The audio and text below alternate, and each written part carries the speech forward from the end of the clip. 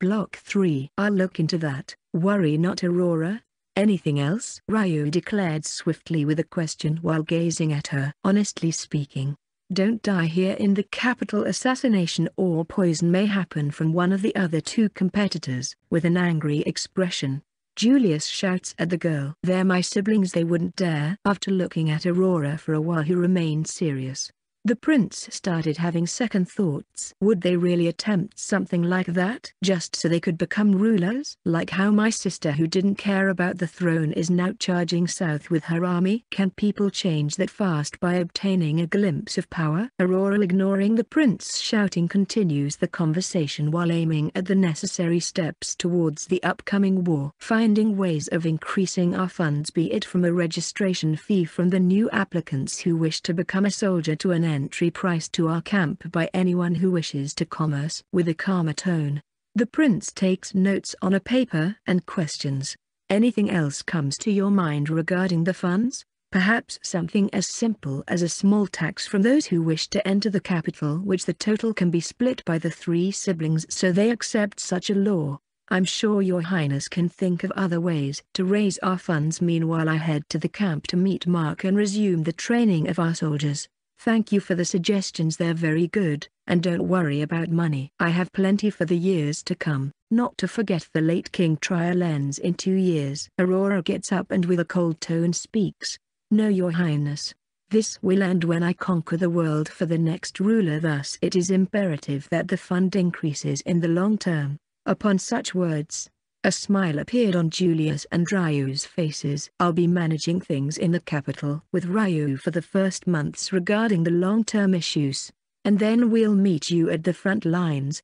Ask the guard outside to escort you to your wagon, so you can start your trip general. Show us what you're truly made of. All right, see you later prince, lord.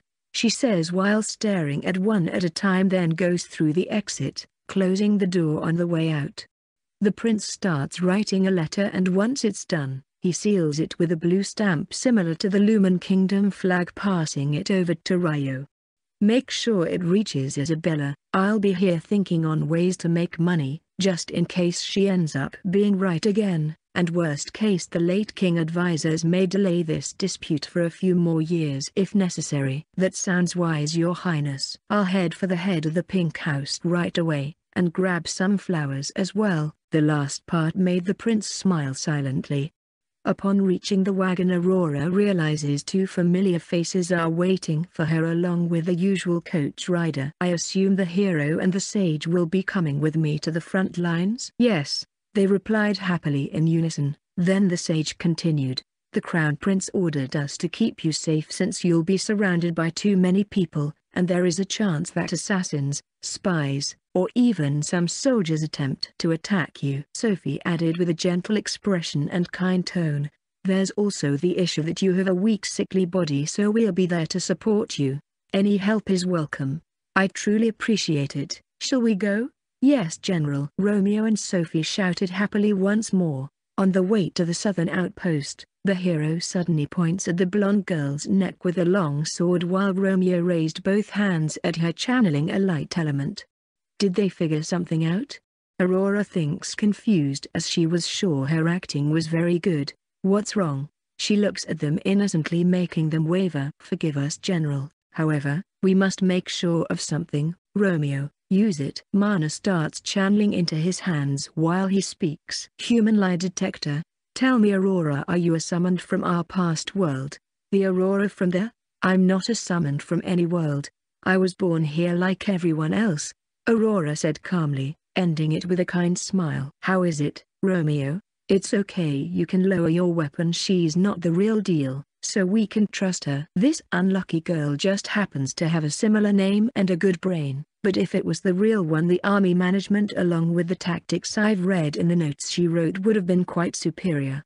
She did give us insane trouble to the point of almost losing the war back then. Sorry about this general hope we can remain friends. Yes, of course.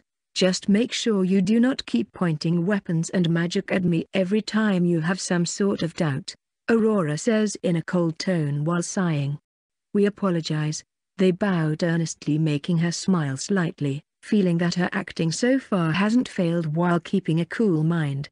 As long as you understand, speaking of which what did the goddess Arya bless you two with? She tilts her head innocently grasping for the fact they messed up, allowing their hearts to feel like they owe the girl an explanation. They look at each other and then realizing there were no more doubts Sophie nodded and Romeo started speaking. I received a blessed skill sages boost, and from the same tier amplification, which in my past life made everything more powerful, and the boost allowed me to get magic of any type, not sure about in this world Dartana. I received a blessed skill named Hero Trumpets though I'm not sure what it does, however, I'll assume it'll be useful at some point as I've tried to use it, and nothing happens. It is a hero skill, so I'm sure it'll help us in the war to come. Aurora says while smiling kindly at them. Seems like we were able to relax her again. It would be troublesome if the general would get mad at us especially since she's quite talented, and also has the backing of the prince who's been helping us. Romeo gazed at her feeling relieved to the bottom of his soul, finally letting go of that last line of doubt in his heart. Sophie who was gazing at Aurora started thinking turning her face around to the wagon window checking the people and places out. This girl is pretty cute, kind, and has a great brain. I can't wait to see what kind of person she'll grow into. I'll make sure to help Aurora in exchange for being so friendly to us, and even being so forgiven. Expected her to insult us or something while shouting angrily. It'll be a long trip so feel free to rest, I'll try to sleep a bit myself. It has been a nerve-wracking day with the speech and all the planning. To think the general would be nervous since you hide your emotions pretty well, Romeo said as he's been studying her behavior since the day that they arrived in the room with the prince. I've spent most of my time trying not to die so there hasn't been much space to emotions sadly. Sophie who was next to Romeo got up and sat next to Aurora and hugged the girl feeling sad for her. This is very awkward. Did I get into her soft spot or something? You can rest while leaning on me I'll be sure to comfort you as an older sister. Thank you Sophie though make sure to wake me up so that the soldiers do not see us like this. I need to look mean to them. Sophie and Romeo giggle while agreeing to her request. In different circumstances, we could have been friends, however, all that waits for the two of you, is the most gruesome and cruel fate once I use your bodies to the fullest of your capabilities as war tools. Till then we can play as friends so that your hearts become truly broken full of despair, once you realize who I truly am. After a while, Aurora falls asleep which Sophie takes the chance to place the girl's head on her lap while gazing at Romeo. Yet another merciless world awaits us where we'll have to wage war against who knows how many even going as far as to make use of this little child. Such is the fate of the hero, however, I'll make sure to support you as I've always been. Thank you, Romeo, you're truly the best. She starts patting Aurora's hair softly. I hope there aren't many unfortunate kids like this one out there. Sophie gazes at the girl while commenting her hair is very beautiful.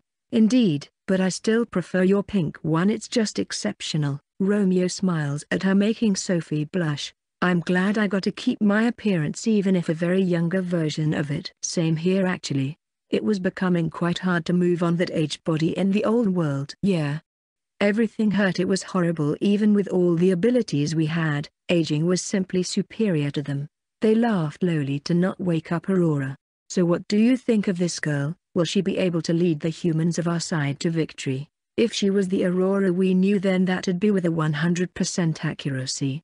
But since they're different we can only hope the girl learns fast enough with that good brain of hers. I mean, since she already beat the prince in chess, who won against you, we have a good chance. In other words, you see potential in her, for me.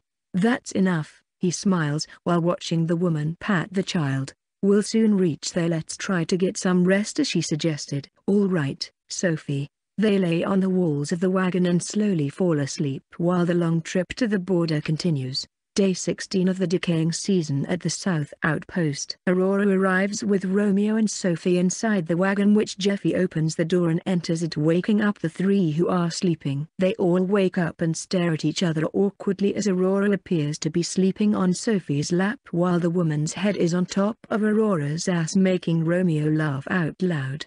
They all get up and start leaving the wagon after Jeffy's, meeting Mark who's outside waiting for them smiling. Once they're standing in front of him the old man's lips start moving, it seems like you had a pleasant rest. Then he laughs unable to contain it further making Sophie embarrassed and Romeo laugh even more while Aurora makes an awkward expression. With a low voice, Sophie adds without regret, well her ass was a good pillow if anything, this time it's Romeo who blushes upon hearing that as Aurora remains indifferent while feeling further uncomfortable on the inside. She then starts walking to the camp while looking at the surroundings enjoying that her notes became reality while Mark quickly accompanies the girl. It seems the men have been doing what I asked. Did they notice their status improvement with their skill personal data? Yes, and the number of titles increased for a lot of the men alongside the different statuses that went up. We've also been reducing the forest trees which caused small skirmishes with different monsters and beasts making them gain experience and levels, and also we've stored the soul stones in a room that you requested as the notes said you had some experiments for them. Splendid does everyone have a place to sleep? Since it is the decaying season it's bound to rain anytime soon. Yes, We've been making simple yet large wooden structures for the men to sleep in along with the usage of the nearby villages to shelter parts of the army as advised in the notes, making the men there contribute to the different activities of the villagers, which would benefit the chances of new titles as well as the improvement of the image that our army receives. Very good, if we keep the people around us happy it'll make the villages around willing to work for us in return, and then the ones around them will be influenced to come out of jealousy. I see, that's a great plan as to be expected of the general. Mark smiles happily noticing a chain of reactions. It'll be best to acquire a great number of blacksmiths and wood artisans to come work with us in expanding our defenses further. Also we'll have to coat our wooden walls with something that doesn't allow it to get burned easily. This will prevent the invasions to succeed easily. I'll talk with the Magic Institute and see what solutions they can offer. I'm an acquaintance with the leader Ryan, the strongest magician in the kingdom. Aurora nods slightly upon hearing such words, feeling curious about such a person. If he's the best mage, it would be interesting to recruit him, even if the odds might not work. After passing through a few wooden houses, Mark points at one in specific and states, that's the one where I store the soul stones. Understood. Wait here a moment, she goes inside and sees hundreds of stones transforming into a grimoire and consuming all of them. System. The title Devourer has been received. She then transforms back and says while licking her lips, Thank you for the meal. I feel overflowing with soul power. Status. Status, level, 14, experience 1291,400, class, Pandemonium race, human, name, Aurora, 8 years old health, 1000 1000ths, mana 1700 1700 status points, 0 stamina, 100, intelligence, 90 wisdom, 170, soul power, 52,130 attack, 5, magic attack, 90 titles, eternums, uncursed's, soul bounds, contracted's, noticed's, God Series F, Devourers skill points, 9 actives, status level 40D, darkness barrier level 7F, piercing darkness level 13F, mana coat level 8F, dark coat level 9F, mana wave level 1F, dark bind level 14F, extraction level 4F, passives, mana control level 25E, dark control level 19F, monster detection level 40D, Beast Detection Level 13F, Night Vision Level 25E, Unique, Transformation Level 15, Killing Intent Level 5 Blessed Slash Cursed, Unidentified. Unique Element, Dark. Cursed Soulbound Contracted Skills, Telepathy F, Giver E, Deconstruct D, Stacking C. Consumed Skills, Infected Bite Level 15, Human Detection Level 40, Brainwash Resistance Level 50, Fire resistance level 80, water resistance level 70, wind resistance level 60, earth resistance level 40, light resistance level 30, dark resistance level 50, ice resistance level 20, quick stab level 50, double slash level 30, ice wall level 5, Dark Bind level 4, Focus level 10, Leadership level 20, Slight Stamina boost level 30, Slight Agility boost level 20, Acid Resistance level 25, Slight Wisdom boost level 30, Slight Strength boost level 40, Slight Intelligence boost level 20, Stealth level 2, Swordsmanship level 10, Sword Mastery level 6, Archery level 10, Bow Mastery level 5, Wand Art level 3, Wand Mastery level 1, Staff Art level 8, Staff Mastery level 3, Unarmed Combat level 15, Shield Mastery level 10, Nature Resistance level 5, Explosion Resistance level 3, Spirit Resistance level 2, Ethereal Resistance level 1, Poison Resistance level 20, Stun Resistance level 10, Knockback Resistance level 5, Concentration level 3. I probably have enough soul power to evolve further but here would be risky, I'll wait till I can return to Aris or find a good place to do it. I can't allow anyone to see it, especially those two. She then exits the house meeting up with Mark. Upon arriving she states, Thank you for the experiment, it was quite successful, as such, we can keep storing them there. Certainly. I've told a trustworthy soldier to keep guard of it. Mark then signals Romeo and Sophie who are a bit further away to approach and declares, the two of you can stay in that house over there and use two beds that you find fit. I request that you will join the front line whenever you are asked to. Understood. They reply in unison with serious expressions. Be sure to fight freely alongside the men to make them familiar with having the hero and the sage around as the forest is being constantly chopped down, causing enemies to appear. It'll be a good chance for the both of you to level up. Sure thing, let's go, Romeo. Sophie walked curiously to see what kind of place they built in such a short time. Ah, Wait for me. He runs after her who just moved fast too fast without hesitation. Mark then walks nearby the house gazing at the inside of the room noticing some soul stones disappeared causing his face to change into a startled expression. What did you do to the soul stones Aurora? I was born with a certain skill that transforms soul stones into knowledge. The real secret for being so smart at such a young age, as such, I've consumed all them into brain power, so I'm overflowing with all kinds of knowledge currently. Mark hastily ran towards the door and opened it fully realizing that every single of the hundreds of soul stones had really vanished. Oh, my goddess.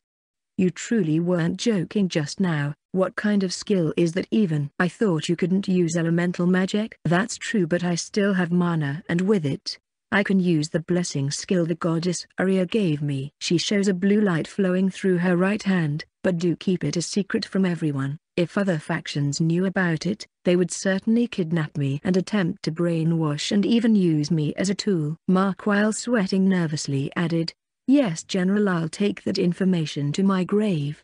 Now then let us proceed as the men await your next orders.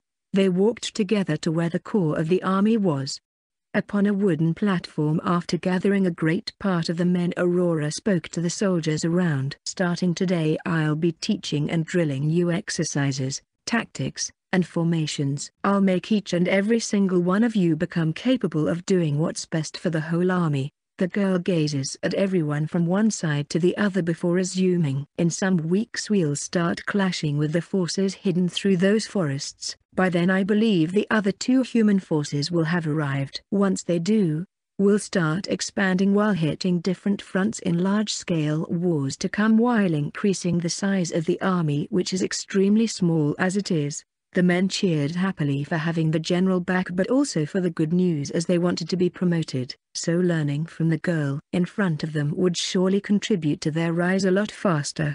I've heard that you men and women have become stronger, tougher, smarter through the different activities that I ordered you all to do. I want you all to keep doing them, to also try different things, as the more titles you have the stronger you'll become.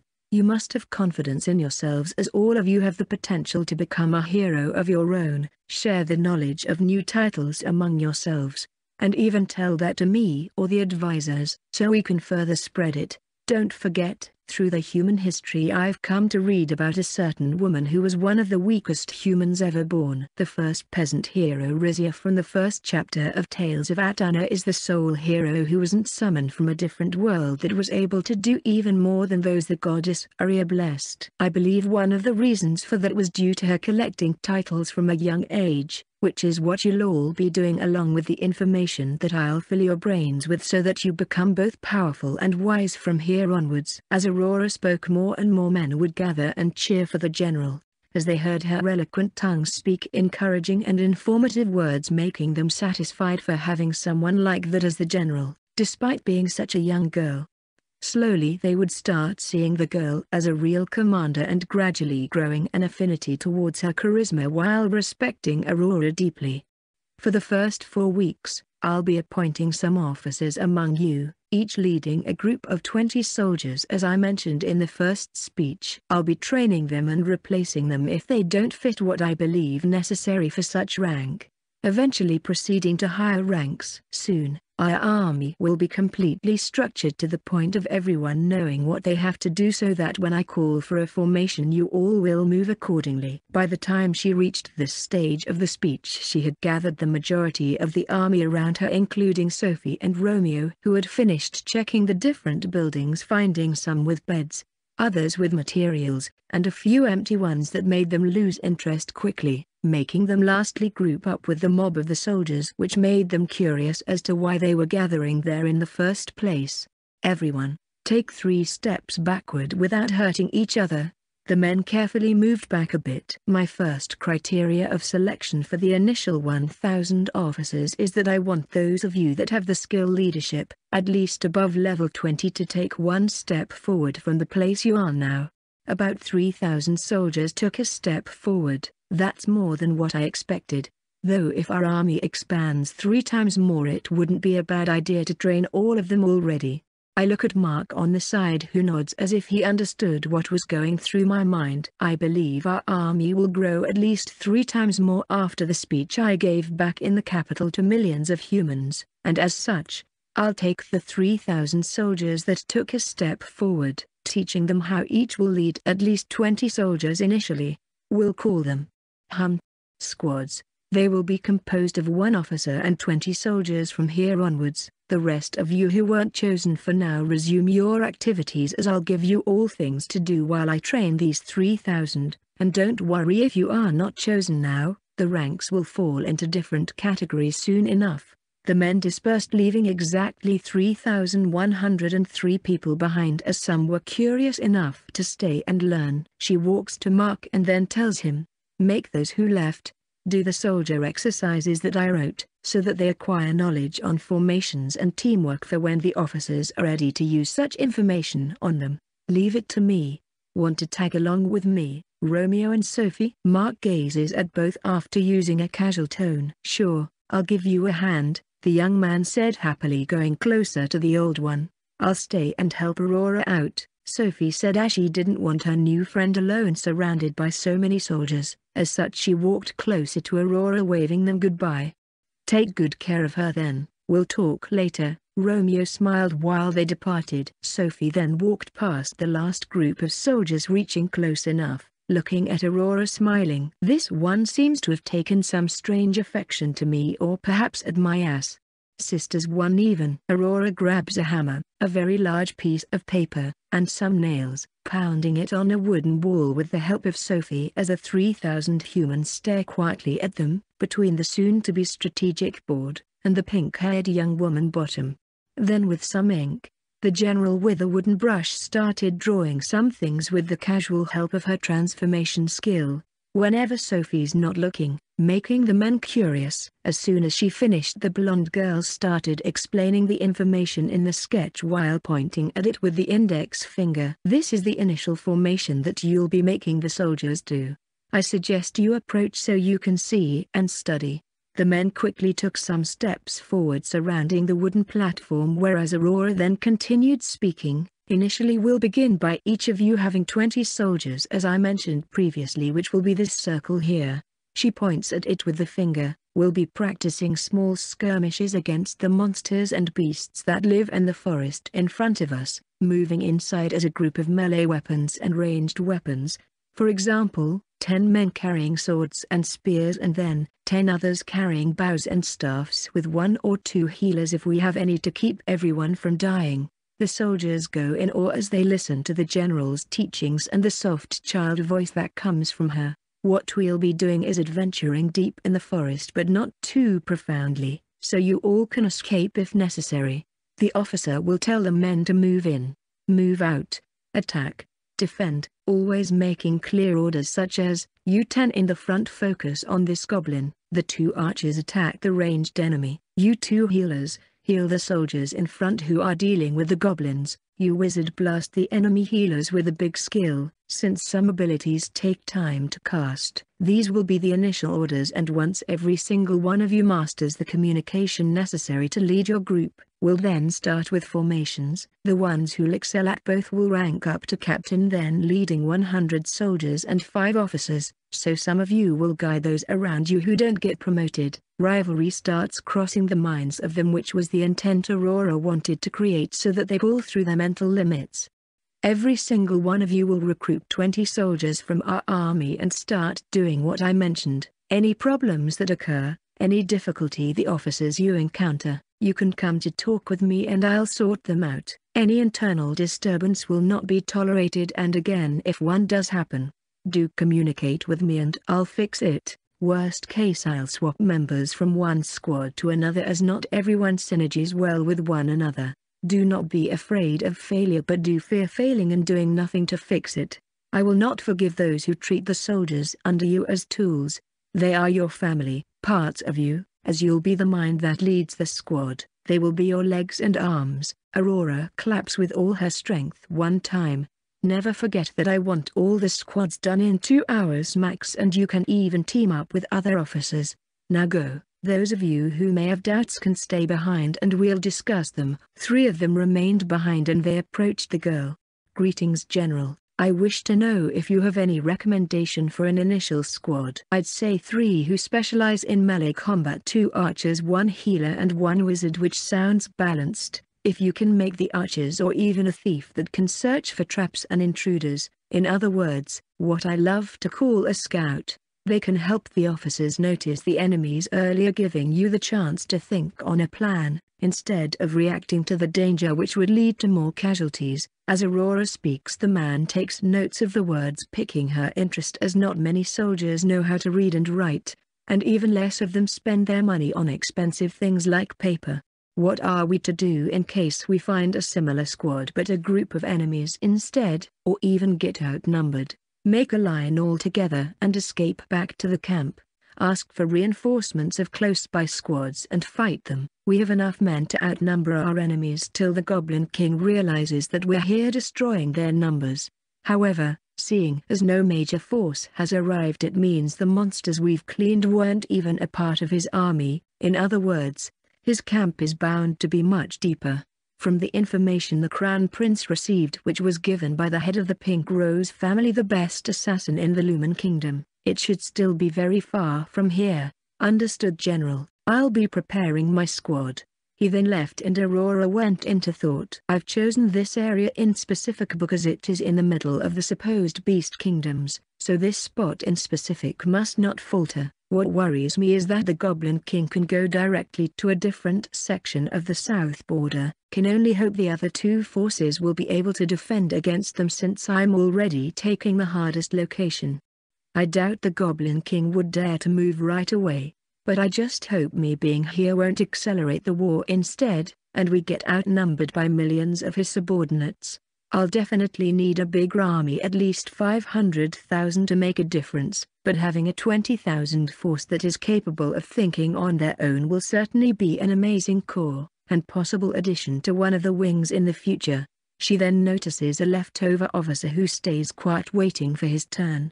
You may speak, he bows and then says, Greetings Lady Aurora I was thinking if I could take the hero Sophie as one of my squad members. As he finishes such words we both look at Sophie who remained quiet this whole time watching over me.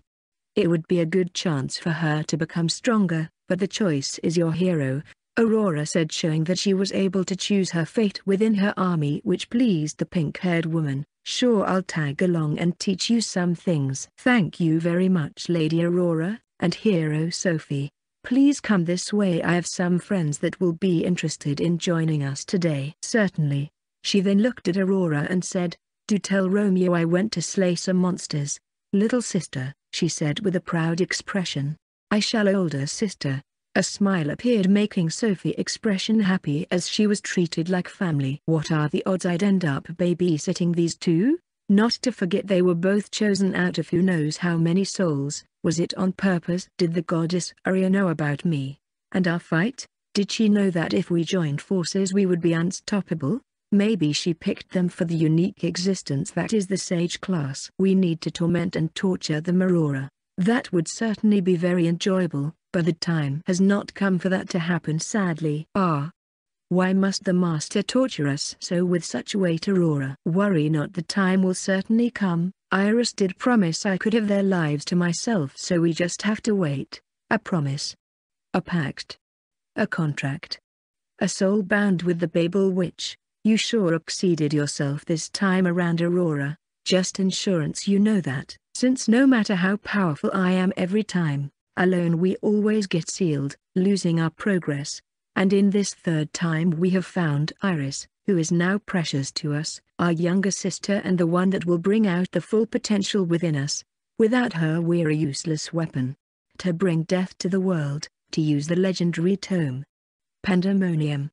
An evil smile appeared on her expression which she hid behind both hands. What will you do Aurora when Iris's soul gets big enough, awakening the one sleeping deep inside our own? that we have been protecting for 10,000 years. When that time comes both you and I will become part of her identity as we originally were. Disappearing. That's kind of sad. True. But such was the promise we made with her, that turned into a life pact. Once she no longer sleeps.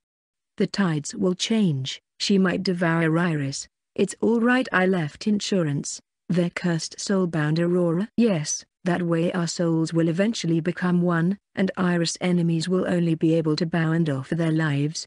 However, even with the witch awakening, it'll still not be enough to unlock that identity fully. We will need sacrifices, thousands of souls. Just like in the old world where you... A man's voice interrupted her thoughts, General, she once more becomes expressionless removing the hands from her face. Yes? One of the archers in the watchtower has noticed a group of about 200 kobolds moving together through the forest in a direction bit further from our camp, so we believe they're not coming to attack. Upon hearing that a smile appeared on the girl's lips, Soul's Aurora consumed them. Let us go call ten squads we're doing a skirmish, she shouted making him run as fast as he can delivering the message. Once we destroy these, more will certainly come for us. It'll certainly become interesting from here onwards. More souls, more, more, the offerings must go on Aurora. A scary voice laughed madly inside the girl's mind. A while later 200 soldiers and the majority of the officers stood beside Aurora all armed as she was about to do a demonstration. Archers prepare the arrows, wizards prepare the offensive spells the enemy is approaching let's give them a big blow she shouted alone in the middle of many. Once the kobolds got in the sight of the humans moments later, noticing a couple of humans approaching to slay them, slowly they started seeing more and more figures. They grew anxious with each step the enemies made becoming heavy-hearted. Shoot! A small blonde girl then yelled from afar. The beasts then saw arrows flying at them as they showered the 200 kobolds followed right after by all types of offensive magic destroying a great part of their numbers, along with the forest, spreading corpses and scattering body parts and blood everywhere. Melee units charge. Archers and healers support them. Wizards beware of our flanks for approaching enemies. In mere minutes 200 beings had died and after they collected the soul stones and returned to Aurora she spoke. As you've seen this is what a captain is supposed to do and the officers have to spread the orders through the soldiers as our voices have range limits. The 200 who died today could have been you all. This is a very tiny glimpse of war, the side that is best prepared is the one that is likely to win. Store the soul stones in the usual place and then resume the monster cleanup around the forest. Take the meat of the kobolds and treat it to every soldier who helped slaying them. The officers behind her started clapping enthusiastically while thinking they'd want to be like her and do the same thing in the future. As for you all that stood behind me watching, this is the minimum you must do if you wish to rank up higher and lead a bigger number of troops. Now back to your squads show me how amazing you all will become. Yes General, they shouted mesmerizing her to no end. Aurora then walks around inspecting the corpses noticing that most were unarmed, wondering why they came to this side. It should be the opposite direction of the Goblin King base. Are they perhaps starting to expand their territory which made the kobolds flee? If that's the case then it's free amounts of experience, levels, and training for my soldiers. I shall reward whoever did this by slaying them flawlessly. After some hours Aurora went inside the house where the soul stones are consuming them. I wonder if I can send all this energy to her from far away as it is a different skill than telepathy. Or should I awaken to the next phase? Let's check with status. Status, level, 14, experience 1291,400, class, Pandemonium race, human, name, Aurora, 8 years old health, 1000 1000ths, mana 1700 1700 status points, 0 stamina, 100, intelligence, 90 wisdom, 170, soul power, 102,130 attack, 5, magic attack, 90 titles, eternums, uncurseds, soul bounds, contracteds, noticeds, God Series F, Devourers. Skill points, 9 actives, status level 40D, darkness barrier level 7F, piercing darkness level 13F, mana coat level 8F, dark coat level 9F, mana wave level 1F, dark bind level 14F, extraction level 4F. Passives, mana control level 25E, dark control level 19F, monster detection level 40D, beast detection level 13F, night vision level 25E, unique, transformation level 15, killing intent level 5 blessed slash cursed, unidentified. Unique element, dark cursed soulbound contracted skills, telepathy F, giver E, deconstruct D, stacking C. Consumed skills, infected bite level 15, human detection level 50, brainwash resistance level 55, fire resistance level 100, water resistance level 100, wind resistance level 100, earth resistance level 60, light resistance level 40, Dark resistance level 60, ice resistance level 35, quick stab level 70, double slash level 50, ice wall level 10, dark bind level 7, focus level 18, leadership level 40, slight stamina boost level 40, slight agility boost level 30, acid resistance level 35, slight wisdom boost level 38, slight strength boost level 47, Slighty Intelligence Boost Level 31, Stealth Level 10, Swordsmanship Level 20, Sword Mastery Level 16, Archery Level 18, Bow Mastery Level 13, Wand Art Level 10, Wand Mastery Level 18, Staff Art Level 28, Staff Mastery Level 13, Unarmed Combat Level 25, Shield Mastery Level 20, Nature Resistance Level 15, Explosion Resistance Level 9, Spirit Resistance Level 3, Ethereal Resistance Level 2, Poison Resistance Level 30, Stun Resistance Level 20, Knockback Resistance Level 10, Concentration Level 7, Long Slash Level 10, Weapon Smash Level 7,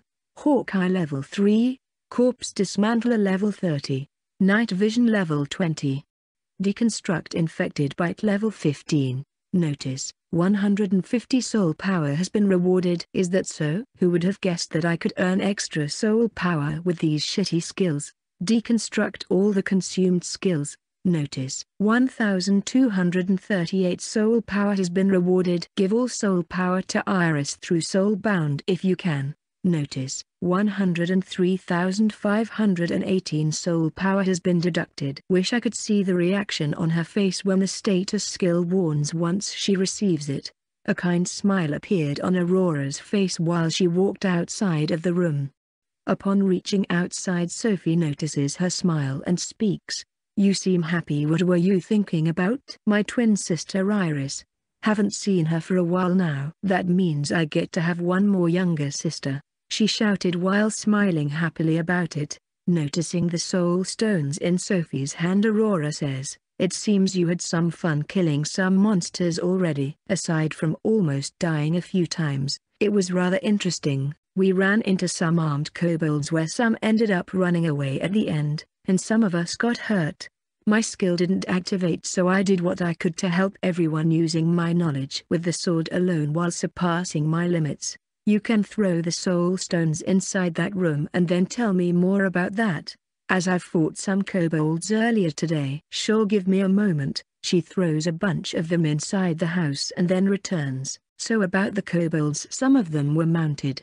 Those in specific gave us a hard time they were riding wolves can you believe that? Some sort of cavalry like some soldiers can fight on top of a horse. Yes, exactly that but a monster version of it or in this case, their race would be beasts. Since in this world people seem to categorize them differently, that is right as long as they have beast parts of sort and look sort of human they're usually beasts and the monsters everything else. Show me where you found them, Sophie, I say with a serious expression that makes her instantly move as if she realizes I figured something important.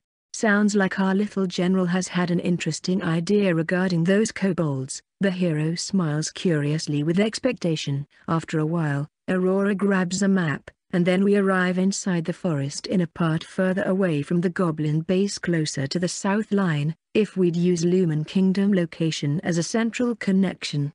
They came that way, Sophie points further southwest from our camp. Aurora marks a zone on the map and then draws a horizontal thin line through the forest east to west. That line is, she looks puzzled at it while trying to understand it. I believe that's where their territory is in here. She then draws a diagonal line from Astia village to the horizontal line she made as there were goblins back then patrolling in a big group, should be the Goblin King base which means there's probably something on the other side further west maybe a kobold kingdom whose territory is slowly being occupied, making them move this far in search of either a new place to reside, or attempting to kill goblins, but for now these two are the ones that we'll end up fighting currently, as I believe kobolds are being kicked off the zones where they would naturally be living while the Goblin King army expands west, and maybe further southwest, seeing as kobolds are appearing closer to us, which for them would be north to northwest. Even though we have the same information and I've lived way longer, I can't perceive what's inside this girl's brain it makes me feel stupid. Even though it was the same with Romeo, I wonder if he'd be able to pinpoint something like this with such little information. Not to forget the confidence Aurora have that the information is correct is what scares me the most. Sophie looked at her. Scares? I'm scared of a little girl for being a bit smarter than me. Impossible. She pushes her thoughts away nodding the head to the sides. Noticing this Aurora questions her behavior. Are you alright Sophie? Ah. Yes, don't worry I was just thinking on silly things, a bad habit of mine. She then proceeds to pat Aurora's hair. Are we done here little genius? Yes, we can go back before we get raided by more of those strange kobolds. Indeed, I rather not have to fight more of them before I heal myself up. I don't want to trigger a death flag this early on during the game. Death flag? Game? Aurora asked confused. R. Don't mind it, just some reference from two lives away from where my memories start. I was a normal human being there and then I was summoned into a second world at some point where magic existed. And in my first one we had games which you wouldn't know anything about, and it's hard to explain, so don't worry about it Aurora. The second was where I met Romeo. Games. Something about it sounds interesting, but I cannot remember where or how I heard about it from my past life as most of my memories are sealed after almost losing my sanity inside of that shitty garden. Well, no matter I must focus on the task at hand. The next step observing how the officers do while passing through the soldiers' training to see what else needs improvement. Decaying and moon seasons go by and day one of the flowering season arrives making a total of 167 days that went by. The outpost is currently holding 100,000 soldiers most of who are hard-trained during the decaying and moon seasons including 5,000 officers 1,000 captains and 100 majors. The army can now correlate to basic formations as the moon season was mostly snow so that's what I spent teaching them for at least 90 days. The decaying season we had some engages but since it's the borders of the forest the experience was divided by the many soldiers making them not leveling up too much. It seems that we were wrong about the experience system. It's actually best to simply make them fight with fewer people. In fact alone gives the most experience, however, I kept the squads unchanged as I opted for the best teamwork since, in the end, they're not adventurers and even those usually work with two or three as the layers of snow are being melted by the flowering season I'm currently on the capital with the crown prince as I left the army with Mark and Ryu. Apparently, today will be the day the advisors decided for this new year annual tournament in the capital and as such, Iris will take my place, in order to bolster my honor further as the general under Julius which if she does well, it'll help more soldiers to want to join our ranks. Due to the rainy season into the snow one it made fewer people than I expected to join us. Hopefully when the warm ones are back it'll increase. After more than half a year I'm finally meeting Iris I've been sending her all the soul power I gathered even though neither of us has earned a single level. Apparently I've been busy commanding and building the army, while she's been learning swordsmanship with some old guy that is not Alfred the Swordmaster, so I don't really know why she chose him but knowing her I'm sure she had good reasons. You can wait here Aurora I'll go check the starting time once Iris arrives I'll tell a guard to bring her here. Thank you, Prince Julius. A while passes and Iris finally appears through the reunion room door where the Crown Prince spends most of his time working. The moment we see each other the transformation skill changes her body appearance to match Iris, who's grown a little taller but other than that looks like Aurora remember her, and then they run at each other giving a tight hug to one another. I missed you Aurora, my dear sister, I say happily tearing up while holding her and then speak with her through telepathy. I've spent a long time alone with Teacher A with casual visits from my parents, but other than that swordsmanship all that I've dedicated my time to, and now thanks to the Crown Prince and Ray, allowing it as a battle experience to see how far I could go in the tournament, I was able to take a break and come to the capital to meet you. I see that your hair has been cut by the shoulder line, was it Ray? Yeah. He said that it was in the way and before I could even protest about it, he cut it perfectly in a single slash. That man is something else but I feel like I've progressed a lot. So I'll stick with him for two more years and do my best to surpass him.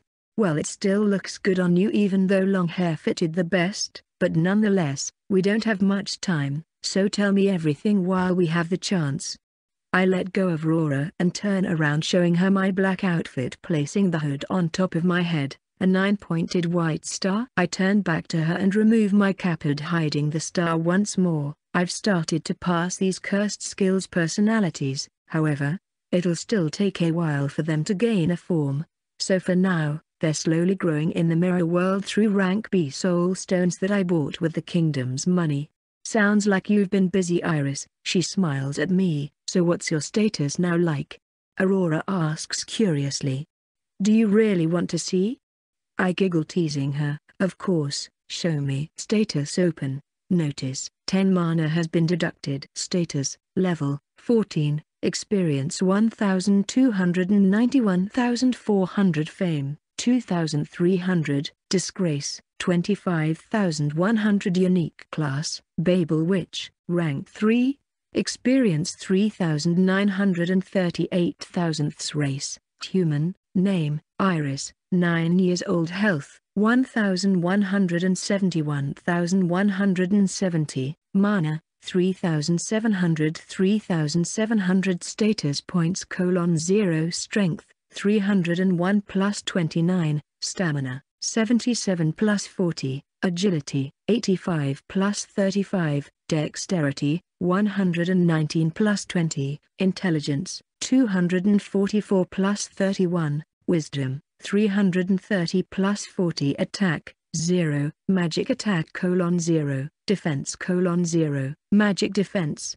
0 soul, 531,554 titles, reincarnated plus S, manas, mana exhausts, healths, purchases, wisdoms, body trainings, animal slayers, cooked fishes, preyed upon F, cheetah, S, heritages, amalgams, ices, cooked bird F, cooking series, E, slayer series F, sales, soul bounds, elements, contracteds, peasant, F, class A, monster slayer D, slime slayer B, skill mastery A, criminals, herbs gathereds, herbs types is, potion brewers, potion type C, status masteries, beast slayer C, horned rabbit slayer C, potion administered F, goblin slayer E, orc slayer F, assassinations, herbalist series C, skeleton slayer C, notists, god series D, potion selling F, potion failed D, potion succeeded D, alchemist series F, money makers, merchant series C, tradings, herbs solds, herbs boughts, acknowledgeds, disgraceful, S, ignoreds, forgottens, zombie slayer F, curse slayers, turtle slayer F, corpse transporters, library completions, crime series F, wises, strongs, completed series, fishings, farmings, illusions, readers, trees. Skill points, 1 actives, status level 60C, system library level 100S, mana coat level 70B, mana wave level 20E, ice bind level 30E, ice sword level 20E, icicle level 60C, long slash level 40F, ice expansion level 10F, ice hammer level 1F, ice spear level 1F, ice wave level 10F, ice light armor level 20E,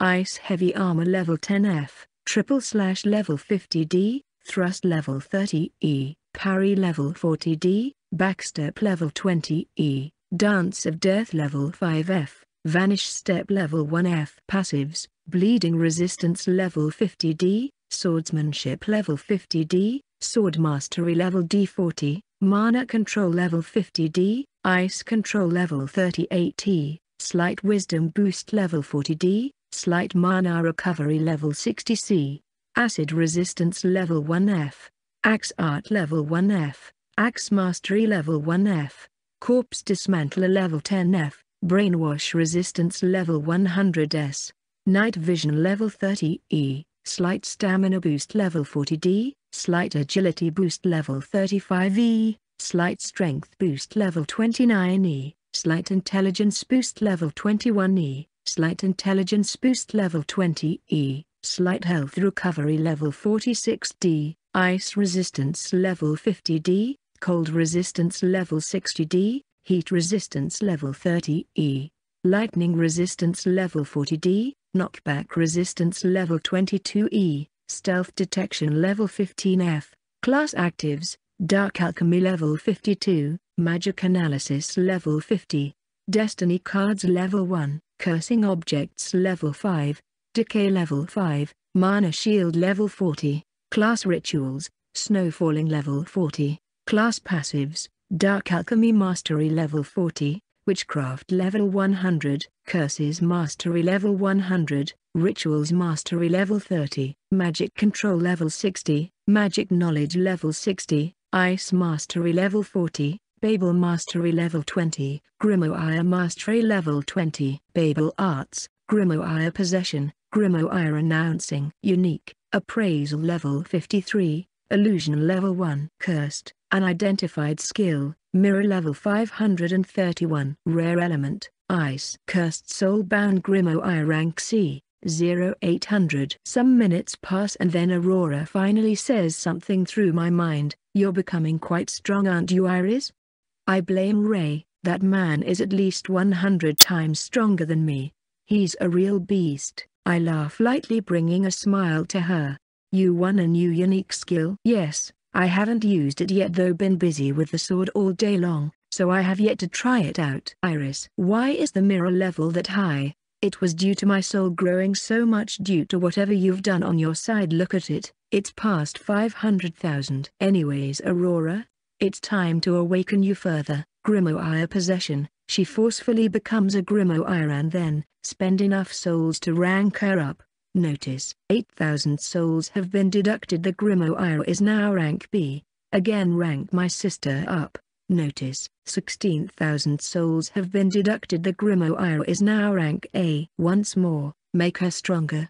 Notice, 32,000 souls have been deducted the Grimoire is now rank S. One more time. Notice, 64,000 souls have been deducted the Grimoire has ranked to the first phase of unique. There are two phases of unique. That was unexpected once more. Notice, 120,000 souls have been deducted the Grimoire has ranked to the second phase of unique. Guess I can only do it one more time you better rank up sister. One more. Notice, 240,000 souls have been deducted the Grimoire has ranked to the last phase of unique.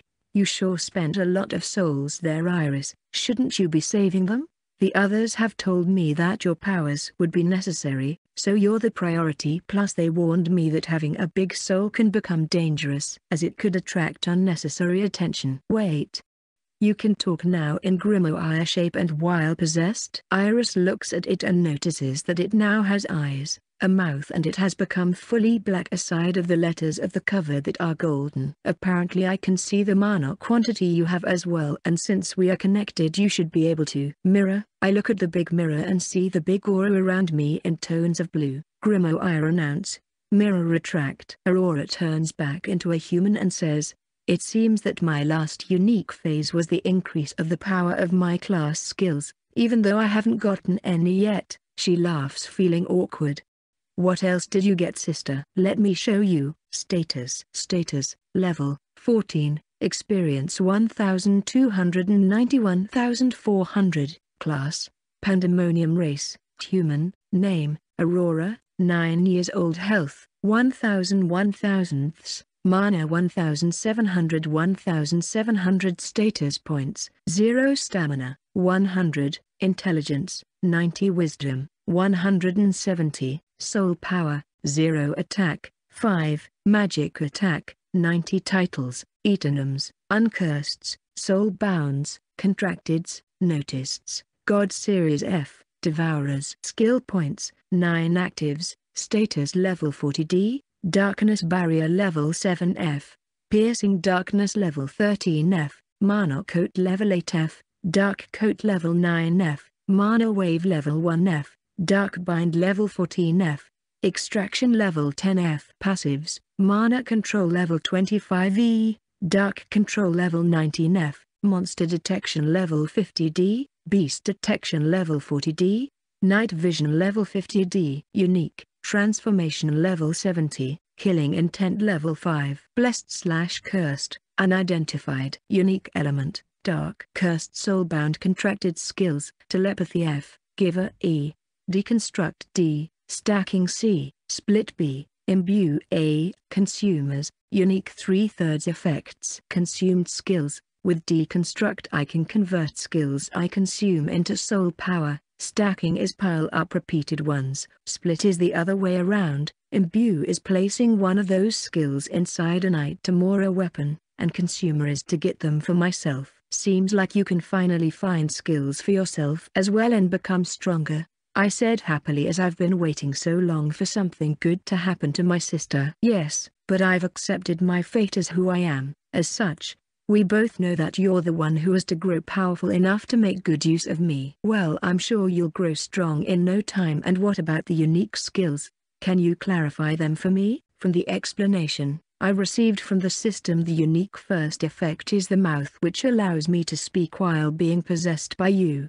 The second is the eyes that can see the mana amount beings have and the third effect is the apparent full black cover that makes my class skills stronger kind of like a little boost. Oh alright, well in that case what skills did your class get? What kind of boost is it? Apparently after checking the list many times they're all about summoning monsters of many types like goblins.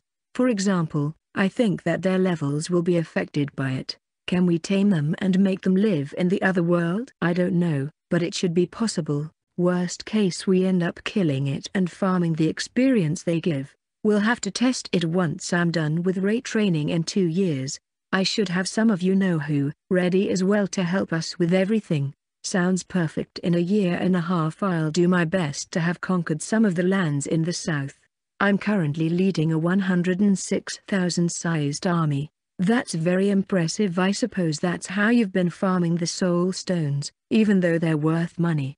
I'm surprised you get away with them all for yourself. Let's just say that I got myself an interesting deal with one of my advisors. I told them I have a blessing skill that allows me to consume such soul stones in exchange for more knowledge, and who wouldn't want their general to become wiser right? I laughed and then said, You've also made our family part of the nobility too even though that part is whatever, I don't really need that said rank but it's fine, we smile at the idea. Aurora bows her head and says, but O Lady Iris you are the noblest of the nobles, a princess truly. Sister eyes then meet mine and we laugh at each other as we mock with similar jokes and acting. The door knocks and the crown prince enters watching us laughing and acting like kids, making him see a side of Aurora he hadn't really met making him smile kindly. Dark Priest's perspective The day before the tournament at the village of Tun, the unique item was working so well but now it's pointing to the capital what the fuck is going on? If only this piece of crap didn't have a day of cooldown, a dark priest yelled angrily while glaring at it. That's good news that means it is most likely a human we must not halt our search, and head there as today the annual tournament begins and possibly one of the candidates will be the one we seek or even one of those looking from the audience. Fuck, fuck, fuck. Fuck. A different dark priest then spoke, Lord Zylf will be there so we must convey the message secretly, send a raven it'll get there faster than us. Come, brother, I understand your pain but our leader awaits. Uck, damn it. He kicks a rock that hits a certain beggar who gets up slowly while holding a sword. I am terribly sorry old man, as my brother did not mean to hit you in the process. He grabs the item and starts walking. I'm truly pissed at the moment. Do you want to fight? You shitty old man. You'll become my venting tool today. A poisoned knife appeared on each hand through the black robe he was wearing. We'll be heading on our way. Meet us at the capital when you're done. They vanished swiftly while the dark priest walked closer to the old beggar while chanting a curse making the man in front of him slower. I want to see you try to run from me now. The old man then said, Unique skill 7 sword arts. First move, the lightning flash, an electrified aura ran through the sword as it left the sheath at an incredible speed and then back inside to it, and then no longer feeling the slight weight from the curse, he sat again on the same spot without muttering a word. Are you done you trash? The moment the dark priest took a step further half of his body disconnected from his other part falling on the ground dead as the blood and organs poured out dirtying it making an old lady who was observing the situation in fear from her room window scream then pass out. All the participants are to be expected and wear this you'll be my representative iris. The crown prince extends me a white set of clothes who then turns around as I change. All right. I'm ready prince. Upon hearing those words he turns around and notices something. Your hair is short that could be a problem. Or not. It seems like Aurora has cut hers. We're twins after all. My sister says while she hugs me from behind, well that leaves the eye color but since it'll be so far away it shouldn't be easily noticed aside of your opponents. Just so you know every representative under the age of 16 from the Rose families will participate along with any noble, peasant, and my brother and sister representatives, so do your best, but no need to get heavily injured for it, that would in a way ruin our image. If you must forfeit due to injuries you can do so. I understand but I believe I'll be fine, at least against the ones of my age as I'm most likely a tad stronger. I've heard good things about you from my advisors, so I feel like you'll do fine, and don't worry if you lose against those older than you. The difference in ages really does make a gap and you're like 8 right? Actually today is our birthday day one of the flowering season, so we could say we're both 9 years old now. I smile kindly at him while Aurora smiles awkwardly as she didn't remember that. Oh apologies, happy birthday Iris and Aurora, after today's share of fights we shall celebrate it with a banquet. Sure, looking forward to it. I smile from cheek to cheek happily. Imagining what kind of food I'd be able to try. Good luck Lady Iris. Aurora makes a teasing expression as she says that patting my right shoulder with her left hand. Meanie, I laugh as I accompany the Crown Prince to the Colosseum, throwing my tongue at her just before I go past the room. A while later I and him arrive there and through the main hall I notice some statues stopping at the first one. Who is this? I ask curiously as she looks interesting, and in a way powerful along with intimidating. If you ever read a certain book called Tales of Atana that would be the hero of the first tale. I actually have. I look below her feet and read her name. Rizia the peasant hero? Yes, she was the first peasant to ever reach a class that is usually gifted by our goddess, and she was also stronger than most summoned by Arya to help the kingdom back then. Some people say that she was the reincarnation of the goddess Arya herself. The blue sword in this grey statue is still passed down to this day, to the strongest swordsman in the kingdom. I don't remember my teacher having it, her teacher having it. I'm pretty sure she turned down Alfred's guidance. Is there someone else close to his strength or did she ended up accepting it? The one who owns the sword currently is Lord Alfred, the sword master of the White Rose family. He's the strongest swordsman in this kingdom. Upon hearing those words and having faced both I just smile at the statement. I guess she doesn't believe it, even though I've heard they met each other as she has the white ring in her hand. Where do we go next? Prince? I ask disinterested in the conversation we were having, in order to find something new to fill my mind with. This way towards that receptionist over there. He points towards the spot and then we move there arriving shortly. Upon noticing our arrival a man speaks, Greetings your highness, this is the tag number of your representative. The lady has been seeded as number one upon the traditions. Seeded as one? I asked confused as no one told me about it beforehand. Basically since I'm currently the most influential person in the Lumen Kingdom, you get to be the one fighting in the first round as a way to open the tournament. That's very interesting, meaning I'll have all eyes on me. I reply slightly nervous thinking on it. That would also mean Aurora will be the center of attention, so the first match has to be a victory even if someone older and stronger than me, I'll have to do my best for her. Also your highness her teacher sent this pair of swords for her to use, he said if you chip either of them that you will be murdered Blondie, those were his words. The man looked really old and arrived a few moments ago. I believe that you may find him watching the tournament, and then pick you up when you lose. Upon hearing those words I gulp as I know just how much Ray is obsessed with those swords. Seems like she does have one. I wonder who it is, and for it to be an old man. The crown prince thought curiously thinking about a lot of strong people he knew. I grab the two sheathed swords and follow the crown prince towards a big entrance where light illuminates our path as we cross to the other side. After a while, we start hearing an intense mix of cheers from the 500,000 seated spectators in the Colosseum, which is its max capacity. Don't stop walking. Come, Iris. Upon barely hearing his words I keep moving as my body stopped unconsciously momentarily due to the surprise from all these voices. Oh look husband there's a cute blonde girl following Prince Julius. Whoa. You're right, Hey blonde girl go back home before you get hurt. I look at the person from the audience who shouted and notice he has a baby sitting on his shoulders while he shouts at me. Hey stop it, love, you're a little far for her to hear you, plus she wouldn't be here if she was weak. But dear she's so small. Fine, I bet a cute address that she will reach the top 10 which is usually disputed by the oldest heads of the noble families. If I lose you can have your way with me tonight however you see fit. Eh? Even the back door? The man makes a very perverted expression imagining it. Yes, but do prepare your wallet I'll make sure to pick an expensive one. Upon reaching close to the center after barely hearing the initial shout, I notice a black stone paved area in a square format surrounded by a cleaned and well-paved ground made of dirt.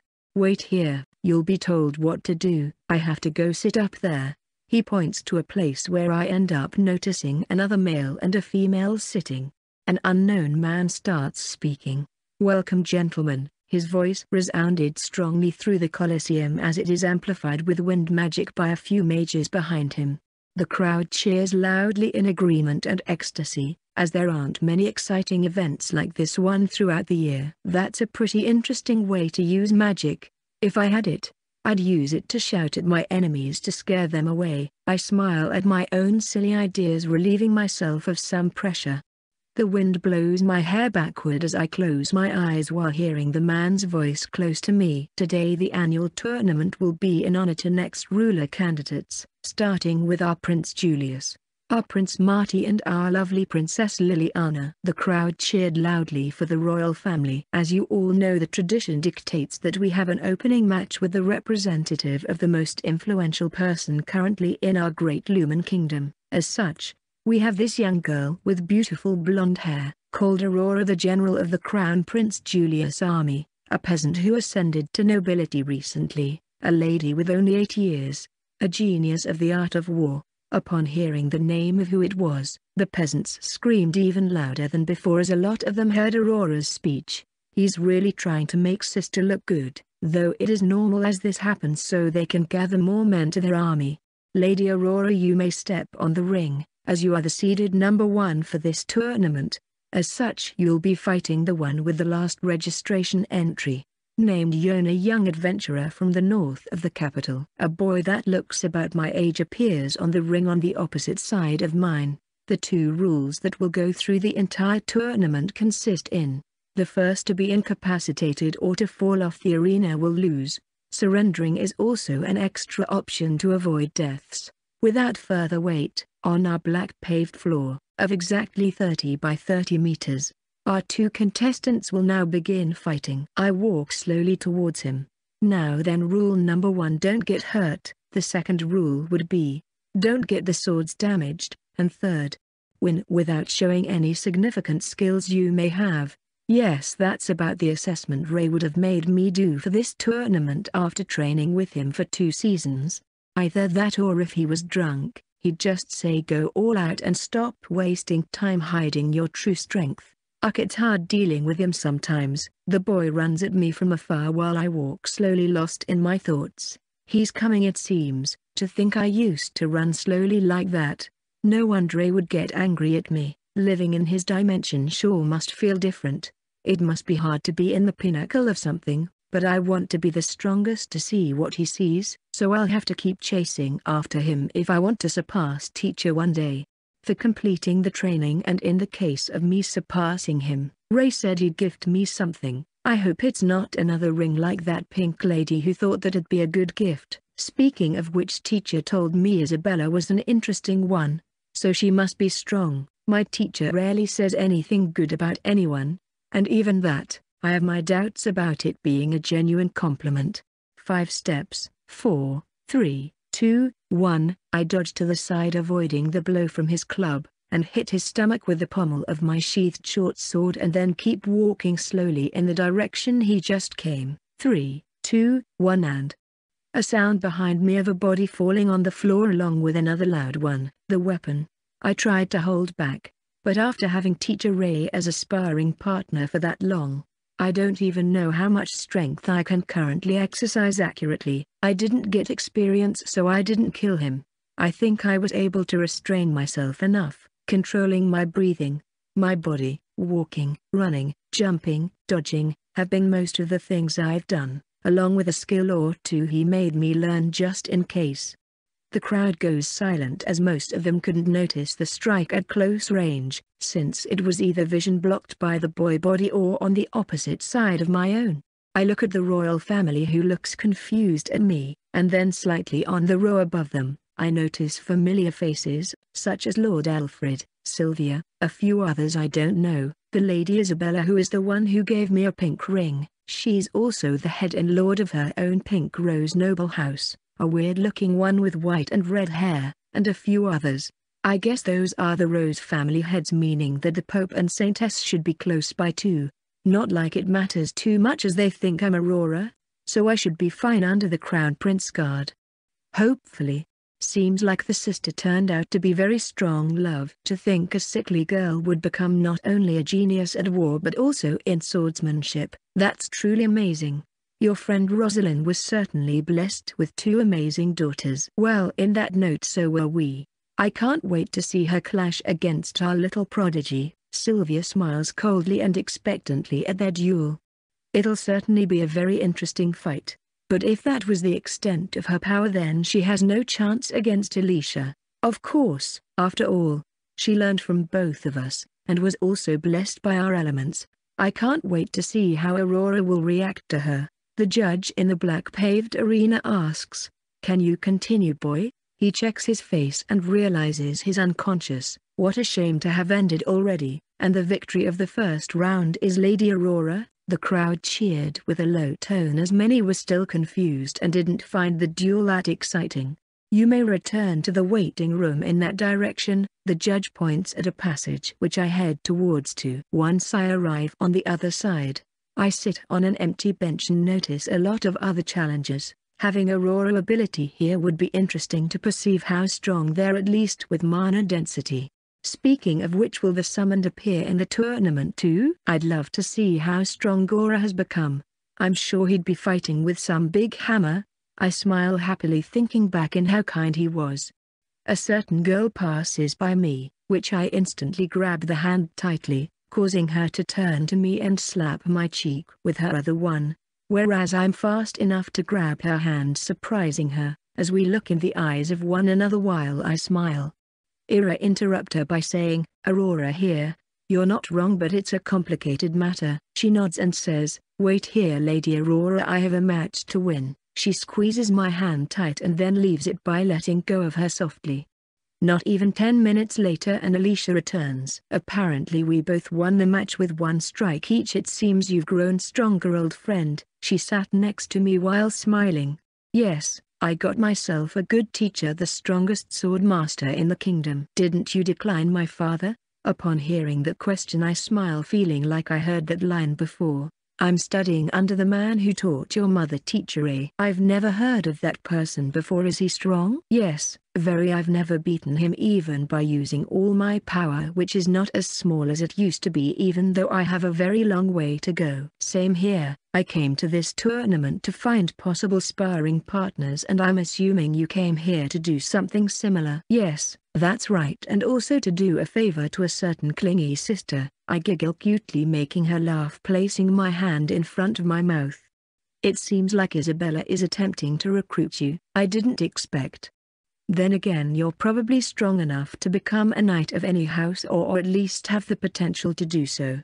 I pat her hair, don't look sad at me I couldn't cope with the speed of her placing that ring in my finger she was that fast, almost like a forced marriage of sorts. I instantly make her laugh with such a bad joke. I'm truly happy to see you doing well my dear friend, she hugs me while I keep patting her hair. It seems that I have been going through the struggles that you have been with this teacher of mine he's a complete sword maniac, she laughs as she hears me venting. We both seeketh to become the strongest so it's normal that we'll cross paths at some point in this tournament if we don't lose meanwhile there are many strong opponents so don't let your guard down and when we meet I'll also go with everything I have, I wish to see how strong my dearest friend has become. Please go easy on me. My teacher will kill me if I chip one of his favorite swords, I lift them showing her. She looks at them and notices that the sheath and the short swords are both beautiful and of great quality. This must have cost a fortune you should truly treat them with care otherwise you'll have a debt for the rest of your life, she says it with a serious expression making me nervous. I'll be see careful with them. She starts laughing at me seeing as how I'm still childish in her eyes. By the way, what's your swordsmanship and sword art skills at now? Alicia asks curiously as we shared this information in the past. I'm at swordsmanship level 50 and sword art level 40 so far. Sounds like you've caught my old me when we met. I look even more forward to dueling with you now. I'll be happy to show you the difference between the two of us. She gets up and walks away smiling. I wonder what's her current levels. Now I'm very curious and I'm itching for a fight. Two hours go by and they call for me. The second round for all of you will now begin and Lady Aurora you'll be opening this one and all the ones till you lose. I understand, I say in a serious tone as my sister has an image to maintain. Please do head to the arena the judge and your opponent are waiting for you. Upon hearing those words I move there while holding both swords in the middle of me with my arms. Ladies and gentlemen the second round will now be opened by the representative of the Crown Prince the General Aurora and this girl from the west of the capital Ava. Good luck my lady. She bows respectfully. Good luck to you too Ava. I've heard that you only unsheath your sword towards strong opponents so I'll make sure to force you to pull it off with my rare element. She placed her hand in my direction and a two-meter fireball flew my way which I dodged to the side and then with her other hand an explosion below me erupts which I backstep barely in time as my clothes get grazed and I receive an injury. Notice, 100 health and 100 mana have been deducted. That explosion was unexpected does she have two elements? It seems like I'll face her with my magic instead, mana shield. I let my weapons fall on the floor and start running, icicles. I imagine they appear in specific positions. Notice, 200 mana has been deducted. They appear behind her in blind spots and a fire pillar surrounds her as she points her hands below protecting herself by melting them. She then shoots a fireball at me and I use an ice wall taking a step back hiding behind it which she then uses explosion magic behind the wall missing me.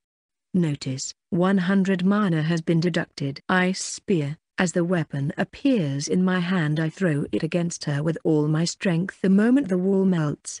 Notice, 300 mana has been deducted. Pointing as fast as she can the hands in front of her casting a fireball against it, but they get pierced by it, as Ava couldn't do it in time but, at least, enough to melt the tip which hits the middle of her chest without piercing it instead causing some impact and pain. Icicles. Four icicles appear from blind spots and as they start heading towards her she screams, I surrender. A protective barrier appears around her from the mages that are keeping the tournament safe, as much as possible so that no one dies. Notice, 100 mana has been deducted. Before I leave I lightly bow at her out of respect which makes the crowd cherish for both of us, encouraging Ava of her effort. I then pick my swords and leave. It seems she too had a rare element and is supposedly weaker than mine. I didn't expect her to materialize a weapon like that and throw it at such speed. Just how much strength does that little girl have? Ava thought as she recalled the way she lost. She certainly got me. If I hadn't melted the tip in time, it would have made a hole in my chest, probably letting me gravely injured. If more mana had been used, I'm sure Aurora could have since I didn't see any unease in her expression. In the end, I couldn't make her unsheath the sword. I'll be looking forward to this tournament. One of the royal guards melts the ice spear and a healer treats the hands, while a different mage fixes the arena as a part of it exploded with the earth element. As the tournament went on, Zylth noticed a black raven heading towards him so he got up excusing himself, eventually receiving the message which he unfolded and started reading in a somewhat safe spot. Dear friend, it seems we were close to finding the estimated leader, however, it now points towards the capital, possibly due to the annual tournament, and as such we're heading there. Will surely take a while, so feel free to pay attention to any who may use some strange elements like darkness or skills related to disgrace. A smile filled his face as a bump stretched from the pants. It seems one of the winners should be the one we seeketh, possibly even the winner. Ah, I can't wait. After 10 minutes the matches resumed and the echoes of the stands started once again. I sit on the bench where I was before. Sorry teacher I was careless. If it wasn't for the skills you taught me, I would have certainly become heavily injured with that combo. Here you are Lady Aurora, a man appears and starts healing my wound reminding me of my father Luke. Thank you. I lean my head on the wall behind me. If you permit me saying, that it was a fantastic duel for both sides. I agree it was enjoyable. Notice, 100 health has been recovered. Seems like you're done. Thank you for healing me. The man makes a surprised face as he didn't realize it before her. You are indeed right Lady Aurora, I'll be cheering for you on your next matches. Hope you win. He bows lightly while smiling. I wonder what my parents are doing. I couldn't get in touch with them since 30 days ago, so I don't know if they came to watch or not. I also have to get at least in the top 20 or Ray will feel offended as he thinks I can go that far. Aurora is probably bored waiting in that room. I bet she'd be much happier being in the tournament even though she'd probably kill her opponents. I start hearing a conversation from two boys in front of me. It seems like none of the Royal and Rose families' representatives have lost yet. Indeed there seem to be quite a few unknown names and dark horses this year round. I wonder who'll win. Well, 100 participants to go therefore we'll know soon enough if not today then in the following days even though it usually doesn't last that long. True. It seems like Lady Alicia has won yet another match without as much as receiving damage. Prodigies don't know what's it like to work hard after all. The two boys start laughing about it. After taking damage like that I'll make sure for it to not happen again as to not bring shame to my teacher. And once I'm back to training I'll put even more effort. They continue with their chattering. That representative from the Crown Prince was pretty interesting too. She had amazing magic control with her icicles if the ones protecting the participants aren't careful. She's bound to kill someone from one of the blind spots. Yeah, she's very sneaky most mages use their hands to aim their spells, however, I didn't see any motion from her combat style. It's truly interesting. If my father heard the discussion between these two he'd smack some sense into them. I smile while reminiscing of the days he taught me magic. One day I'll become famous like my father even though I don't have the unique light element to help people. Ray says I should stick to one path. And in my case to become the strongest is a goal that he and my mother respect. He told me that when my mother was younger, she'd often say things like surpassing Sylvia and become the best adventurer ever. I'll make sure to reach that goal in your place mother no matter what. Less than two hours go by and I'm called once more to fight this time for round 3. Once I arrive at the arena a hateful expression is shown in my opponent. Ladies and gentlemen the third round will now start between the representatives of the Crown Prince Julius Lady Aurora and the Red Rose family successor Kai. I look at him and notice that he's way older than me perhaps about to reach 16 years he has red hair and black eyes and looks strong at least ferocious. This is as far as you go you fake noble he shouts at me. I guess he has some issue with sister not that I care I'll just ignore him. Should I kill him? If he stands in my sister's path it would certainly be good to remove him out of the way. That does sound like a good idea, Iris. Aurora, did you sneak out? Well yeah, I was getting bored of waiting for you, so I came to see how you were handling things. Makes sense are you enjoying the fight so far? Actually am. There's some interesting participants including the guy in front of you. He overwhelms the opponents with the use of fire magic. If you surrender now you won't die, I shout at him a warning. I rather die than lose to a maggot like you. You piece of trash. Well he said it himself, Aurora laughs in my mind. Seems like it'll be a fired match, you may begin. Ice wall. I place one a little further than me of around 10 meters tall to which he starts laughing, and then as he starts moving to strike around the wall. Notice, 1000 mana has been deducted. Ice bind and ice expansion. As I use my skills the opponent gets stuck on the arena in front of the wall while shooting a 20 meter fireball at it. Notice, 1000 mana has been deducted. The first skill roots the feet to the knees causing him some pain, and then my second skill activates making the ice bind grow which starts to climb through the legs. The first extension results in piercing through the right knee, the second through the left thigh, the third penetrates his liver and from there onwards it expands all the way up inwardly causing his organs to be pierced ending up with ice coming from inside to the outside of his body, as he didn't protect himself properly or even burned my root skill which would have been enough to stop my combo, making me waste a lot of mana. Notice, 100 experience has been received from a human system. The title Human Slayer has been received. System, the title Murderer has been received. Protection. A couple of men outside the arena shouted while rushing inside and started healing him, but from the status and system messages, I knew he was already dead so I remained there staring at him with an innocent smile, as the mist disappeared slowly from the ice wall who got hit by a 20-meter fireball. That boy belongs to the second prince faction, so that's certainly one down which should make his further take his place. Think the nobles will attempt to attack me Aurora? Don't worry Iris it is in the rules that death can happen and people do sign up for this and he was older than you. How are you feeling though for having killed your first human? To be honest, I didn't expect him to die that easily, but he's no different than the monsters we killed. After all, I understood back then that all of us have souls. Correct, we could have been reincarnated into a monster territory, so I'm relieved to hear that you're okay. Though do ask him if he's okay just to look friendly. Upon hearing those words, I voice, Sir Kai are you alright? I make a worried expression, and then his body falls making the ice outside and inside break into smaller pieces, forcing a genuinely surprised face as I didn't expect that to happen.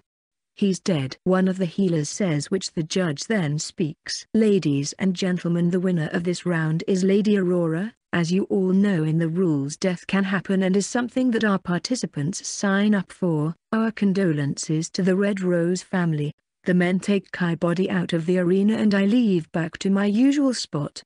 At the benches where all the heads were sitting, Francis the head of the Red House family rushed to the second room where they took Kai body. You stupid idiotic son, you saw she had two rings on her hand, you knew she was very strong and it's the representative of the crown prince why did you act so arrogantly? His thoughts didn't match the expression as he made a sad face while tears streamed down. From all of the rose heads, there was only one happy about his death, Zylf. This little girl seems pretty nasty. I'm surprised to see a successor die that fast. He was like level 10 but lowered his guard trying to overwhelm her with a big opening attack which resulted in the past matches, however, he failed to gauge his opponent's strength. I'm looking forward to how many more foes she'll kill in this place with her exquisite ice element, as this arena used to be white dyed in red every year in the forgotten past.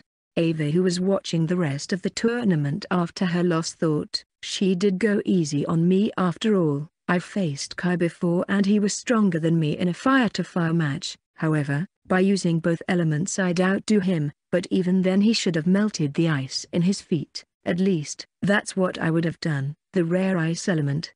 It truly is very artistic, when she grows up perhaps she'll even make beautiful art with those attacks. Upon entering the hallway and sitting on a bench, the leftover participants keep a safe distance from me, except for Alicia who sits next to me creating confusion on their faces making one of them say lowly, it is normal for two monsters to sit next to each other, to what the one surrounding him agreed by nodding silently. Almost with a whispering tone so that no one around us would hear even if they kept some distance from us the girl next to me said, Are you okay Iris? I look at her with a kind smile and reply, I'm alright don't worry, I've killed plenty of others during my quests, not humans but monsters even though I see everyone the same, and well if I got hit by that flame ball I would be the one dead. That's for sure it was a very good wall the way you used it, ends up blocking the view of your opponent while shielding yourself giving you some time to do more skills. Though if we face each other I would have just sliced it in half. As she says that I notice her sword that has a blue sheath and remind myself of the Crown Prince words. Curiously I end up asking, is that the sword the first hero Rezia used? While smiling she unsheaths the sword and then points at the middle of it where the words Goddess Arya can be readden. Yes, it is. My father lends it to me for every tournament. Is there anything special about it? I hold it in front of me looking at how beautiful it is. I don't know I've had blacksmiths inspect it. However, they weren't able to find much about it other than its attack and durability. In that case, Allow me to appraise it. I use the skill on it while reading out loud the information I receive from the appraisal. Notice, 1000 mana has been deducted. Azure Sword, 300 attack plus 330 magic potential is 0 hero effect may give the unique hero class. Durability 900 1000th rank blessed weapon. After telling her the details I return the sword to her and ask, do you have a class yet Alicia? She takes a while to reply as she's lost in the amazing information that I gave her, so I decided to poke her cheek lightly. Ah, she shouts surprised and looks at me almost as if waking up from a trance. Sorry I don't have one yet though I do have some options mostly melee classes.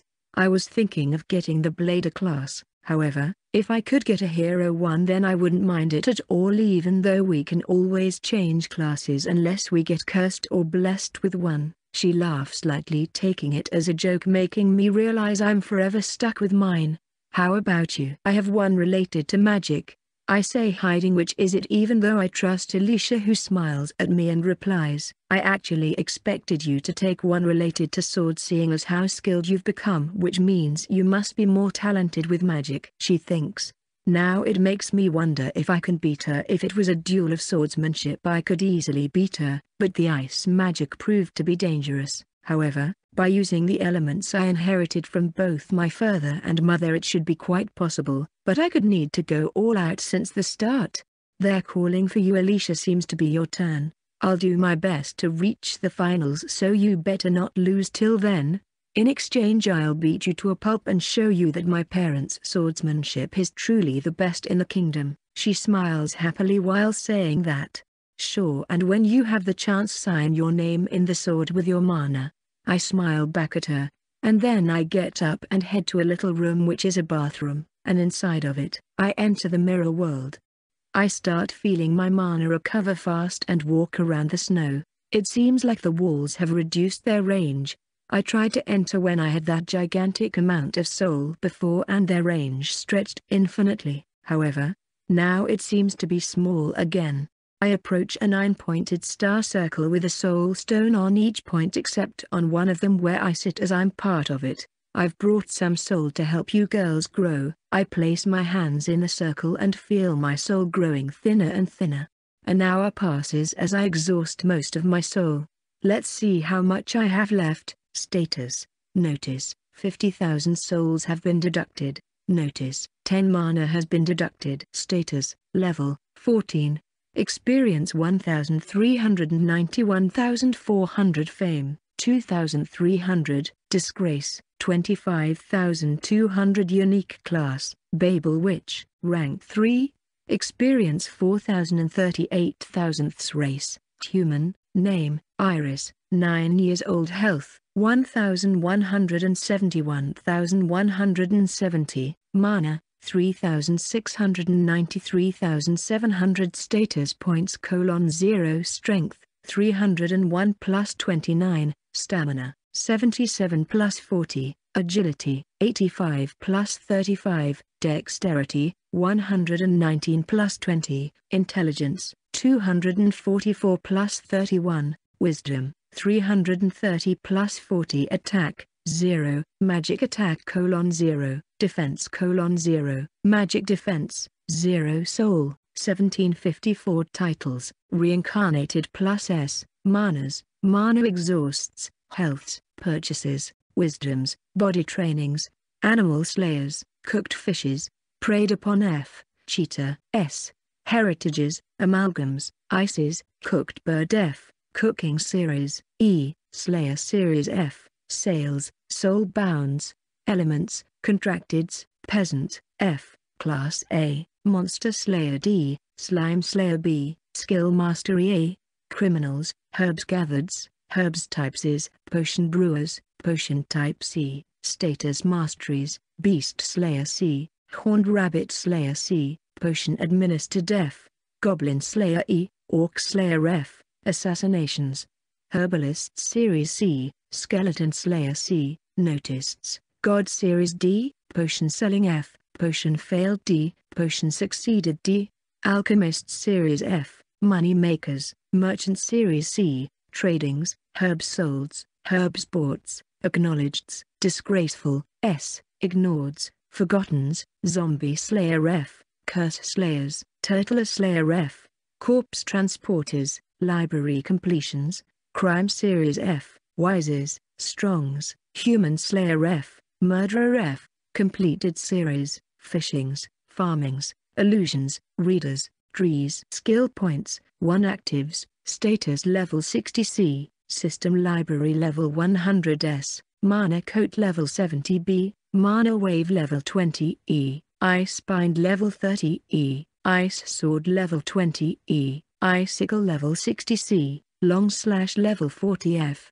Ice Expansion level 10F, Ice Hammer level 1F, Ice Spear level 1F, Ice Wave level 10F, Ice Light Armor level 20E, Ice Heavy Armor level 10F, Triple Slash level 50D, thrust level 30 E, parry level 40 D, backstep level 20 E, dance of death level 5 F, vanish step level 1 F. Passives, bleeding resistance level 50 D, swordsmanship level 50 D, sword mastery level D40, mana control level 50 D, ice control level 38T, slight wisdom boost level 40 D, slight mana recovery level 60 C, acid resistance level 1F, axe art level 1F, axe mastery level 1F, corpse dismantler level 10F, brainwash resistance level 100S, night vision level 30E, slight stamina boost level 40D, slight agility boost level 35E,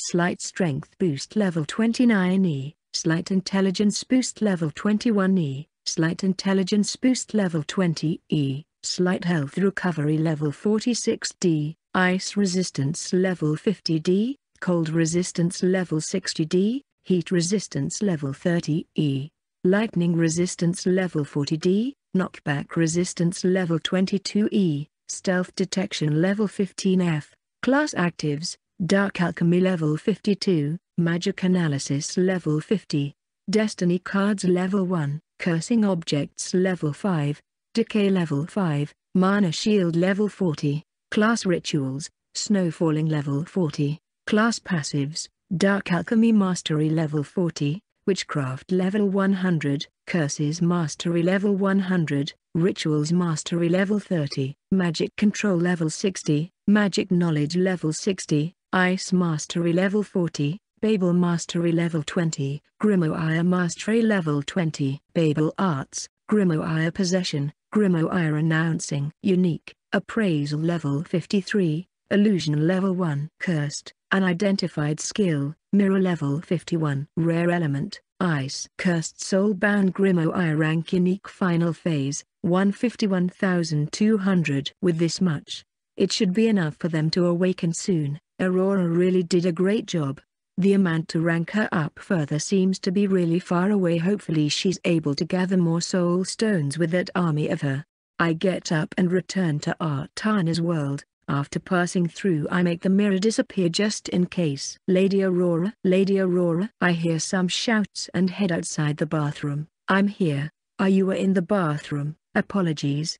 It is time for round 4 to be open. That was pretty fast. Yes my lady. It'll get faster and faster now as there are only 50 participants. We usually end the tournament after a full day of fighting unless unexpected events happen or when the late king requested to be delayed due to his health. But now that is no longer necessary. I understand. I move to the arena. Once I get there the judge shouts. It is time for round 4 we have Aurora the representative of the Crown Prince undefeated, and on this side a veteran of the annual tournaments the successor of the Blue Rose family. Make sure you don't kill Lee, Iris he's the son of Ryu, one of my allies. I'll do my best to hold back. I walk on top of the arena and bow lightly out of respect as he too bows in respect for me, and then I say, I do not wish to repeat what happened in the past round so feel free to forfeit. He looks at his father who can hear our voices due to the wind magic and sees no reaction turning back to me and says, I shall use my rapier and mana alone a contest of skill, seeing as you have two swords. I'm sure you'd enjoy that Lady Aurora. May the match begin. The judge shouts creating a strong reaction as many are fans of Lee. I place one of the two swords on the floor and make a stance lowering my hip and back a bit. I shall commit to those rules, however. You might still die, if you do I apologize in advance. A smile appears on his face which is then consumed by a serious and extremely focused expression.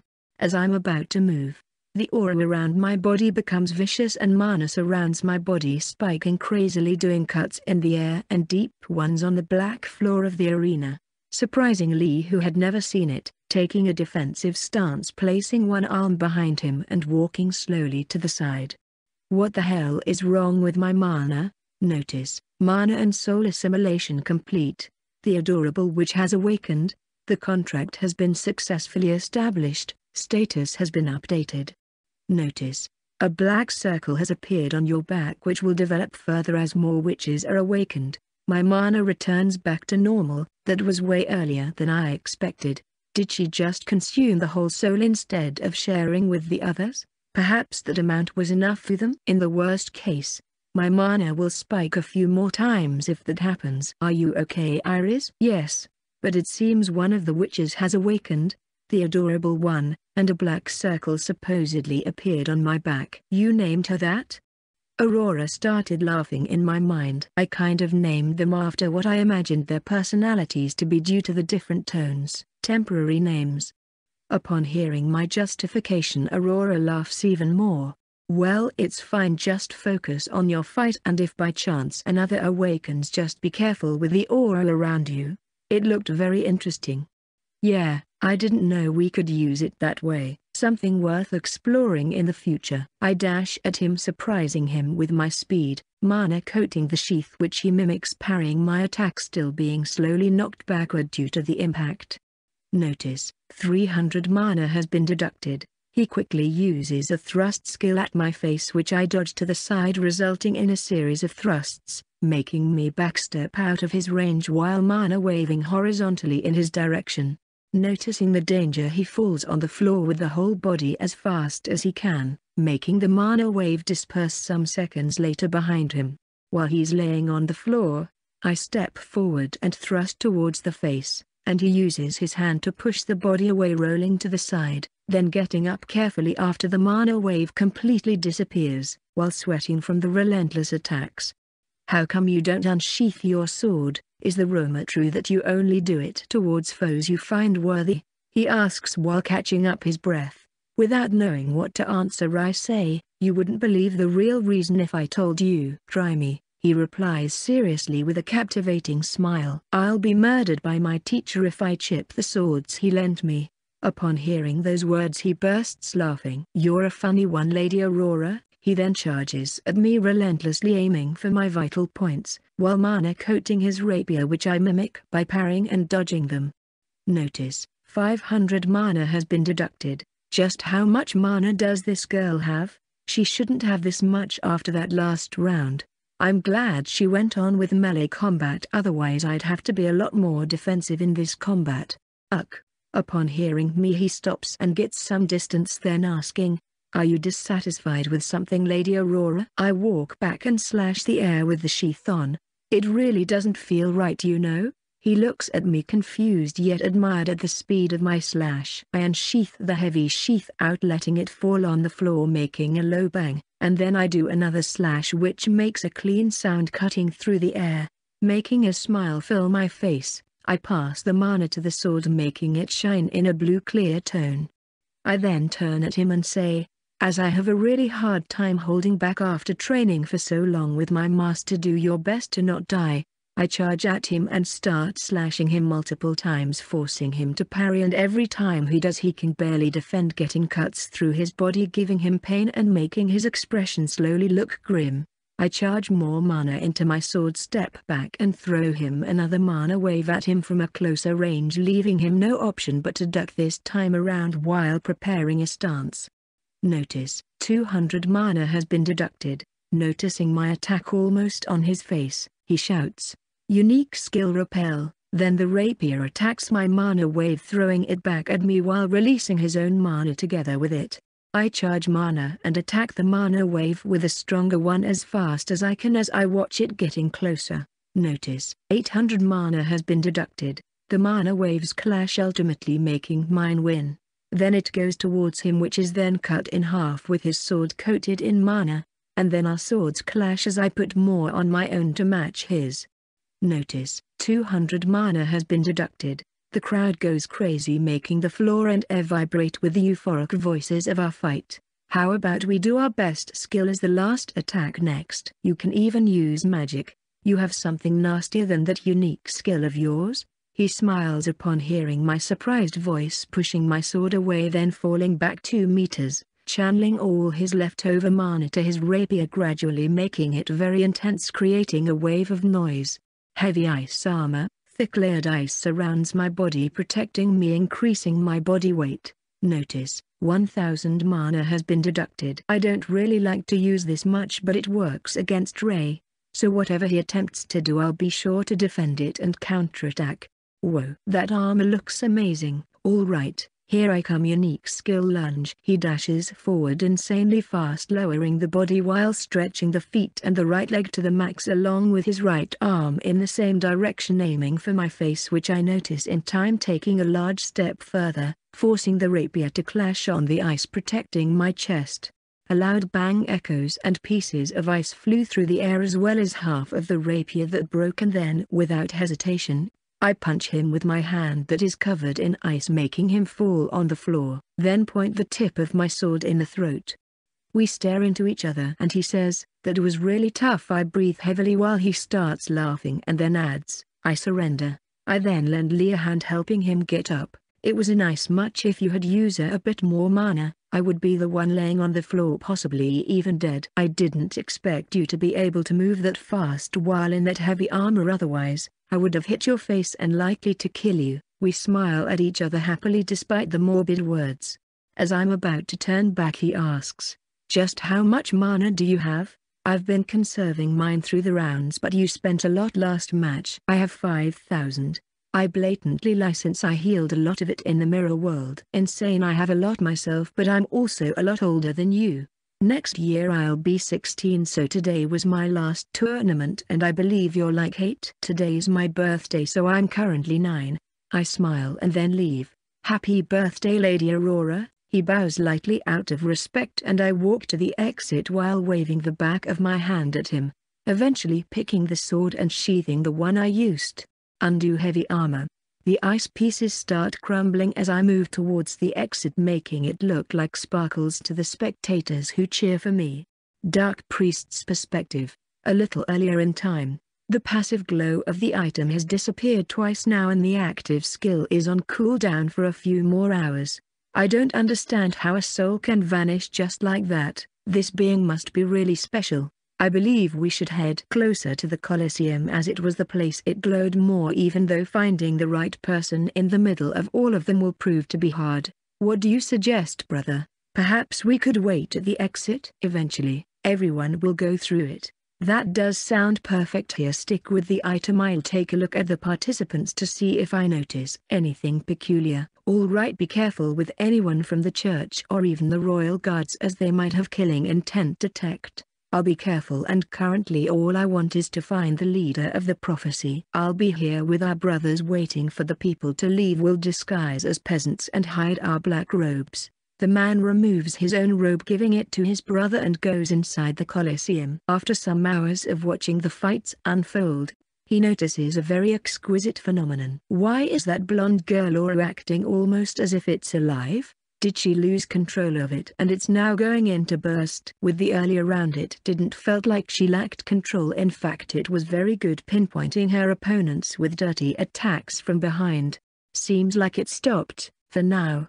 I wonder what kind of skill would allow her to use her mana to damage the physical terrain it's worth investigating if she wasn't the general of the Crown Prince army. Guess I'll make someone enter their army to decipher Aurora's secret. Lord Zylf appears to be enjoying himself from watching her fighting as well. Too bad for him that it is yet another individual he won't be able to approach. This man started laughing at his friend's demise. That person hiding on top of the Colosseum wall seems similar to Aurora is it her mother perhaps? I'll observe both for now as they seem to be the two of the seven targets that I'd gamble my life on being worth the time. Iris perspective. Back to the present. Once I head back from the arena, I go to one of the bathrooms and then head into the mirror world once again leaving no trace. This place with the snow ritual barrier always in effect feels amazing healing my mana rapidly though this time I should have around 20 to 30 minutes till the next round. Are you adorable? I look at the back of a girl with light blue long hair, who turns to me smiling and then gets up and runs to me clumping me making us both fall on the snow. Master Iris, she hugs me tight, I was wondering how many years, months, days, hours, minutes, seconds, milliseconds I'd need to wait to see, observe, stare, witness, spectate, appraise your excellent and utmost glorious beauty. This girl is absolutely crazy just how was she born from my personality again? I thought that I could be backstabbed in some way but she looks obsessed enough about me to completely negate such thoughts. Hello adorable witch, Mind if I call you like this? Of course not my master. It brings me the utmost happiness, a gigantic joy to be called and named by you. Ah my heart can't take it. It's beating so fast that I believe it will explode. Will it explode? It will explode won't it? Certainly it might if you don't calm yourself. Tell me something, interrupting me she quickly says. Anything, ignoring her I continue and speak. How did you awaken so fast? Me? Everyone will the amount of soul you gave us was more than necessary as the soul stone's grades were pretty good. As such I added my own power to your barrier master so that you can feel the love that I dedicate entirely to the Babel Witch. Whenever you're in the mirror world. Power? Love? Yes, focus on the mana around you, it should be recovering twice as much as my mana is being depleted, to fill you with the nourishment you need, to refill with the life that is lacking. Upon hearing those words I look at the magic circle and use the skill magic analysis. Notice, 400 mana has been deducted. Notice, analyzing Master Iris's magic circle. Oh, to be blessed with a demonstration of your marvelous magical skills. This one is too blessed, overjoyed even. Notice, the circle is currently erecting a snow ritual barrier through an area of 50 meters, alongside a mana channeling that will stay effective as long as the one temporarily known as the Adorable Witch, stays inside the magical circle. So that's how it works now I understand clearer. I wonder if the other witches will come out as crazy as this one. I look at the light blue-haired me making her cheeks rose and embarrassed. She's certainly useful, fairly speaking all of them have been these past seasons, so I ought to treat them well, plus at some point they might become part of my family, it would be funny if I arrived with more twins of mine, I would love to show them and see their reactions. I'm sure my parents would panic. I sit at a point next to hers. Shall we attempt to awaken the others? Ah. Master that won't be necessary we just have to patiently wait for it, may take days, months, years, certainly all of them will awaken. I thought you said I had given everyone enough soul so why will they take longer? I humbly apologize, she kneels hitting her forehead on the snow. However my dear master hasn't awakened, so you are yet too weak to contract with more of us. You don't have to be sorry for that. I'll grow stronger in no time.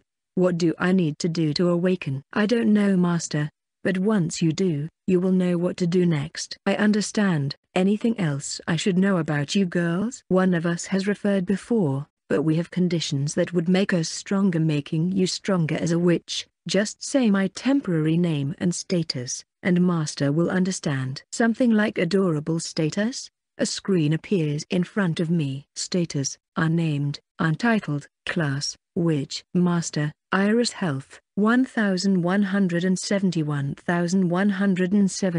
Mana, 3700 3700, Parameters, the Master Ones, Titles, the Master Ones, Skills, the Master Ones. Conditions to awaken, receive a flower from the Master. That's certainly an interesting condition. Does it match the personality I thought you'd all have perhaps? Possibly my master, sadly the knowledge doesn't go that far, and I believe it's unhappily the time for you to go as you're expected in the other world. She looks at me sorrowfully lowering her head and containing whatever inside of the green glittering eyes. I get up then walk to her and give her a hug. I'll be back when I can. Take care of our sisters till then, and tell them they can use the eye color matching the hair one, it'll feel more unique that way. The girl's color eyes change in front of me becoming light blue like her hair, and I extend my hand to her cheek patting it while speaking. I feel like it matches you a lot more now. They too are very pretty, I'll be back soon. She starts crying happily after hearing my words, knowing I'd be gone. And then I leave through the mirror back to the world of Artana. I leave the bathroom and then sit on the usual bench that is empty. Two minutes later a man appears and says, with 20 participants left as some got injured and others completely exhausted the fifth round will start Lady Aurora, once again I get up and walk to the arena. How does this girl look so vivid compared to most of them? Even her aura feels very present, does she perhaps have some special recovery skill of the sorts? The man thought confused and curious as he looked at the small blonde girl.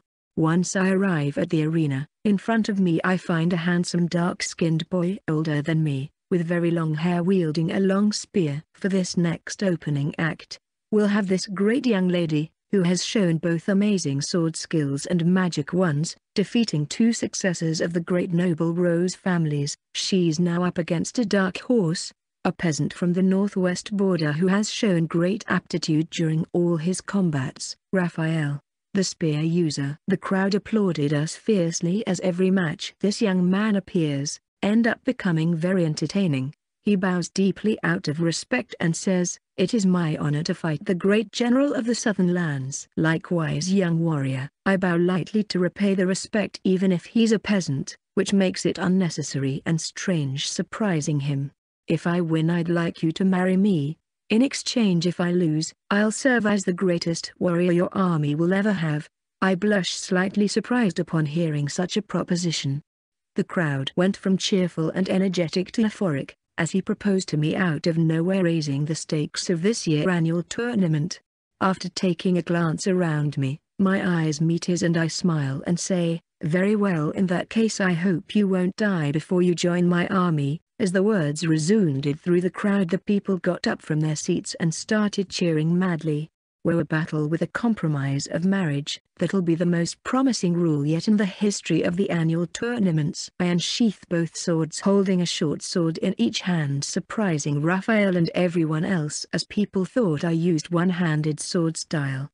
I'll take that as you being serious he says and then I smile at him while taking a combat stance by lowering my body slightly and crossing my swords leaving little to no openings. The duel may now begin.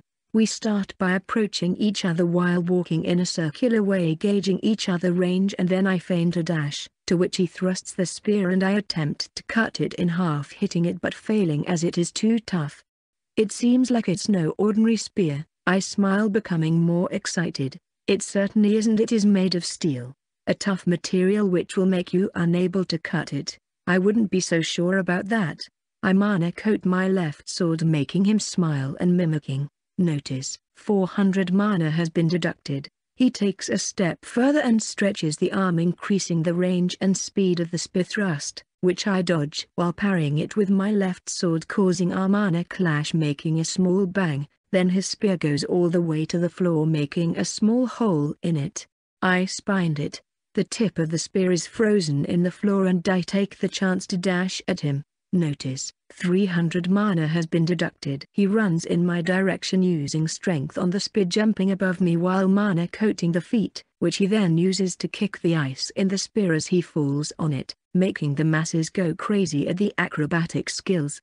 I dash at him striking the waist before Raphael has time to move while he quickly jumps backward allowing the spear to extend upwards from the floor, which I use my left blade to cut it in half which is responded by increasing the mana in it protecting it causing yet another bang.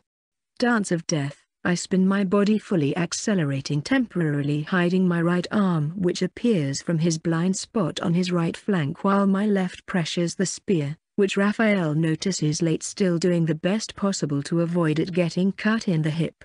Raphael pulls the spear to him and regains some distance, then places the hand on top of the body part that is bleeding and says, heal. The wound I just made vanishes leaving the shirt cut. Seems like a tough opponent has appeared, best to save my mana and make it a long battle like Teacher Ray would advise me to do. In other words, I'll use my natural aura to overwhelm him into doing mistakes. I breathe deeply and then spread the aura around me mixing it with my ice element causing everything around me to freeze. In return, he extends his own aura mixing it with the light element creating a protective layer of sorts. Her aura is making me spend mana to shield myself from the cold? What a nasty way to use your element. Raphael dashes and starts thrusting relentlessly. Understanding that I'm attempting to go for a long match, which I parry every blow and then mana coat my right sword forcing him to do the same so his weapon won't break, and then I add a layer of ice element to it making the spear heavier each time I hit it or he hits my sword. That's completely nasty. He shouts angrily realizing the weight I'm producing every time we cross weapons making him go slower. This is the only way I could compete with Teacher Ray and even then he would ignore the slowness and beat me to a pulp, at least it works against you. I smile innocently at him throwing him off. Unique skill heavenly throw. As he steps forward to finalize the throwing of the weapon, I freeze the floor beneath making him slip then fall on the floor resulting in missing the spear, which is then blocked by the mages protecting the audience as it flies far away.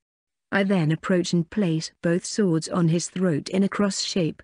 I surrender, and, as promised I'll join your army, to that I retract and then hold both swords with my left hand, and extend my right hand to him saying, Well fought, he grabs it and gets up.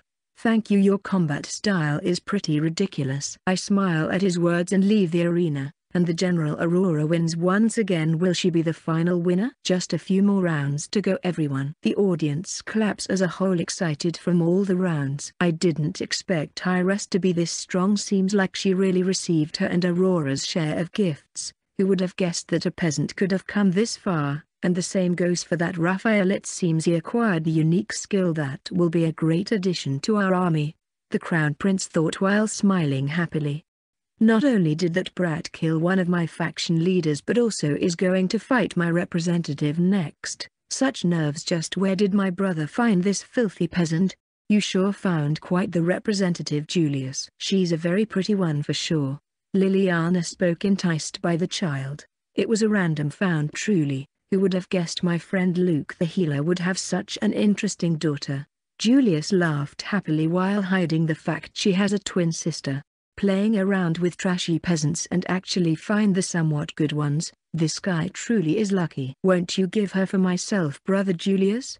Don't you already have Angelica air fighting for you? He laughed lightly to not make his sister angry at him. Well yes but both she and the daughter are a little too muscular. Yet yours looks like a doll that I could use to sleep hugged to during the night. Sadly she's indispensable for my army otherwise I would have allowed it, my dear sister. Oh, I understand. Also next round it'll be both of your representatives fighting. The statement makes the brothers look at each other. Best of luck Marty, as to which he says, for you to Julius you'll need it. Really? I look forward to seeing what your representative has been hiding. The match's order alternates to give variety and the fight that begins next is between Ange and Alicia. Seems like this one will be very interesting to watch as well. Good luck sister. Thank you Julius may the best of them win, she says with a kind smile as the princess knows both since they're practically babies. Ange wields a big axe while Alicia unsheathes a beautiful blue sword, which is now signed with her name through the use of mana. I wonder why Iris told me to sign the sword, but knowing her she wouldn't say something that would harm me. She looks at the sword confused not finding anything peculiarly different. Hello Lady Alicia. It has been a while since we played together, I hope you won't hold back. She smiles happily finally having an opponent she can go all out as the past ones got overwhelmed by her strength. But of course Lady Ange I saw a few of your matches and it looked like you were bored. That's totally a bad thing for a lady to feel. Alicia smiles back at her. The two ladies may begin the fight. The crowd especially the men start shouting, one of them even saying he'd adopt both getting smacked by the wife right after. Ange starts by using several skills that increase her statuses and then mana coating the axe she dashes at Alicia doing a body swing which Alicia blocks with her sword being thrown 10 meters away towards the side due to the massive strength and impact Ange possesses. Alicia then buffs herself with wind and nature elements realizing that this gorilla girl has gotten even stronger since the last time they sparred, which Ange called playing together earlier as a joke. Both dashed, and Ange started with a full swing carrying a brute force behind, to which Alicia swiftly dodged overwhelming Ange with her speed vertically slashing the body making a long cut to what Ange responded by using her knee against Alicia's stomach, making her curve forward in pain lifting her in the air, and then blasting her in rage with the axe dull side with a loud bang. Ange kneels on one leg feeling the pain from the cut while Alicia is practically unconscious from the pain as three right ribs broke from the impact, and then hears a voice inside her mind. Do you seek the strength to protect those around you? A voice. Who are you? Anyway, it doesn't matter shut up. I need to get up and focus. Do you seek the strength to protect those around you? God that's worthless. The only strength I seek is the one to never lose, protecting others will certainly become easier with such almighty power. For a weakling you sure have ambition. Who are you? I am a fragment of Rizia's soul that lies dormant in that sword. Didn't you sign a contract knowing that? No. A friend of mine told me to do it. A friend. That's strange but I understand. Do you wish to sign a contract with me while knowing about it? What are the consequences? All the knowledge, memories, and emotions Rizia had back then will overwhelm you. If you manage to win then you may be rewarded greatly, if not she will be reborn. Very well become part of my power. She grips the sword tightly. A golden light expanded from Alicia's body towards the sky, making the sword of the first hero shine completely healing her while she screamed intensively for minutes scaring those around her, especially Ange who remained speechless and confused as to what was happening with her childhood friend, making the spectators go in awe saying it is the blessing of the goddess Arya making every rose head, the Pope and even the Saintess surprised while everyone got up from their chairs. The birth of a third hero, soft words left the Saintess's mouth as she watched the girl in front of her, making those around who heard the Saintess, Shout the word hero repeatedly, quickly propagating through the entire audience. I beat you Rizia, ugh, that was quite the horrible life you had saving everyone around you yet no one to save you. Tears that do not belong to Alicia fell from her eyes as the peasant hero felt understood at the very end. I don't think anyone from the participants can beat me as I currently am Ange, so resign. She points the sword at her while holding it with both hands, feeling fatigued. She smiles and gets up, seems like you've had some sort of awakening. Yet resigning is dying, if I were to die then I'd have to at the very least beat you to a pulp like when we were younger. Unique skill berserk, Ange body became stronger and tougher making the muscles bigger and sturdier, more noticeable and then she gripped the axe very tightly with both hands doubling the strength compared to before and dashed twice faster at the opponent while mana coating it, doing a big bang of a sound as Alicia blocked it being pushed back 10 meters away making the girl smile. It seems I was wrong. Forgive me Lady Ange, due to berserk mode she was ignored, Alicia dashed faster than before and traded multiple sword strikes that got buried by the axe and then Ange attempted to knee her opponent who this time around dodged cutting the leg making a small cut as the skill also made her tougher. Ange then punched her making her fall three meters away while blood poured out of her lips as they got ruined. You truly are a beast. Alicia spits some more blood to the floor. If this arena was any smaller I would have fallen outside its range a few times already. Ange dashed in an insane state to attack Alicia who heard a voice. Use my blessed skill otherwise you might die, and if you use it, you might die too. Not much of a choice I don't want to lose here, blessed skill flowering goddess. Using every muscle of her body for two seconds Alicia passed through Ange slashing her leaving behind a trail of colored flowers completely unnoticed by the girl, making her fall flat on the floor and cutting the axe in the process leaving a long and dangerously deep vertical cut on the girl body next to the first one, and then in the next second, an intense pain filled every cell of Alicia body, making her cough even more blood as the body was not ready for such a skill, ending up fainting from the pain.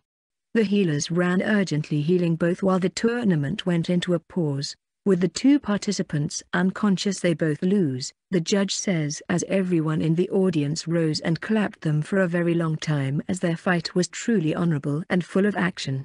Iris it seems you've awakened quite a monster. I smiled in a sinister way upon listening to such words. I don't know the details, however, I felt a remnant of a soul in that sword and figured it could be from someone important in the past, so I reminded myself of you being inside a grimoire, Worst case it'd be a signed sword till the mana eventually disappeared. Understood. However, Iris there's a chance she gets possessed by the soul inside of the sword in that case. I believe in Alicia, in the worst case will brainwash whoever trying to mess with her.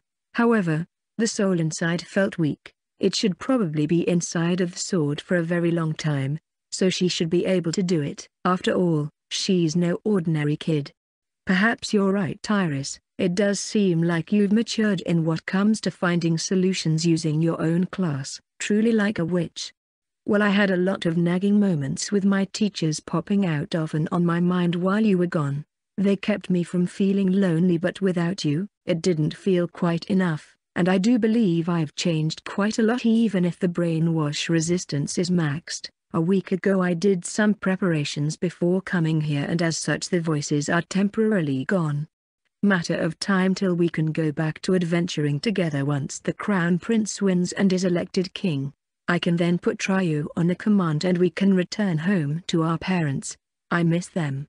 Hearing that from you makes me happy since you took a while to accept them deep down yourself. I've seen them a few times since I'm closer but I do miss them a lot too. Seems like Alicia was disqualified along with the other one both for being too injured. They're being taken away now. Too bad I really wanted to fight her and see how further ahead is she on the way of the sword, I guess. However, magic can easily beat melee weapons at least in our last world that was the case. I feel like both have their advantages, personally love them equally especially after seeing how strong Teacher Ray is with a sword. I feel like he wouldn't lose against a wizard of any kind no matter what magical skills he supposedly might have. As long as you get strong that's what matters. Once you're done with training swordsmanship we'll start handling things on the other world. Sounds perfect, even though before that I'll still test myself on those ruins back in Astia village, and see how far I can go through them on my own, so that I can compare how stronger I have become to the past where I almost died. In the end, we could really use the experience so we go higher in levels, it is a very nice way for both of us to grow stronger. Soon I'll do my best to conquer those ruins and see what lays hidden at the very deep inside of them. I'm really curious about it and also spent a while reading books. In fact, I got to discover very interesting things about this world that I'd love to share with you but sadly we'd need a lot of time for that. It certainly doesn't help that the rounds are becoming shorter and shorter almost as if they're trying to rush the tournament. From what I know it usually doesn't last longer than two days. Those who win are generally the ones reliant on a weapon, as mana easily ends after a few rounds. It would be the same for me if it weren't for the little world of ours that has a better mana density along with my snow ritual, and one of the witches providing the ritual with a boost of her own making it extremely easier for my mana to recover. You should start thinking on names for our new sisters and also figure out their titles. If it works similar to our past life, then I'd recommend giving them a title related to what you want them to achieve as a witch. For example if you want one of them to become the most knowledgeable of them, a title named Wise or Sage would be appropriate for that one to have. I'll have to think on eight names and titles. A voice interrupts my thoughts. Lady Aurora the quarterfinals is starting now. At this pace I'm believing you'll win. I'll do my best even though there's always someone better out there. I get up and start walking to the arena. Good luck I'll be cheering on you. I wave my hand at him smiling with gratitude for his support and kind expression. Next one would be nice if you could win but no need to overdo yourself this is just practice. Is it an important opponent? She's the successor of one of the enemies from the Black Rose family, even though most families have a lot of children due to having multiple wives. Meaning that getting rid of her would be a benefit is that it? Yes. The less influence the other factions have the best. Let's see if I can do something about it as she can be stronger than me. Be careful from what I've seen her opponents stop moving once she hits them once possibly a poison or a paralysis of some sort. Once I step into the arena the judge starts introducing both sides. For the sixth round we have the General Aurora against the successor of the Black Rose family Iliane. So this is the girl my father wants dead if possible. She controls the ice element and is good with the sword. Let's see if she can dodge my poison element along with my hidden weapons. Baggy clothes generally contain some hidden weapons beneath them and I can expect some tricks through her body. Following what my teacher said I should make this a magic duel and swarm her with magical attacks. You may begin. The crowd goes silent as Iliane defeated her opponent in unusual ways. I won't give you a chance to breathe. Ice Bind, Icicle, Ice Spear. Notice, 1000 mana has been deducted. I aim my hands in the air binding and hurting her feet tricking her eyes who follow them. You bitch. She throws two poisoned daggers that are blocked by two of the many icicles spreading around her while I throw an ice spear aiming at her belly with all my strength. This time without holding back. Shit I should have gone instantly into stealth. She mana coats two other daggers with all her mana blocking the spear as she can't run away due to the ice bind while being penetrated through multiple places around her body. Protect, heal. The different helpers from outside the ring start yelling. Now to make sure she dies without they realizing it, a new attack inside of her should do the trick, Ice Expansion. Notice, 400 mana has been deducted. The ice expands inside her body from the icicles that went through piercing the organs inside killing her out damaging the heal that is being provided. Notice, 210 experience has been rewarded from a human. Notice, Iris has leveled up to 15. I clap my hands once making the rest of the icicles that were growing against her disappear, so that the judge and those around us realize I tried to stop the attack. Thank you for stopping it Lady Aurora, the judge says which I nod lightly as I expected this behavior. She's dead judge. The results spread through the entire audience not really shocking anyone, as the barrage of the icicles was too much for her to handle. Is this Aurora's doing as the only two she murdered were our direct enemies? My brother must be pissed seeing as he thought she'd win. The crown prince thought placing a hand in front of his face hiding the smirk. The winner is the general of the Prince Julius. Aurora who will be passing to the semi-finals. There wasn't much reaction from the audience thus I left without caring about it. Will you be okay with having two of the Rose families probably even the second prince targeting you Aurora? I'll be fine I have the protection of the crown prince and I can defend myself too if necessary. The unique dark element that's certainly a good weapon sister. Exactly Iris even though I haven't used it in a while I've just been training the army and of the hero and the sage roaming around me all the time, which for better or worse I believe they would protect me, and they're slowly growing stronger since I made them part of different squads, they get to level up slowly due to the party sharing system. The ones who sealed you right?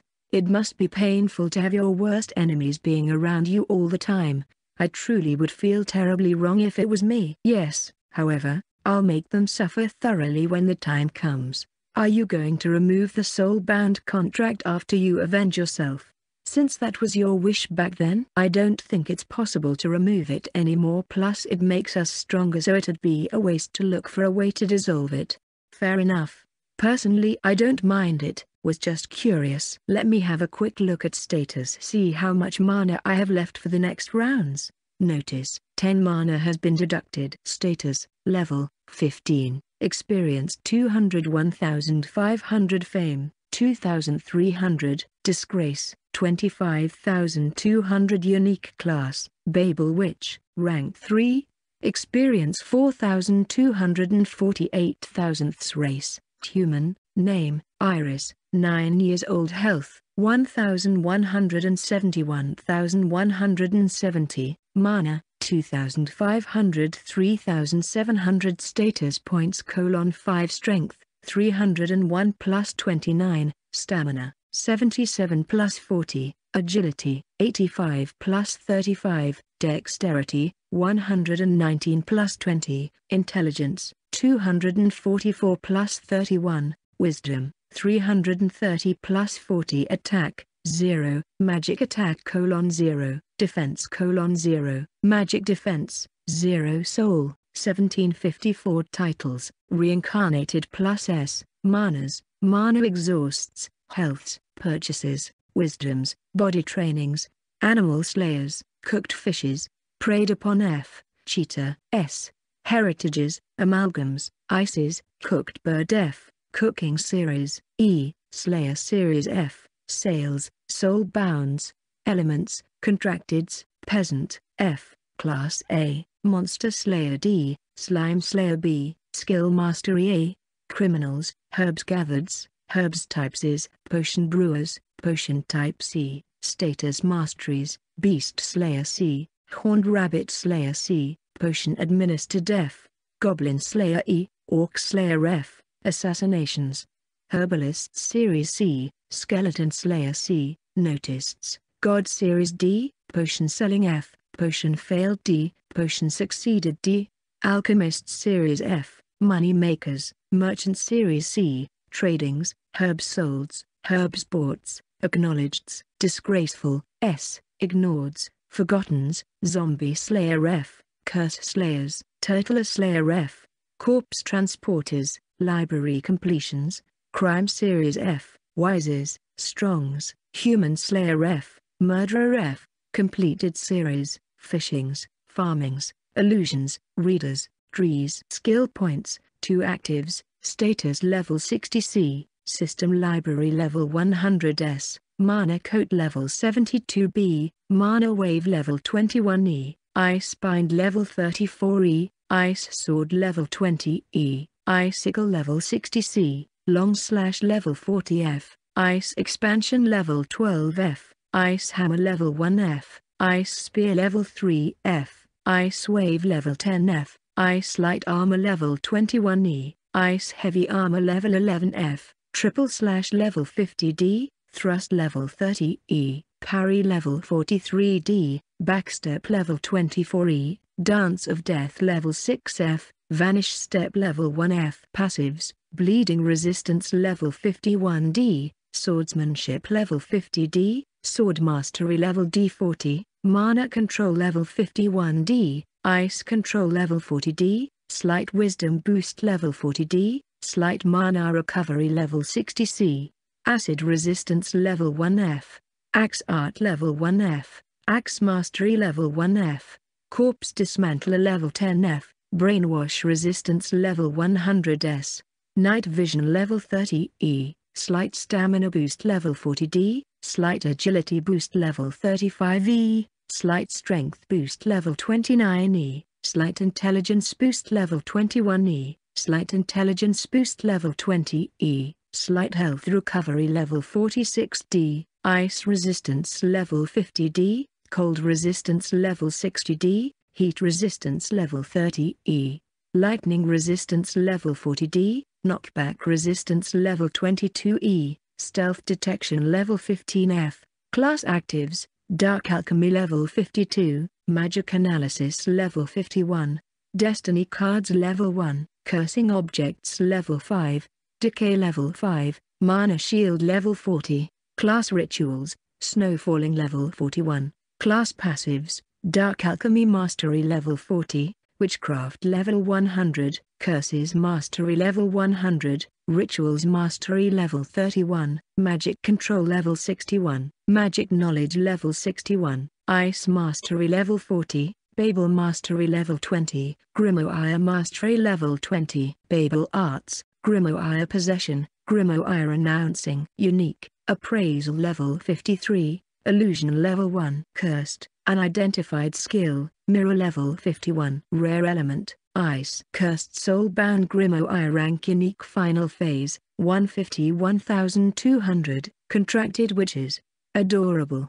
Half an hour passes and the man comes for me once more. The semi-final and final Lady Aurora have been delayed for tomorrow as the Crown Prince Julius wants to have everyone at their prime for more exciting matches. He also has told you to wait here for him as he's finishing a conversation with his sister the Princess Liliana. Thank you for the information. You may go.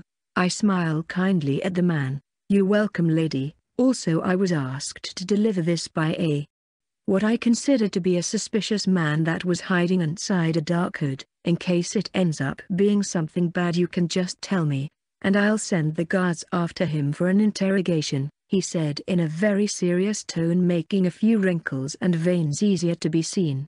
Very well. I'm deeply grateful for your concern, however, there's surely nothing to worry about as I have the Crown Prince Julius on my side. It would be very stupid if someone attempted to do anything they shouldn't to my person, Upon hearing these words the man relaxed and smiled kindly saying, Yes, Lady Aurora I do believe your words are rightful especially so after the show you have provided to the masses today. I don't believe anyone would attempt to meddle with you easily unless they knew for sure they could beat you one-on-one, -on -one, unless it's a group of enemies that way it becomes a lot harder to survive but even then I have faith that the goddess Arya wouldn't allow someone with your talents to die easily. I'm certain that after today I should be able to honor the goddess Arya and all the blessings she has provided me, despite being born a very weak and sickly peasant passing through death's door many times. I store the paper in a pocket and then shortly after as the man is about to reply, a different man who heard my last words voiced out in a happy tone. That is certainly true General Aurora for either Pope Klaus have started spreading the news of your capabilities towards the different churches from the non-existence of any troublesome features that most of us have, from the excellent preparing you did by creating that magnificent outpost to the defense in the southern territories. Such tales have raised a great number of worshippers to which we're truly blessed to be allies with the Crown Prince Julius. In fact, I have come with the good news that will certainly, surely, delight the ears of any who calls themselves a general. That man can detect your disgrace and if you're lying so anything related to the army I'll help you answer just relax Iris. And now bow lightly so that he doesn't easily notice your green eyes which I don't know if he remembers them, but he might, and the person next to him is the Saintess. I don't know what kind of abilities she has aside of the premonition one, but from all the encounters I've had I can tell that she likes me to some extent so don't worry about her. I start by bowing while speaking. Your Eminence and the Saintess honor this kind hard-working soul with your presences. I have been told great things by Prince Julius related to both of you. Thus I do not know how I can be of help but if there's any service I could present with my art of war, I'd be happy to as long as the Crown Prince himself allows such to be executed. As soon as I started speaking a smile appeared on the Pope face which became wider and wider, as my words flowed into his brain almost like that's what he wanted to hear, words I heard and repeated from Aurora. It has gotten to my ears that the general was interested in having the Saintess presence in the army. As to what I initially didn't understand the reasoning, therefore, I had declined the idea, however, after the recent events where the Crown Prince Julius is doing his best to increase his army number, and strength which by far is the largest force out of the three heirs, we came to tell you that the Saintess will join your army along with those of the church army. They left the Pink Rose family command as they didn't care for her. They want to help us and the goddess. As such you can count with 40,000 men plus the one and only Saintess of the Lumen Kingdom to heal those who get hurt during the war. Very well, I am deeply grateful for such a blessing. I promise to keep the Saintess safe and even make her stronger than what she is currently, along with your men of faith. They too shall reach higher heights becoming more powerful through my knowledge and severe training. As for the possible rewards, which I'd assume would be the new land that we conquer, I'll leave it to your eminence and the crown prince to handle. I maintain my composure and bowing posture through the entire conversation which the Pope thinks I'm simply being respectful to him, especially after the last incident that was our meeting which was pretty awkward. Of course that Iris doesn't know this.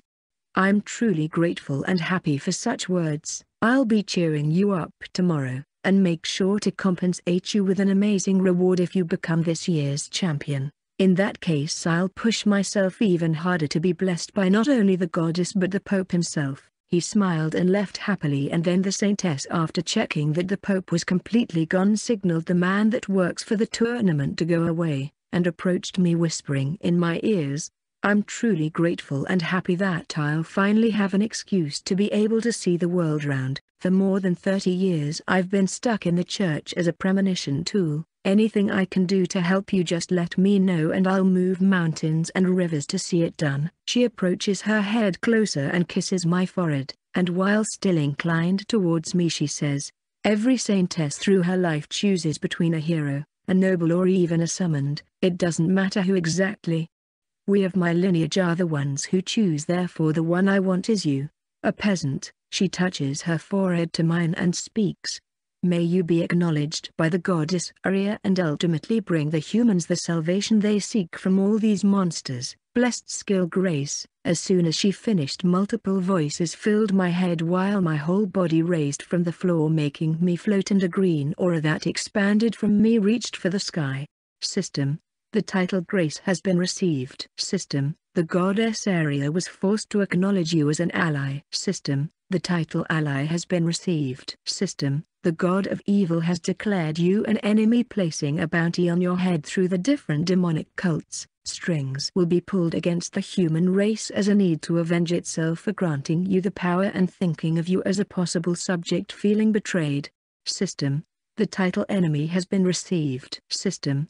The title Betrayal has been received. System The goddess of order Luna has taken a neutral stance as you took a better path acknowledging your existence once again. System The title Redemption has been received. System The god of chaos has further approved of your chaotic self which expanded to the point of making your enemy an ally and an ally an enemy while changing the negative perspective into a neutral one causing havoc among all gods. System, due to your influence, the god of chaos through the entire world will be implementing all sorts of dangerous seal releases that will start occurring once the system finishes updating. Estimated time 5 years till it's finished. Such places can already be explored but they're very dangerous and not all are visible, much less easy to find. System Due to the skill the Saintess used two random skills from the goddess Aria herself will be duplicated and given to you as a blessing. System The blessed skill Soul Manifestation has been acquired. System The blessed skill Endless Growth has been acquired. System For as long as you live the one who holds the class Saintess will always be your ally. System As the Saintess ally the affinity with heroes will increase causing them to calculating it with your greatest type of fame parameter error an abnormal amount of disgrace has been detected in your status system. The villainous title has been acquired. Together with the unique skill Hero Detector, heroes receive disgrace detection skill once they fully awaken by leveling up their class to rank 5. Affinity they'll have to you is extremely negative. If they detect you, it may cause them to think you're an enemy and attempt to kill you in the goddess Aria realm before the light struck her. Hum? This is green light enveloped her duplicating two of her skills and delivering them to the chosen one by the saintess. Endless growth and soul manifestation.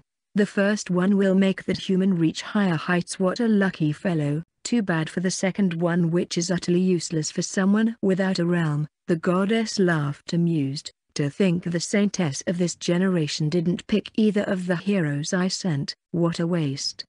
She drank some wine from her golden chalice and then said, well it doesn't matter, once the summoned ones grow, they and the armies should be enough to keep my race alive in Artana, no matter what happens, I will win, I must she said fully knowing that out of all races hers was the most prominent to lose. This time I even went as far as to use all the power I had saved from the very beginning making me unable to do anything for the next 200 years, so this will be the turning point with the 30 summoned I brought, the other three gods shall lose. What's this? Why were four skills duplicated and not two? Unique skill observation, Iris, as soon as the goddess started checking who this peasant was, and started checking her information. Cold sweat ran down her back. Status, level, 15, experience 201,500 fame, 3,000, disgrace, 30,000 unique class, Babel Witch, rank 3, experience 4,248 thousandths race, human, name, Iris, 9 years old. Health, 1171,170, mana, 3700 3700 status points colon 5 strength, 301 plus 29, stamina, 77 plus 40, agility, 85 plus 35, dexterity, 119 plus 20, intelligence, 244 plus 31, wisdom, 330 plus 40 attack, 0, magic attack colon 0, defense colon 0, magic defense, 0 soul, 1754 titles, reincarnated plus S, manas, mana exhausts, healths, purchases, wisdoms, body trainings, animal slayers, cooked fishes, preyed upon F, cheetah, S, heritages, amalgams, ices, cooked bird F, Cooking Series, E, Slayer Series F, Sales, Soul Bounds, Elements, Contracteds, Peasant, F, Class A, Monster Slayer D, Slime Slayer B, Skill Mastery A, Criminals, Herbs Gathereds, Herbs Types is, Potion Brewers, Potion Type C, Status Masteries, Beast Slayer C, Horned Rabbit Slayer C, Potion Administered F, Goblin Slayer E, Orc Slayer F, Assassinations.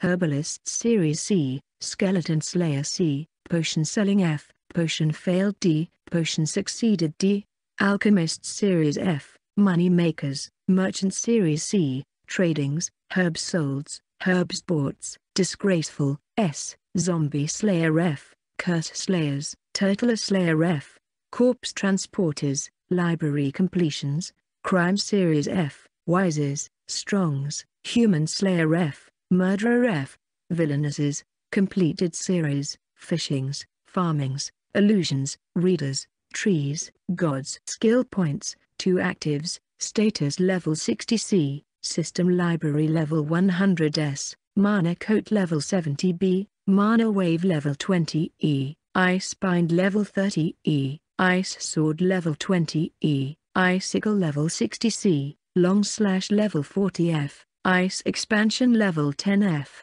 ice hammer level 1F, ice spear level 1F, ice wave level 10F, ice light armor level 20E, ice heavy armor level 10F, triple slash level 50D, thrust level 30E, parry level 40D, backstep level 20E, dance of death level 5F, vanish step level 1F passives, bleeding resistance level 50D, swordsmanship level 50D, sword mastery level D40, mana control level 50D, ice control level 38T, slight wisdom boost level 40D, slight mana recovery level 60C, acid resistance level 1F, axe art level 1F, axe mastery level 1F, corpse dismantler level 10F, brainwash resistance level 100S, night vision level 30E, slight stamina boost level 40D, slight agility boost level 35E, slight strength boost level 29E, slight intelligence boost level 21E, slight health recovery level 46D, ice resistance level 50D, cold resistance level 60D, heat resistance level 30E, lightning resistance level 40D, knockback resistance level 22E, stealth detection level 15F, class actives, dark alchemy level 52, magic analysis level 50, destiny cards level 1, cursing objects level 5, Decay level 5, Mana Shield level 40, Class Rituals, Snowfalling level 40, Class Passives, Dark Alchemy Mastery level 40, Witchcraft level 100, Curses Mastery level 100, Rituals Mastery level 30, Magic Control level 60, Magic Knowledge level 60, Ice Mastery level 40, Babel Mastery level 20, Grimoire Mastery level 20, Babel Arts, Grimoire Possession, Grimoire Announcing Unique, Appraisal Level 53, Illusion Level 1, Hero Detector Level 1, Cursed, Unidentified Skill, Mirror Level 17, Blessed, Soul Manifestation Level 1, Endless Growth, Rare Element, Ice, Cursed Soul Soulbound Grimoire Rank Unique Final Phase, 150-1200, Contracted Witches. Adorable. Just what in the world happened to this kid to have this much disgrace and a cursed unique Babel witch class? Villainous title? Were there even such things? Don't tell me this. Unique skill Artana records. A while passes as she reads about the birth to the present related to Iris. I don't remember reincarnating someone from a different world nine years ago. Was it one of my underlings? Why didn't they remove that cursed being Aurora from her soul and destroy it? In the end, they seem to be stuck to a soul-bound contract so once Iris dies Aurora will follow through. If it wasn't for that the weapon could become dangerous in some hundreds of years and disrupt the balance of Artana.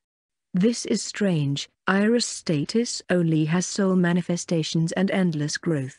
Hum unidentified skill, a skill that the system couldn't compute, I'm lacking the necessary power currently to identify it but I have enough to at least check the other girl. Unique skill observation, Aurora, she reads her status as attentively as she did with Iris. Status, level, 15, experience 201,500, class, Pandemonium race, human, name, Aurora, 9 years old. Health, 1,000 1,000ths, mana 1,700 1,700 status points, 5 stamina, 100, intelligence, 90 wisdom, 170, soul power, 0 attack, 5, magic attack, 90 titles, eternums, uncursed's, soulbounds, contracteds, devourers, completed series, god skill points, 10 actives, status level 40D, darkness barrier level 7F, piercing darkness level 13F, mana coat level 8F, dark coat level 9F, mana wave level 1F, dark bind level 14F, extraction level 10F passives, mana control level 25E,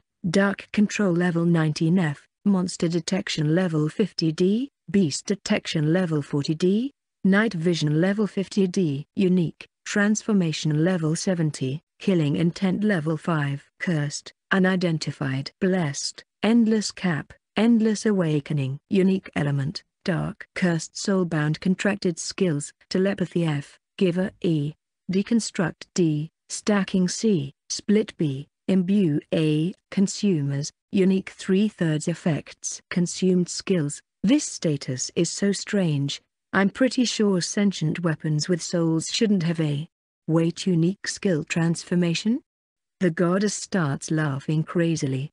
Quite the trickster this one is. Well no matter, they'll die soon enough either from the dangers of the world, the war against the Goblin King that I warned the Saintess about, or ultimately from Mage and their silly cursed contract which they won't be able to remove on their own. A bit calmer now she takes another sip of her wine. Since I'm forced to be allied with her till she dies or the human race wins, I hope they'll at the very least be useful to me and the humans. Let's see how they fare in the future. Time to sleep for 200 years. I wonder how much will change by then, and how big my human territory will be. I don't know what to say, Saintess. You don't have to say anything, just make sure you keep us all safe through your marvelous commanding abilities, and your own strength leading the human race to victory, as our almighty and beloved goddess Ariel wishes for. I I understand I'll do my best to reach your expectations. Good we'll meet again soon. She turns around to the exit and heads there to meet the Pope who runs at her screaming, What the fuck did you do Serenity? I have chosen the candidate I deemed worthy, I believe that this girl will be the one to follow the goddess Aria the best. She looks coldly at the Pope as it is her right and choice. The saintess makes him quiet and furious inside as he wanted her to bless the hero they got for themselves. She starts walking back and he follows through adjusting his white hat and clothes after making a small scene. Sadly for him, it was something that could not be changed the reason why he gulped her words and moved on in absolute silence thinking in ways to possibly use Aurora in the future, alongside the church hero even the simplest method like marrying the two of them. I don't know what happened just now. I straightened my body up as it was starting to hurt my back. You do but you just haven't come to terms with it. I saw this amazing green light that reached for the sky, and not only me, everyone that was heading out of the Colosseum, Rumors will now spread making me even more famous once word comes out of it. I whose system doesn't even give me fame or disgrace. Aurora laughed insanely at the irony of her words on top of the Colosseum. It seems I received a random skill from the goddess a soul manifestation 1. Perhaps it'll be useful in the mirror world. I really want to help out our sister, especially since she's alone in there. Yes I know but it'll take some time for that. Once the tournament finishes go to the mirror world and try the skill in there as we don't want anyone to see you do whatever the skill does. That does sound wise I might accidentally make my soul come out of my body, and people think I'm a ghost, like in that one book I read or something silly such as that, we laugh at each other on my silly joke, and then I hear a voice. You seem happy Iris. It seems like you were blessed by the saintess wrongly, but even then the blessing is yours to keep and I'll take it as a secret to my grave. I looked to the source of the voice finding the Crown Prince Julius. Yes, I was quite surprised myself. She didn't even give me time to swap somehow with my sister. Such things are fated, like the successor of the White Rose family a similar but yellow light came out of her instead. I don't know yet the details but that was the light of a hero. To think someone that young would be able to acquire such a feat. It seems this new generation is becoming rather interesting, and she's even a good friend of yours from that white ring you have. So it makes me feel that there's truly something special about you. Not to forget about your sister who pretty much revered you, while she was with me at the Southern Military Post as she calls it. I believe that my sister is the truly special one. I smile kindly at him. You give me too much credit. She appears behind the prince with the guards wearing the black hood I left in the room earlier. Today was a pretty amusing day, so let's go enjoy some food and then rest so that tomorrow we can celebrate with a big banquet. From the Colosseum we got to a wagon the entrance had some peasants initially but they were pushed away by the guards before we passed. A few of them looked at me and my sister who had a great part of her covered in a black hood as we passed by them a man screamed. At long last, the one, and then something very strange started happening. The peasants started whispering, the one as they looked at me and my sister, not really sure which as we were walking together. As time passed from the entrance to the wagon the sounds became stronger and suddenly the peasants changed into dark clothes creeping the prince and the guards around us and they started saying, The one next to the one has an enneagram.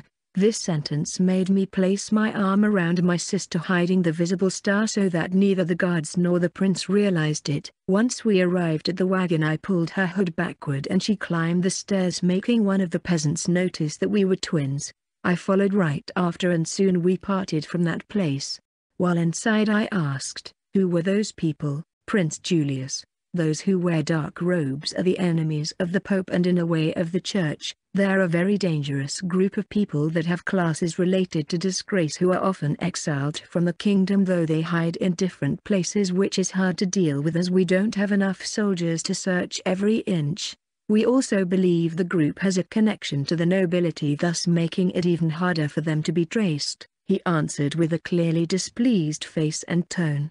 Shouldn't we have captured them there then? The guards will exile them but there's a chance they will return, they always do and killing them would only make their group start killing civilians as far as we know they're just a group of people that were banished for the classes they received it happens to a lot of people and it is one of the things I want to change once I become king so that everyone is welcome to live as they are.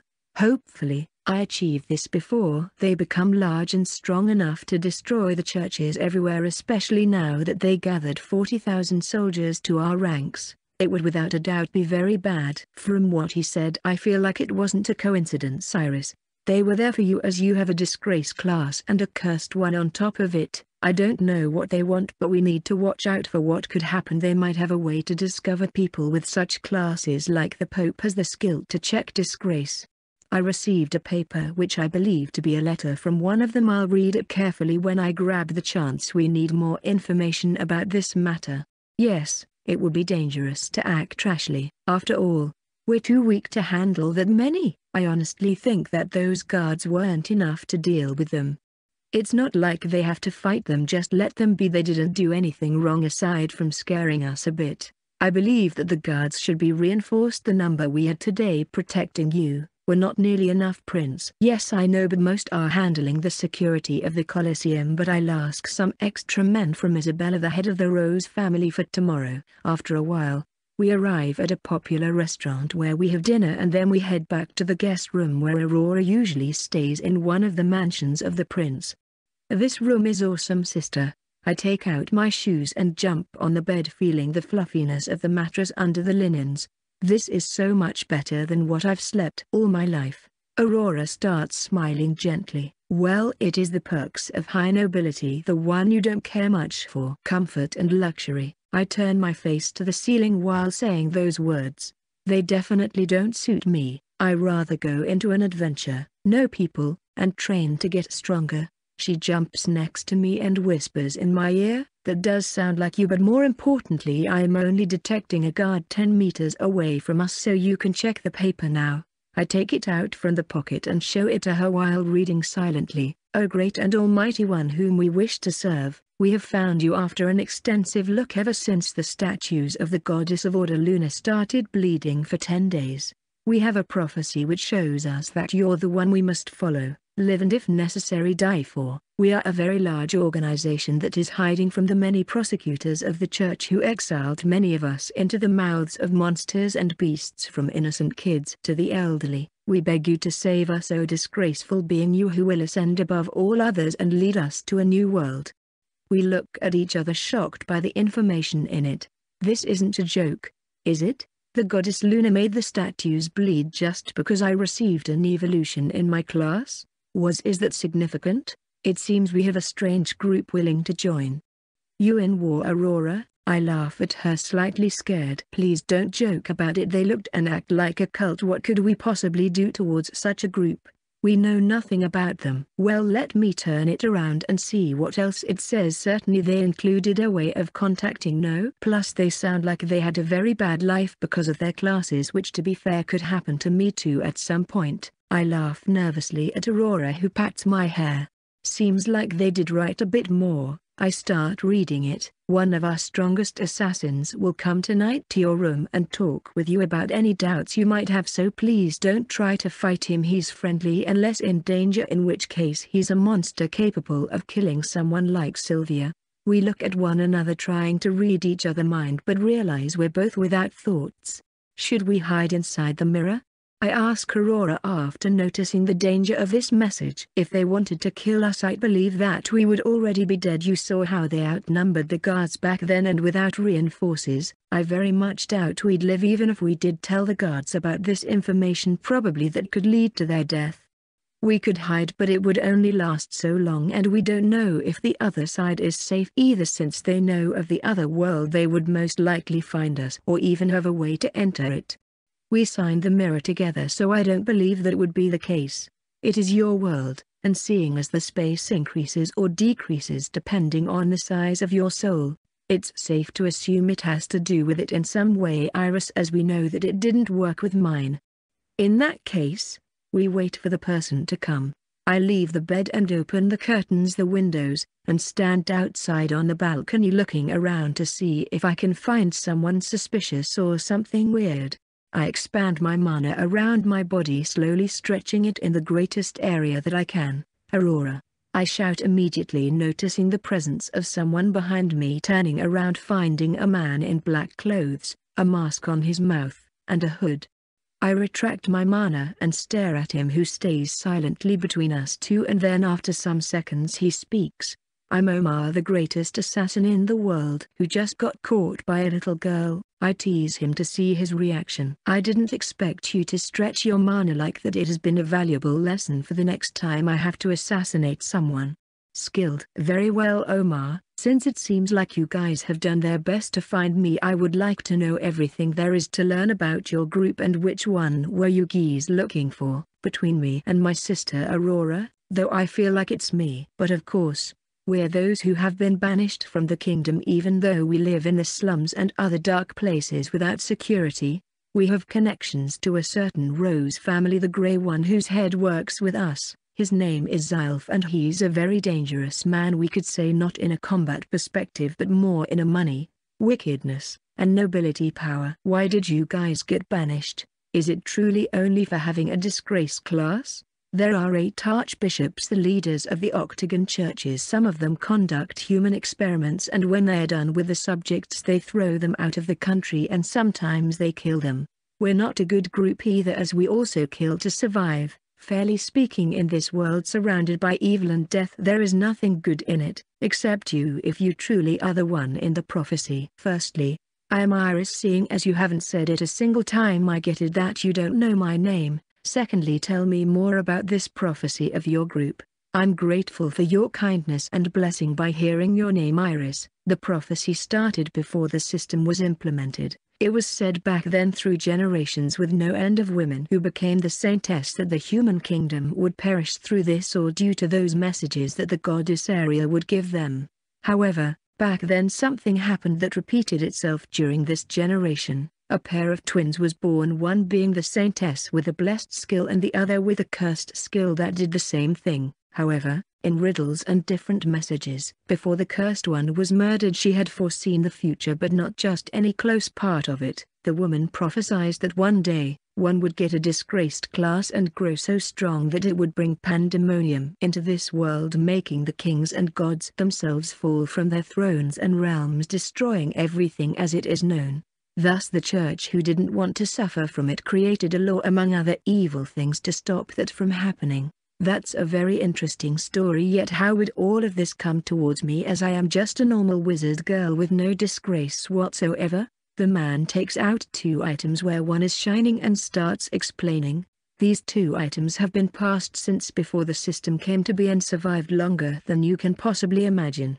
The one that is shining never shone before till a while ago where I assume you received a disgrace class it indicates vaguely your location so it took a while to find you and this other one is our red book which gives us the information we need. Place your hand, then your sister's hand, and if what you say is true I'll never bother you again. I promise. He extends it to me and I look at it, a full red creepy book that looks like it has teeth and bones coming out of it. Any ideas Aurora?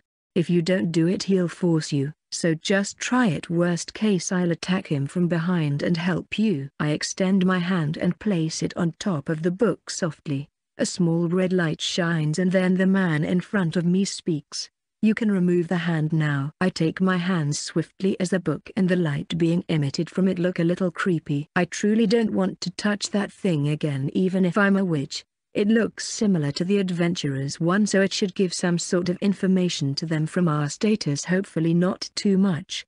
Don't tell me you have something to hide, I tease Aurora through my thoughts.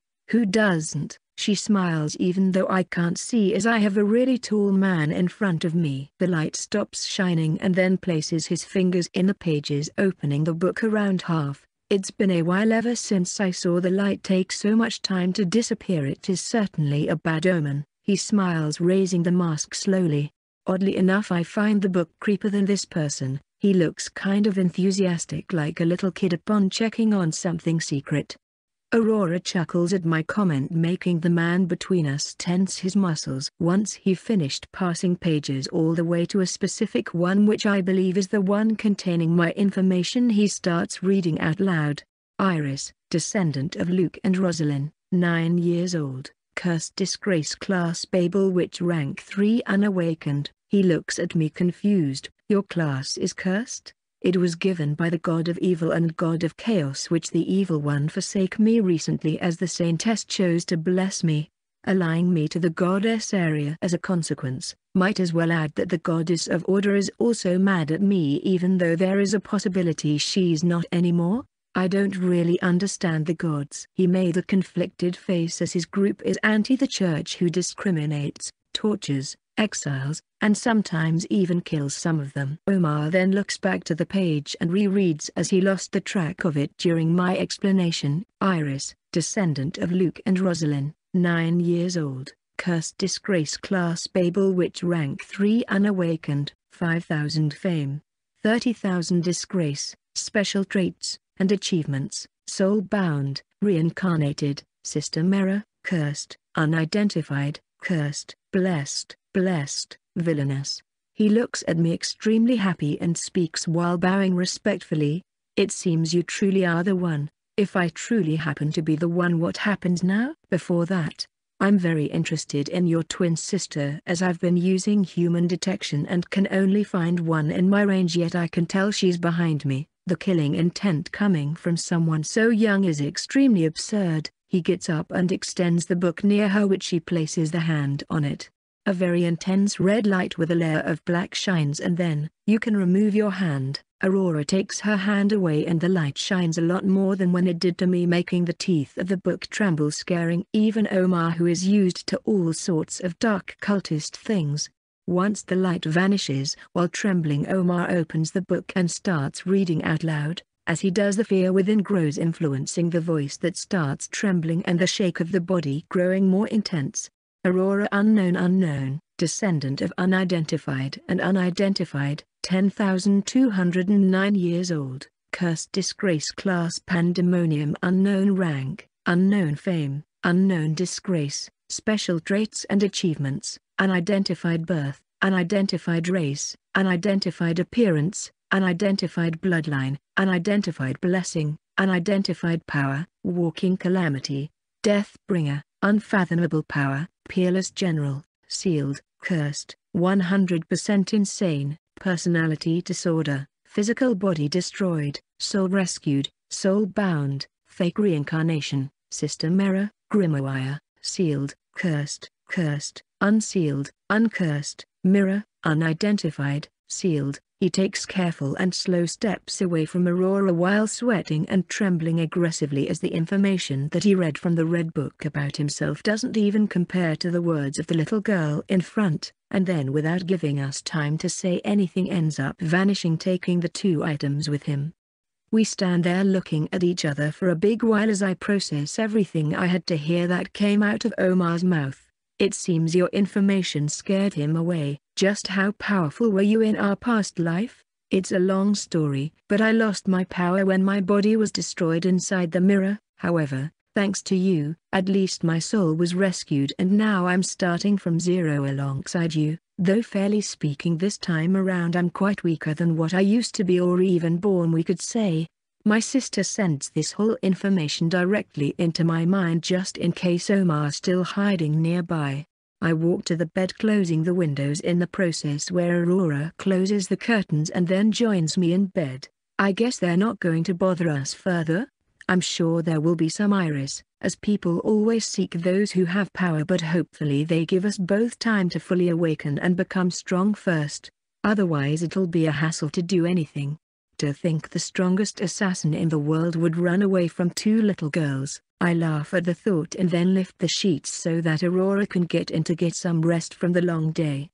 Thank you sister, make sure you recover from all the fights you did today, for tomorrow you'll need every ounce of energy you can pull of. Yes, I huddle my sister from behind comfortably allowing my body to dive in relaxing and falling asleep shortly after. Omar's perspective after he escaped. To think that the pandemonium was a little girl born along with the one.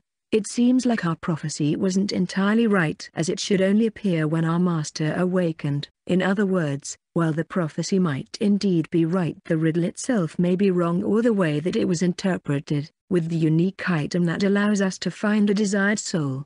It never occurred that we should search for the pandemonium itself as we expected it to be a sort of effect our savior would have. I must report this information before knowing what action to take. Neither of them felt like they wanted to kill me or tried to, so negotiations are a possibility even if we end up allies of the filthy goddess Arya we must have Iris to lead us into the new world. Hopefully one that the shitty goddess doesn't exist. Worst case we'll have to change this one completely so that we'll have a place where we can live peacefully. Omar ran at full speed towards the slums using all the movement skills and items he had to deliver this information. Three hours of intensive running lead him to arrive at the main den located in Zephy's territory that hosted thousands like himself as if they were normal peasants working there for the Lord of the Grey House, which was one of the ways he had managed to hide and control so many people. At the entrance not far from the Lord Mansion two guards were securing what appeared to be a completely broken tiny house made of wood, along with a rusty door that was half open. Even without guards such a place wouldn't be visited by anyone as it looked like the type of abandoned place filled with trash and leftovers, but nonetheless, Omar went through both who couldn't react in time as he bypassed the security as if they weren't there in the first place.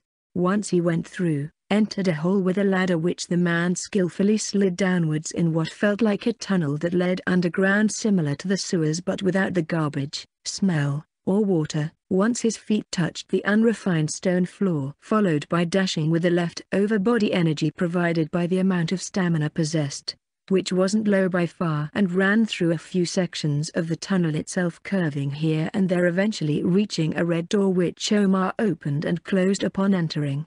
Similar assassins who were inside ready to kill any intruders had already detected a human presence with fast movement speed coming in, but upon seeing who it was they didn't do anything to the tall man as he was one of them. He passed by them without a moment to lose going through a few rooms eventually reaching a really wide room with four statues each resembling a different god, a male one that matched the god of evil, two female ones matching Arya and Luna, and a genderless one matching the god of chaos who was known in that place for being able to have more than one gender and even having none.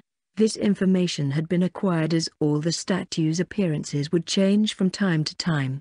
Evil masters, five hooded men in black clothes turned their attention to him who stood close to them while regaining his breath. Omar, what's wrong? Did the one, call the guards on you or something? Ah, No the one is named Iris she's actually pretty kind, reasonable, and gave me a chance to explain myself while questioning me about things she didn't know or understand. One of them interrupted Omar, does that mean she's willing to join us? I don't know, I found something else which made me run away in fear, as the hooded masters were about to shout angrily at him, Omar extended the red book at them noticing the teeth on the cover shaking causing an uneasiness all over them making them silent, holding their complaints back.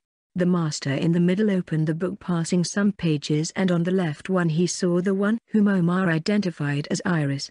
Then read the information to the ones around him. Iris, descendant of Luke and Rosalind, 9 years old, cursed disgrace class Babel witch rank 3 unawakened, 5,000 fame, 30,000 disgrace, special traits, soul-bound, reincarnated, system error, cursed, unidentified, cursed, blessed, blessed, villainous. The masters thought confused about why would he fret over this and then as if reading their mind Omar speaks, next page is the one, twin sister. Once more the master started reading out loud the information in the book this time feeling a cold sweat and fear as he progressed. Aurora unknown unknown, descendant of unidentified and unidentified, 10,209 years old, cursed disgrace class pandemonium unknown rank, unknown fame, unknown disgrace, special traits, unidentified birth, unidentified race,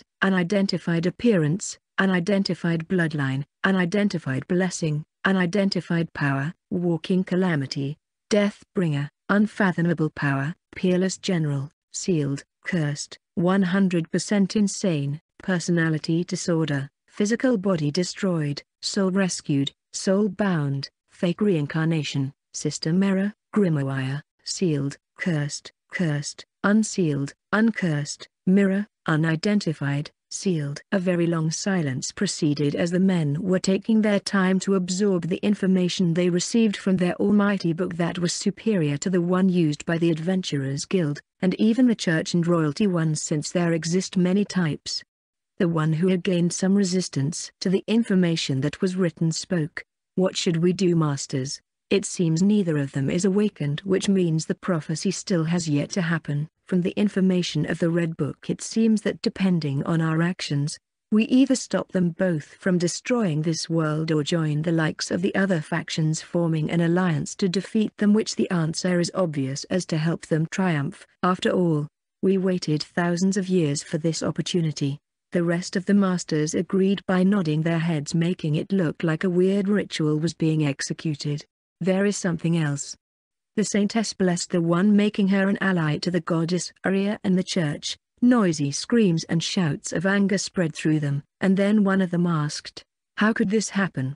How did this happen? Was our love for the one and the hate for those who did us wrong not enough through all these years? Master from the conversation I eavesdropped while I was in stealth close by to the sisters, it appears that Aurora the Pandemonium is currently the general of the Crown Prince Julius who is an ally to the church as such somehow she made the saintess who was with the pope at the time, to bless the one and also join the army that is under her command and gained a force of 40,000 men from the church that are heading towards the southern post, a base that was built half a year ago to combat the upcoming invasion of the Goblin King.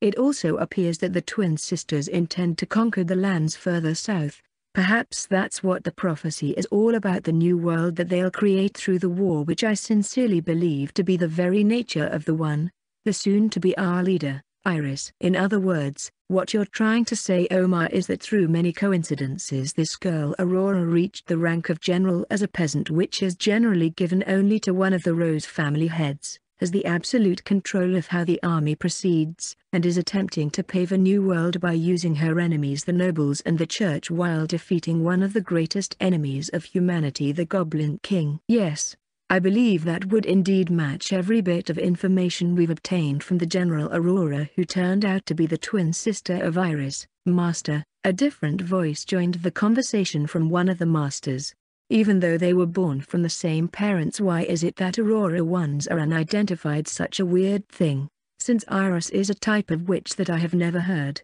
Babel in specific, so I do not know the differences between her and a normal one. There is a chance that our enemies have been charmed or even brainwashed to some extent to help them since I do know that's two skills some of our witches have. A different master added, I do know that the brainwash can be countered but perhaps as Babel Witch, it gives her a greater power that enables it to happen otherwise I don't believe the saintess would bless someone without proper evaluation. A different voice added from the only one who still hasn't speak. The one must truly have profound magic otherwise how would she escape the identifiers of the Pope? Four of the masters along with Omar turned to him surprised as they remembered that such skills were indeed used to identify different allies and even used to extract information from torturing methods since the Pope has a human lie detector skill. If the Pope and the Saintess have been brainwashed or even one of them, then it makes sense that we join the fight in the south which we could contribute greatly along with the Grey House. Omar then said, if we fight against the church it would only weaken Aurora army possibly making the Goblin army beat them due to the internal struggles of the Lumen Kingdom, but I don't think it is wise for this information to reach the Lord of the Grey House. I wouldn't want our savior nearby that fellow, no matter how much potential both of them might have they're still 9 years old since they're twins who were born at the same time, which means the Aurora girl age must be the body and the really old one mentioned in the Red Book could be from her soul who somehow ended up in our world Artana. If I had to guess, Iris is the culprit for that to happen who probably summoned it while inside her mother womb through some cursed method. After all, it would be weird for the two pieces of the prophecy to appear out of nowhere. I have faith that everything happened for a reason, and this world was certainly chosen by them to help us. I truly value your faith in the prophecy and as such we shall go into a votation as we have always done the five of us, who votes to aid the Pandemonium Girl in the war against the Goblin King while making a truce with the church till we beat him, raise your hand if in favor. Three out of five raised their hands, so the man continued by saying, this means that we shall use three-fifths of our force to help Aurora and then the other two along with Omar shall take care of things in the kingdom while we're gone and keep an eye without getting too close to the one as we still need Iris to awaken and it may take some years still as she's ranked 3, but at least has beyond enough disgrace to grow much much much more. Everyone agrees. Yes, Master Balthazar,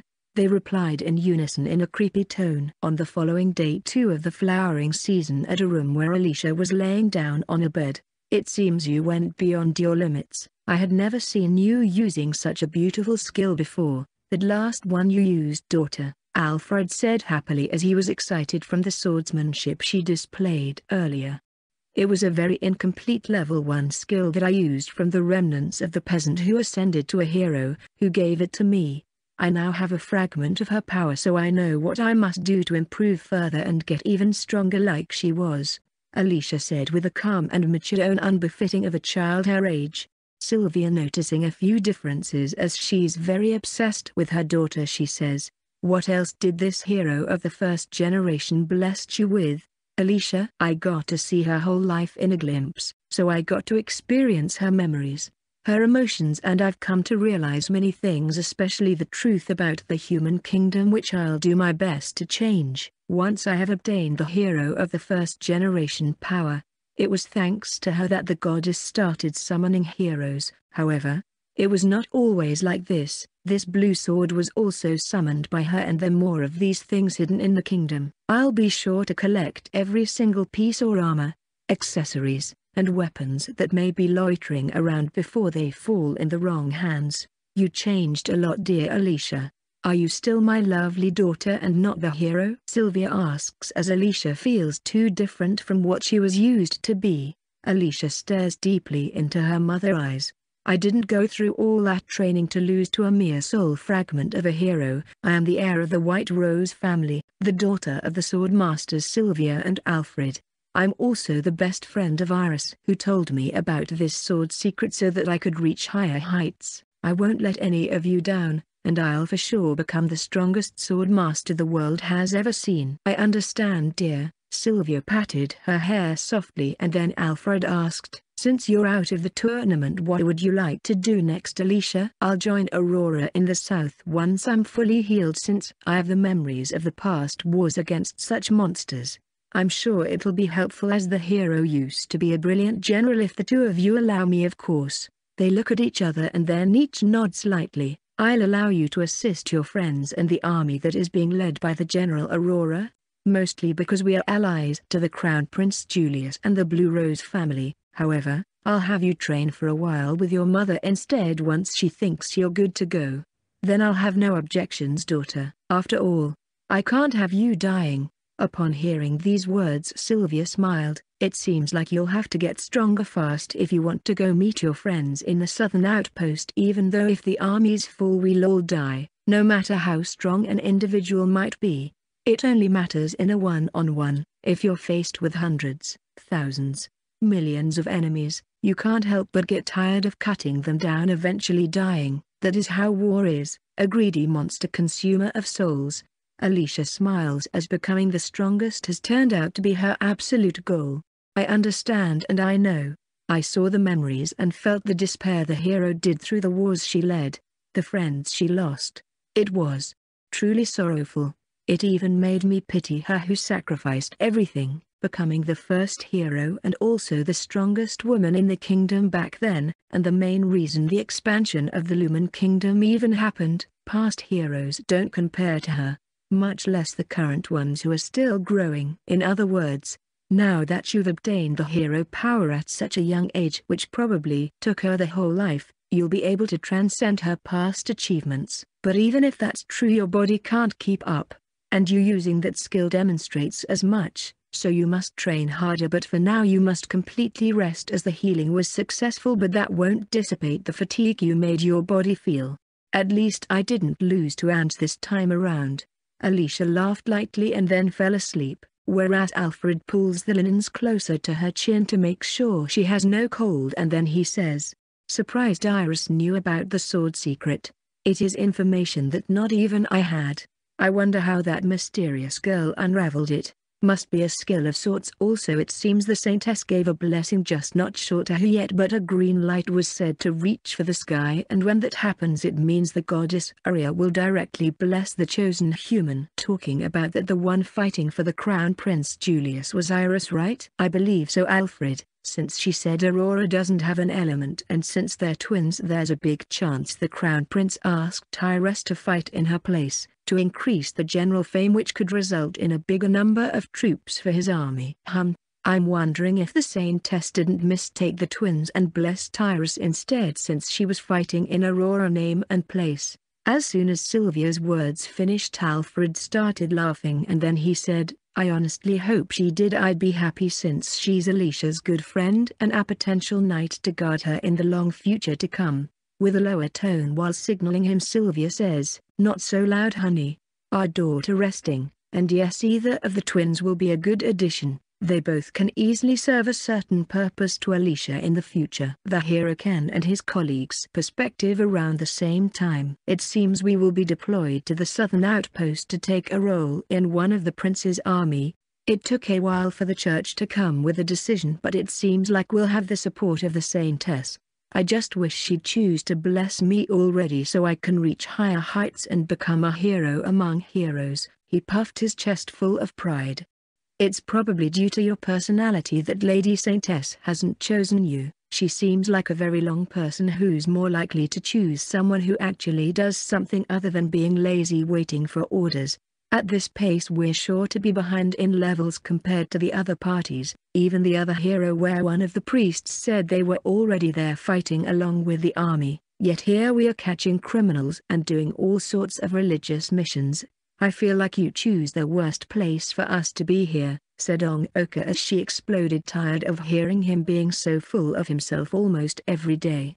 Another classmate of their university spoke, to think I'd live long enough to see the calmest girl of the world to erupt like this. Oh shut up Vinny, it's not like anyone else said something when we were summoned. You all agreed to be here and some of us are already on the battlefield. If anything being here at least has kept you all safe from harm, so suck it. TSH, once a trash always a trash, even if you got lucky and received the hero class I'll still become stronger than you.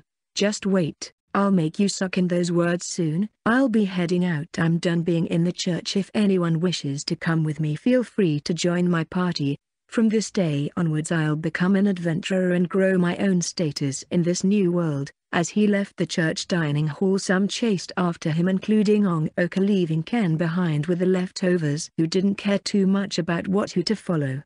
I'm not sure about the rest of you who stayed but I'll do what the Pope asks as he treated us in a good way and I do believe in him and the Saintess. We can certainly take our time leveling up and getting stronger, after all, if we die it's the end. Yeah, you're right on that Ken. We have time to get stronger and it's not like everyone wants to fight. There are many ways to help the kingdom prosper, with our knowledge and different blessed skills it is only a matter of time till a new king comes forth and then we'll bring a change. That's reassuring Zen. However, we should indeed step up a bit more so that we can at least protect ourselves from the other summon ones, as we may have to fight them in the future. Leave it to me. I've already started befriending nobles and got some contacts with the different Rose families, We'll start by establishing political and economical influences, raising the prospect of our future so that we can then manage what's to come and easily control the outcome of the Lumen Kingdom, by getting the new technology to be used by everyone, which will make our pockets full in no time. They smiled at each other as they planned quite the scheme to overthrow the kingdom behind the church. Iris's perspective and the present. I open my eyes and look at my twin sister Aurora who's resting next to me quietly. I really do look different with short hair. Don't think it looks bad, maybe I just grew used to having it long for most of my life as a mother would only cut the tips to keep it healthy. I get up quietly and softly to not wake up my sister even though I never really know how her sleeping works as she calls it a sort of rest and not quite the sleep she knew about in times. Once I'm up on the room floor I dress into the set of clothing a maid brought even before we were here. And I end up in a very interesting uniform of sorts. I walk closer to the windows and take the left side curtain to the side leaving the other side dark where Aurora is. I then grab the chance to look myself into the window reflection. It really does feel reassuring being able to see my green eyes unlike when I was even younger. And this uniform. It is quite cool, white shirt with a blue dragon and a sword in the back and in the front, the flag of the Lumen Kingdom. I suppose the today match will be quite important even though at the dinner yesterday night, the Crown Prince said I would most likely lose. After all, my opponent is the daughter of Isabella the successor of the Pink Rose family, an expert at assassination and the one this pink ring in my finger belongs to. My dominant left hand trembles of excitement. Teacher Ray himself said I wouldn't get very far and he was right. If I didn't use my mirror world to always be in top shape towards my mana, I certainly wouldn't have bested some of them. Perhaps I would even be heavily injured. Ray said I can try again in two years after he finishes training me. If I am able to learn everything I'm sure a lot will change, but I wonder if it will be enough to become the strongest like that. Teacher did say that there are very strong people in this kingdom, however, they don't compare to those outside, monsters, and beasts capable of destroying us as if we're nothing compared to them. My hand shakes so I grab it with my right one to hold it tightly. Yet, why is it that I can't help but smile at such thoughts? The stronger the opponents the more excited I feel running through my veins. I want to go back to adventuring with Aurora I'll even take our parents with us so we all get stronger and even Elise to learn with my father. I could even introduce her to Alicia. I'm sure they would become good friends. You are sure filled with happy thoughts all the time little sister Iris. I turn around slowly and notice Aurora sitting on the bed to which I say, good morning big sister, making her laugh. It is interesting how I get to read your thoughts just by turning telepathy on. Perhaps it is due to all the things that connect us. Prying on my thoughts you evil sister. I can't even have any privacy. I start laughing mocking her. Related to your thoughts I'll try to conquer the southern lands as fast as I can but it'll depend on the total number of forces I'll receive from all of this. After all, Compared to the enemy we're truly outnumbered reason why I haven't started attacking and have only been invading closest parts of the forest killing whatever beast or monster we find so the soldiers get stronger through levels and skills while learning teamwork. Leading an army sounds very tough. Shall I ask the adorable witch to give you a hand? It can be tough but I already have some experience, and can she even go pass through the mirror world to the world of Artana? Now that she has a physical body, and a complete soul made from a soul stone that belongs to the world of Artana, it should be possible. I did try to use the most expensive ones for that, some of them were really old since not just anyone can kill rank B monsters and beasts. That does sound interesting but I have the hero and the sage always close protecting me, so it would be best to get her to do something else instead. Just not sure what she can help you with. She made it so the mana recovery in the other world would become a lot faster for me, as long as she's in one of the nine spots of the magical star circle, which I used to always have close to the maximum mana during the tournament.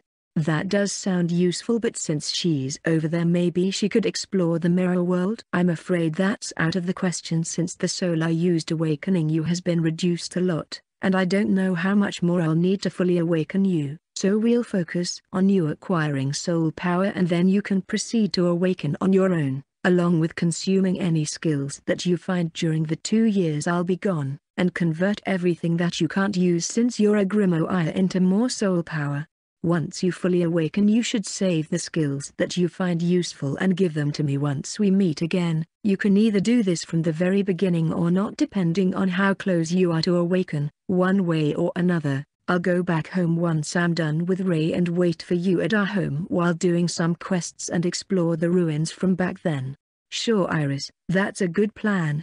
I'll keep consuming soul stones while I can, even though at some point I might have to exchange them for money for supplies in case we run out, even though I've been setting some countermeasures to not be low on money, as well as making the soldiers create farming fields by rotating crops, including some taxes from entering and leaving the kingdom, along with some other things which Prince Julius is sorting, so I can avoid someone messing with the economy while I'm absent.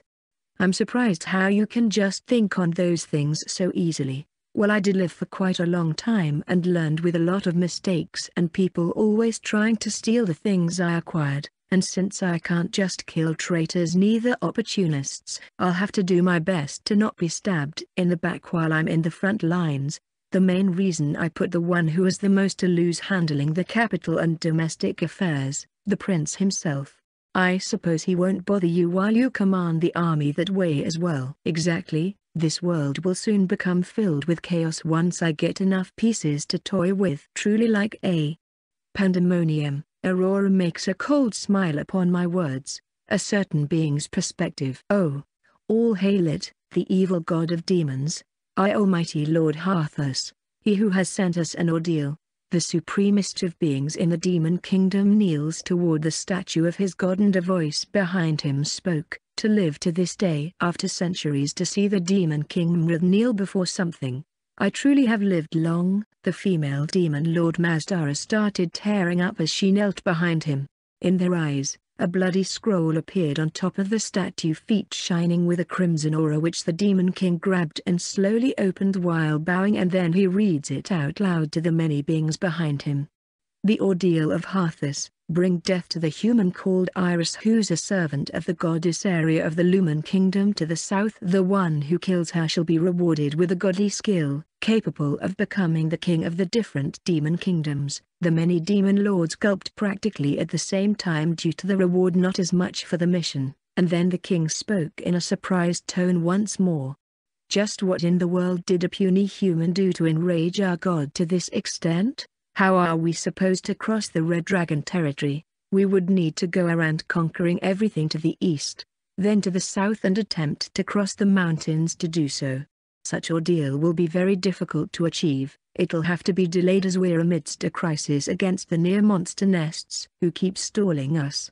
Perhaps it is time to expand to the west instead we'd have better chances conquering that side and slowly but surely become stronger as well as possibly convincing the west demon kingdoms to join forces with us and become one. Perhaps they too received this message and will be willing to work with us. Despite our differences, Demon Lord Nur, I believe not a single of the demon lords and kings would dare oppose the god Harthus ordeal so we should strike our enemies to the west and start making alliances with the rest of the demon kingdoms. in preference conquer them and having more strong types of demons serving me, that would be the most idealistic. We'll do our best to bring that wish into realization, Demon King Mrath. To think the demon kingdoms who were in a deadlock till now would start moving due to a single human girl, Demon Lord Oza thought while smiling excitedly as they've been increasing their forces carefully for the past centuries, slowly expanding to the sides. Iris's perspective back to the present. It's time Lady Aurora for the next fight the round 7 which will be the quarterfinals for the tournament the opponent will be the daughter of the head of the Pink Rose family a direct descendant of a famous old ninja hero from the tales of Artana. A direct descendant? I asked curiously as I remember the tale where a man was able to kill a few demon lords and beast lords eventually succumbing to one of them after a failed assassination. To my question, the man nods. It is in your best interest to surrender the next fight as your services are needed as a general more than they are as a soldier. She's that strong. My left hand starts to tremble with excitement so I grab one of the ray sword's sheath that he lent me, tightly, despite the man's advice. My body moves as if I'm being pulled by the magnet of a stronger opponent which he bows out of respect in my direction going unnoticed by me. Ladies and gentlemen we'll open today's seventh round with our amazing general who no one expected to have come this far versus a true descendant of one of the most prestigious bloodlines of the entire Lumen Kingdom a direct heir of the old hero Fafnir the Ninja. I present to you Moonflower the one known by her meticulous assassinations towards the enemies of our past King Francis, rewarded by him with the title of the Quiet Flower as her fighting style is as silent as one could expect. The crowd went euphoric with the introduction as Isabella daughter is simply that famous and a winner of past tournaments. We stare at each other on the black ring and then Moonflower says, your hand, so you're the one who my mother chose. I make a surprised expression which she ignores and says, I understand don't worry, however, I'm sorry but you'll lose. But don't feel bad I carry the blood of the past hero and also his blessings and I've trained with my mother the best assassin in the world, as a noble I'm simply above. Without saying anything I unsheath one of my swords and hold it with my left hand preparing to attack as soon as the judge says the word. You may begin. I spined. The moment I speak she cuts the ice surging from the floor while jumping backward, and then she vanishes. Stealth, I extend my mana through the entire field and am unable to find her and then out of nowhere I feel a heavy blow on my stomach making me cough and then I see her in front of me. Notice, 130 health and 70 mana have been deducted. Even though she looks unprotected my fist didn't sink as deep as I thought. I wanted to make her go unconscious, seems like she's pretty tough strangely for such a young girl. She looked at Iris from top to bottom looking for answers, Good thing I had my mana shield activated otherwise that could have been pretty bad it almost made me lose my senses from the pain alone while I can see her now I'll have to attack. I grit my teeth and slash at her horizontally which she ducks and kicks my feet making me fall. As I'm falling I see her taking a dagger from the back of her waist. Icicle, ice wall, an ice wall quickly splits the two of us leaving one on each side while icicles appear above her stretching towards her which she backflips a few times dodging them and then disappears once again. Notice, 200 mana has been deducted. Damn I lost her. How am I supposed to find her if my mana isn't detecting her? Does she have a skill that makes her undetectable perhaps? I guess this was how she beat her earlier opponents. In that case, there's only one thing I can think about to attempt to counter her. I take a deep breath and get up and then summon icicles through the whole floor and use ice expansion creating ice vines all around me hoping one of them will hit her. Notice, 1000 mana has been deducted. As I keep a defensive stance, I notice a drop of blood that is not mine, falling in front of me and as I'm about to react I feel a knee hitting on my stomach and then a punch on my face throwing me forcefully to the floor. Notice, 360 health and 140 mana have been deducted. Mana-coated physical attacks sure pack quite the punch yet this girl is hella tough. What's up with her body? Past opponents that were older than her were already on the floor crying and surrendering yet this kid is looking with those green resilient eyes trying to figure out how my unique true stealth skill works. But sadly for her, There are not many direct countermeasures, even if she was able to scratch me with that ridiculous ice spell. Now, icicles. I surround her whole body with magic circles and icicles start pouring out stretching at her from all the blind spots she has to which she responds by disappearing and dodging with her speed and reflexes. Notice, 1000 mana has been deducted. I wonder what teacher would do in this situation. I close my eyes and start imagining her moving. I take a deep breath and relax my body. I'm glad that I came to fight. I smile. Why is this girl smiling and looking so relaxed? I could have killed her a few times now if I used my weapon instead of my body. With her pride hurt, she strikes her dagger at Iris's neck, and as she does her sword parries the invisible attack surprising Moonflower. What? How? She asks confused at what just happened. The crowd goes crazy about the development and then I use a different skill as I can now see her, before you vanish again. I raise my hand at her. Destiny cards system, the skill could not be used. The requirement to activate it requires the awakening of the class. Ah, I didn't know that in that case, I'll put everything on this last attack, ice coat, decay, vanishing step. The sword started shining light blue, and then a deathly aura aggregated around it merging with the coldness scaring Moonflower for a moment, and then suddenly Iris' speed raises so much making her approach the neck of the assassin girl with her sword. Notice, 1100 mana has been deducted. That aura looks extremely unpleasant just what skill is that? I guess I can't play around anymore with her, smoke bomb, substitution skill, true stealth. I hit her neck with my sword which starts decaying her body while slowing her down, as a purple cloud appears below me quickly blinding me, and then I sense the earlier killing intent on my flank. I don't know how she did this but it appears that the one I attacked isn't the real body. I slash where I feel her and then I hear her words, switch skill, and I feel a cold dagger pierce my hip from the right side where I had struck the body earlier on. Notice, 300 health and 100 mana have been deducted. The smoke bomb eventually fades and I realize what happened. It seems like you switched places with whatever this is you made. I lose the grip of the sword and let it fall, falling on my knees feeling my body getting numb, and then I completely fall on the floor. The match is over judge. I hit her with paralysis she won't move for quite a while. I don't want to die again. Especially after discovering the sense Ray was trying to teach me. I was just about to take the next step into the training. Notice. The skill Paralyze Resistance has been acquired. Not. Yet. I. Refuse. To. Lose. As tears fall from my eyes I do my best with all my leftover strength while losing blood to get up. As I force my body to slightly raise, it's over Iris you did well, come back when you're stronger. I feel a hit on the back of my neck and I faint, take her and make sure she's healed properly. She was a worthy opponent.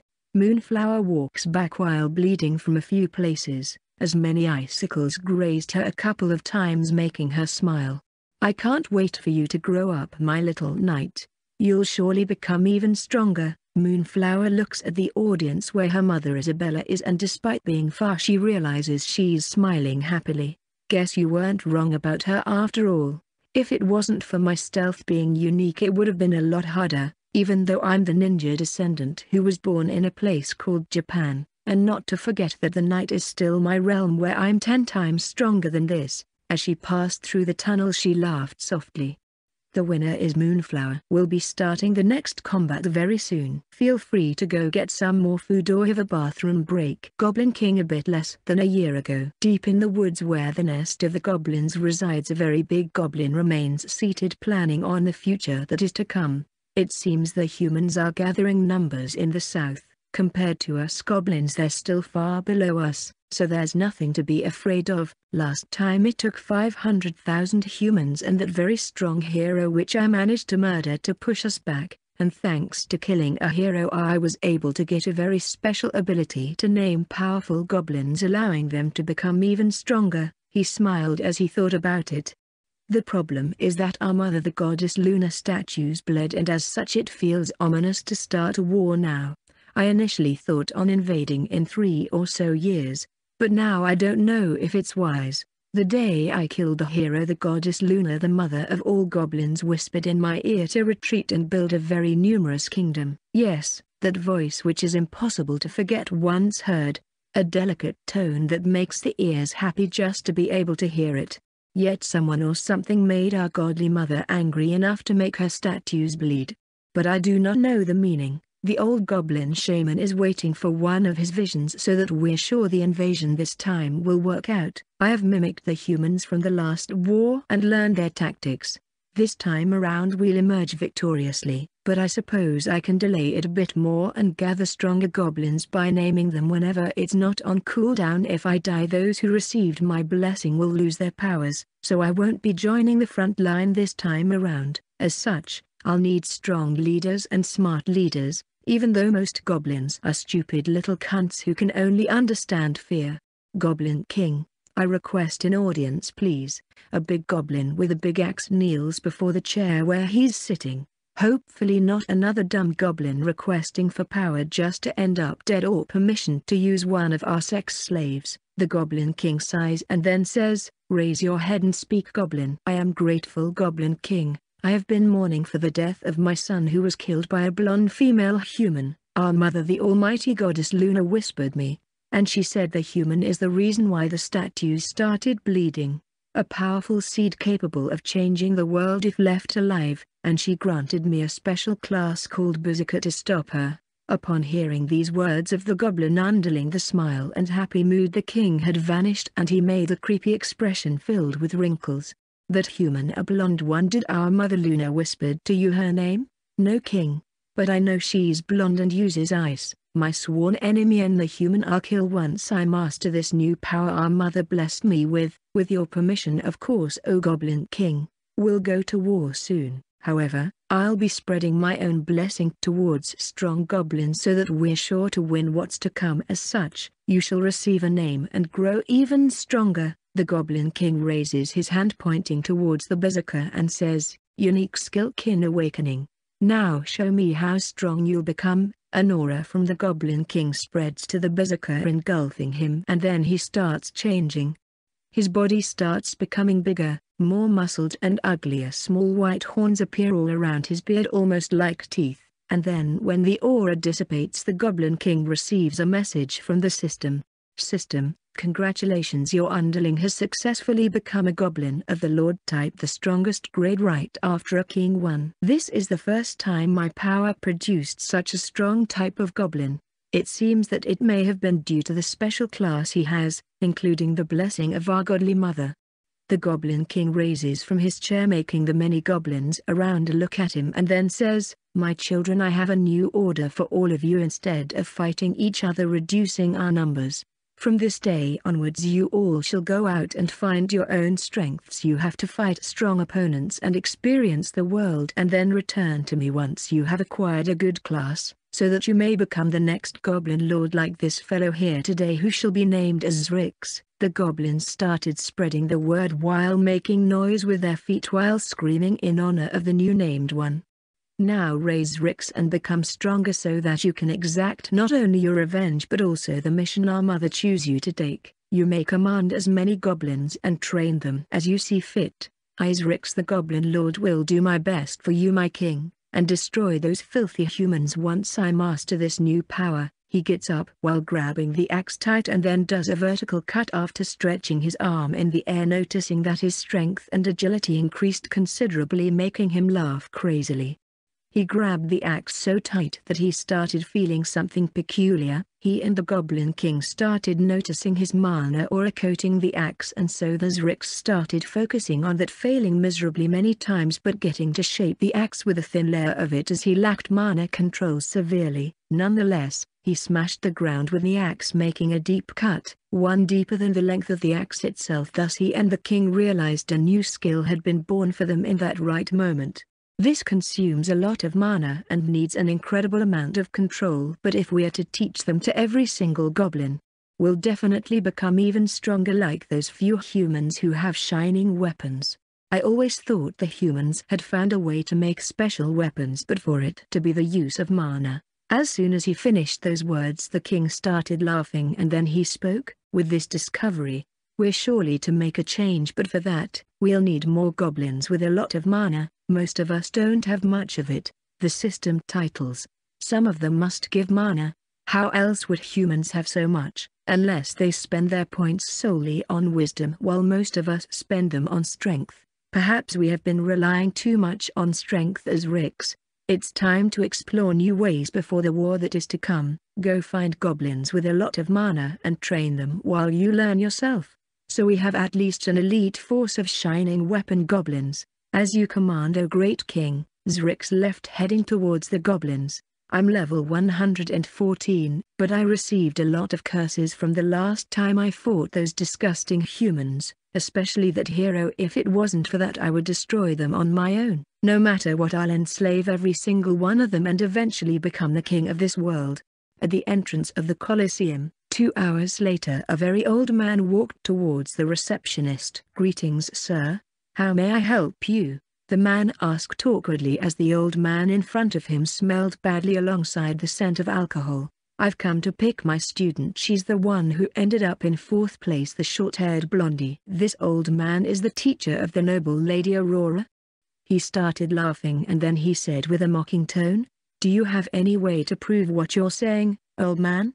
A voice coming from a couple that was passing at the side along with their child and a butler who carried her was heard. To think I'd meet you here fallen noble Ray, the receptionist looks at the source of the voice and notices the head of the White Rose family Lord Alfred.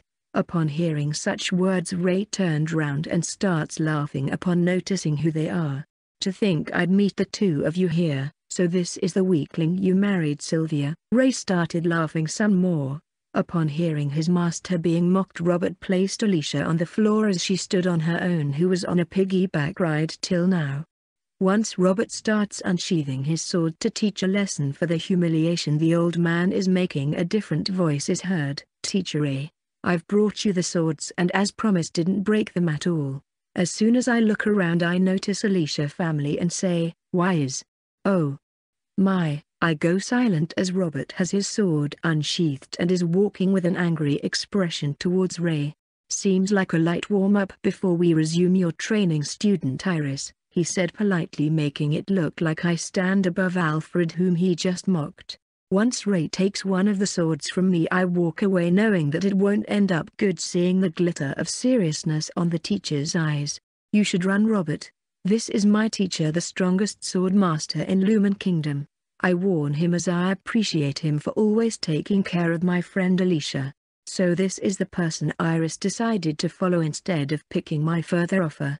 I can feel the pressure of his skills, as Alicia is about to warn Robert to step back. Sylvia says, It's been a while teacher A, you sound as rude as ever and peerless with the sword too. I thought I had been the last student before you retired, but it seems you picked someone rather interesting. Ray started laughing and then voiced his opinion. Interesting to say the least this little girl will with time become a monster with the sword that will surpass even me, after her training. I'll definitely retire. He smiled excitedly while showing his yellow, black, and missing teeth.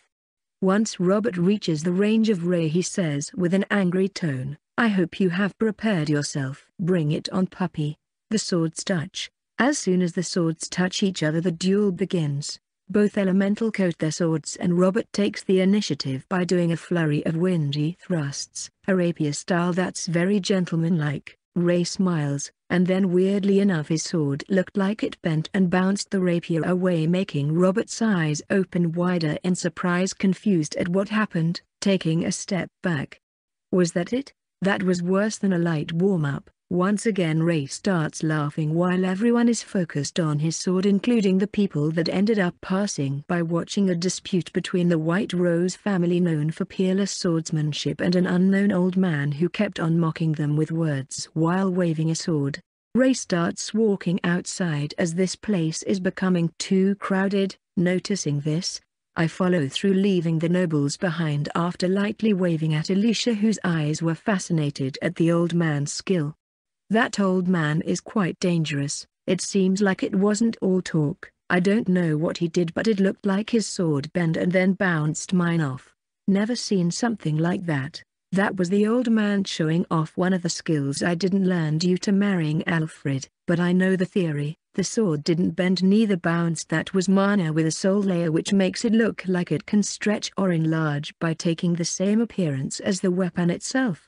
We humans have a low lifespan so our soul is usually small but that old man has lived for quite a while and has done quite the killing and title farming, and on top of that he has learned how to do things with his soul.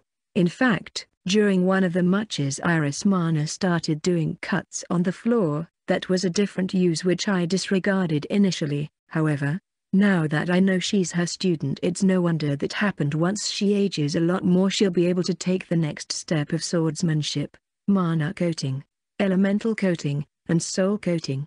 Alicia says while smiling excitedly to learn new things. I do understand that. However, the old man looks truly ancient so it makes sense.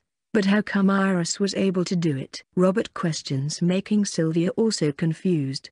I suppose Iris must have a considerable big soul already perhaps since she has a twin, maybe they're connected in a mysterious way. Perhaps since Aurora can't use an element she becomes a sort of reserve power to Iris. That does sound like a plausible theory my lady, but I don't know anything that could measure a soul size. I've seen the Adventurer's Stone book and inside the pages, something like a soul wasn't mentioned. I do know the royal family and the church have a unique book of the sort. I've also heard rumors about a red book used by the dark priests that criminal cult. Alfred said confidently as he remembered them. In other words, from all of them the one who could possibly measure souls would be the Church One since they serve the goddess Arya who makes humans reborn through the reincarnation portal. It wouldn't be weird if their book had something like that in it. Are monsters, beasts, and demons able to possess such things? Since in the end, they should be able to learn mana, elemental, soul coating, and all sorts of skills and classes that we have, since the system is the same right? Alicia sneaked to bomb into the conversation as she knew through the hero memories that such things were indeed real and in the past had been quite the threat to the human race. Go on ahead I'll go back and talk to Julius right away as what you said makes complete sense and we didn't even think about something so simple like that. Monsters might be stupid but what if one of them actually learned the very few weapons that have kept us humans survive till now, including our war tactics and everything else. In fact, Alicia, you have the memories of the hero so be honest with me, was it on purpose? Upon being questioned Alicia smiles and then says, I did say I acquired important information and tactics from long ago to deal with the enemies of humanity. Not to forget the hero summoning isn't restricted only to the goddess Arya though compared to other gods she's a cut above in that ability. Upon hearing her words Alfred ran towards one of the Colosseum rooms to meet the Crown Prince Julius and Aurora who he assumed would be together. Iris and Ray left for the Tun village while Sylvia and Robert took Alicia who's still recovering to the wagon while they waited for Alfred. Meanwhile, Alfred found two royal guards protecting one of the rooms, which he passed through without asking them for permission due to his own status. The doors opened with some strength surprising Aurora and the Crown Prince Julius, who were discussing domestic affairs before Aurora returns to the front lines and a maid who was on standby waiting for orders. Julius, we need to talk. As soon as Aurora heard that she was about to get up out of respect for their relationship with one another, and then Alfred said, this matter includes the general too. Aurora stared at him as it felt strange from the few times she's been with the White Rose family to head the girl had never seen him this flustered. What's wrong Alfred? Come sit with us. Do bring the Lord a cup of tea. The maid who was on duty during their discussion leaves the room and then he starts talking while approaching them without sitting. So basically, how should I say this? You might not believe me but my daughter Alicia has gotten the memories of the first hero the peasant one. And she said that the system works equally for every race. In other words, he unsheathed his sword and mana coats it and says, this is one of the things we humans learned and used to fight our enemies, but Alicia said that there have been monsters and beasts capable of using this skill too, which would include elemental coating as everyone is generally born with an element as well as soul coating that is very exceptional. More like the only person I know that can use it is the old teacher of my wife, the sword master known as the fallen noble Ray. He took a deep breath and then continued talking. The skills, Classes that we humans have, in other words, it wouldn't be weird for the goblins to have them, be fame or disgraced type ones. Their king should also have learned to use the tactics that he encountered through the last war waged against us as well, as having subordinates equally or even stronger than us, could even appear a special type of goblin summoned by their goddess Luna. The more and more Alfred talked the more startled the Crown Prince Julius became, as for Aurora she remained quietly listening to every single word unfazed as they were pieces of information that had been assumptions, while she learned more of this world and that she knew the short straw had been taken by her, as Iris race had been the weakest of them all. And ever since reading about the system being fair, it would certainly mean that every god had close to the same set of skills, that's indeed pretty dangerous and could without a doubt make it harder for us especially since their number will be a lot more than what we have currently. What do you think General? Julius asked while sweating nervously from the room temperature and the news. As long as my conditions become true before the war begins, I cannot possibly imagine us losing to goblins. Of course that for our victory to happen the army needs to keep training and improving the way I envision them to. While we get the number of soldiers I need, we're currently way too few and if I were to guess they should attack us with their whole force, be it composed of goblin children, females, men, or even elderly, from the information I've received from the Pope and the Saintess 100 years ago, they used half of what they had a force of 400,000 goblins. After studying and learning more about goblins they should be around three times more so 1 million and 200 as long as they're not fighting other fronts. In reality they are 1 million goblins due to the ceremony they do with the children from time to time. Due to it the number ended up reducing by 100,000 and the rest murdered by other races around their kingdom. As well as internal strife and the law of the strongest. That's an insane amount, Alfred said and then both of them frowned as Aurora had kept this information to herself to not demoralize anyone. She then spoke, and yet we live in Lumen Kingdom despite everything we have around 9 to 10 million humans, just not many into the army, in other words, Due to the summoning of the heroes and the visions of the saintess the humans got used to living in comfort and peace, forgetting that they live in a world that they can die at any given time. They have turned into slothful beings, Aurora said coldly making both of them silent. Get me at least 500,000 soldiers and I promise I'll wipe the goblin race out of this world in less. Of course there are other goblin kingdoms around the world seeing as we barely had any information about what's around us. The reason why I've formed some scout parties when I joined the army and have been acquiring information from all the fronts, that include the sea in the west, and beyond the mountains in the east where it is recorded for an ogre kingdom to exist, but basically I'm drawing a map of the world. Certainly we won't be able to reach to the deepest parts, and possibly not even to the edges of the world due to every freaking enemy we have to face because we don't have a single allied kingdom of any type, aside of perhaps the Gillums on top of the mountains to the east who are just peacefully living there. If it wasn't for that I'm sure we would have been invaded by that position as well. Even though she's saying everything bluntly and in an angry tone she doesn't look mad at all. She's truly different than her twin sister Iris who is fairly easy to read. What are ogres even? Alfred thought while paying attention to this little girl closely.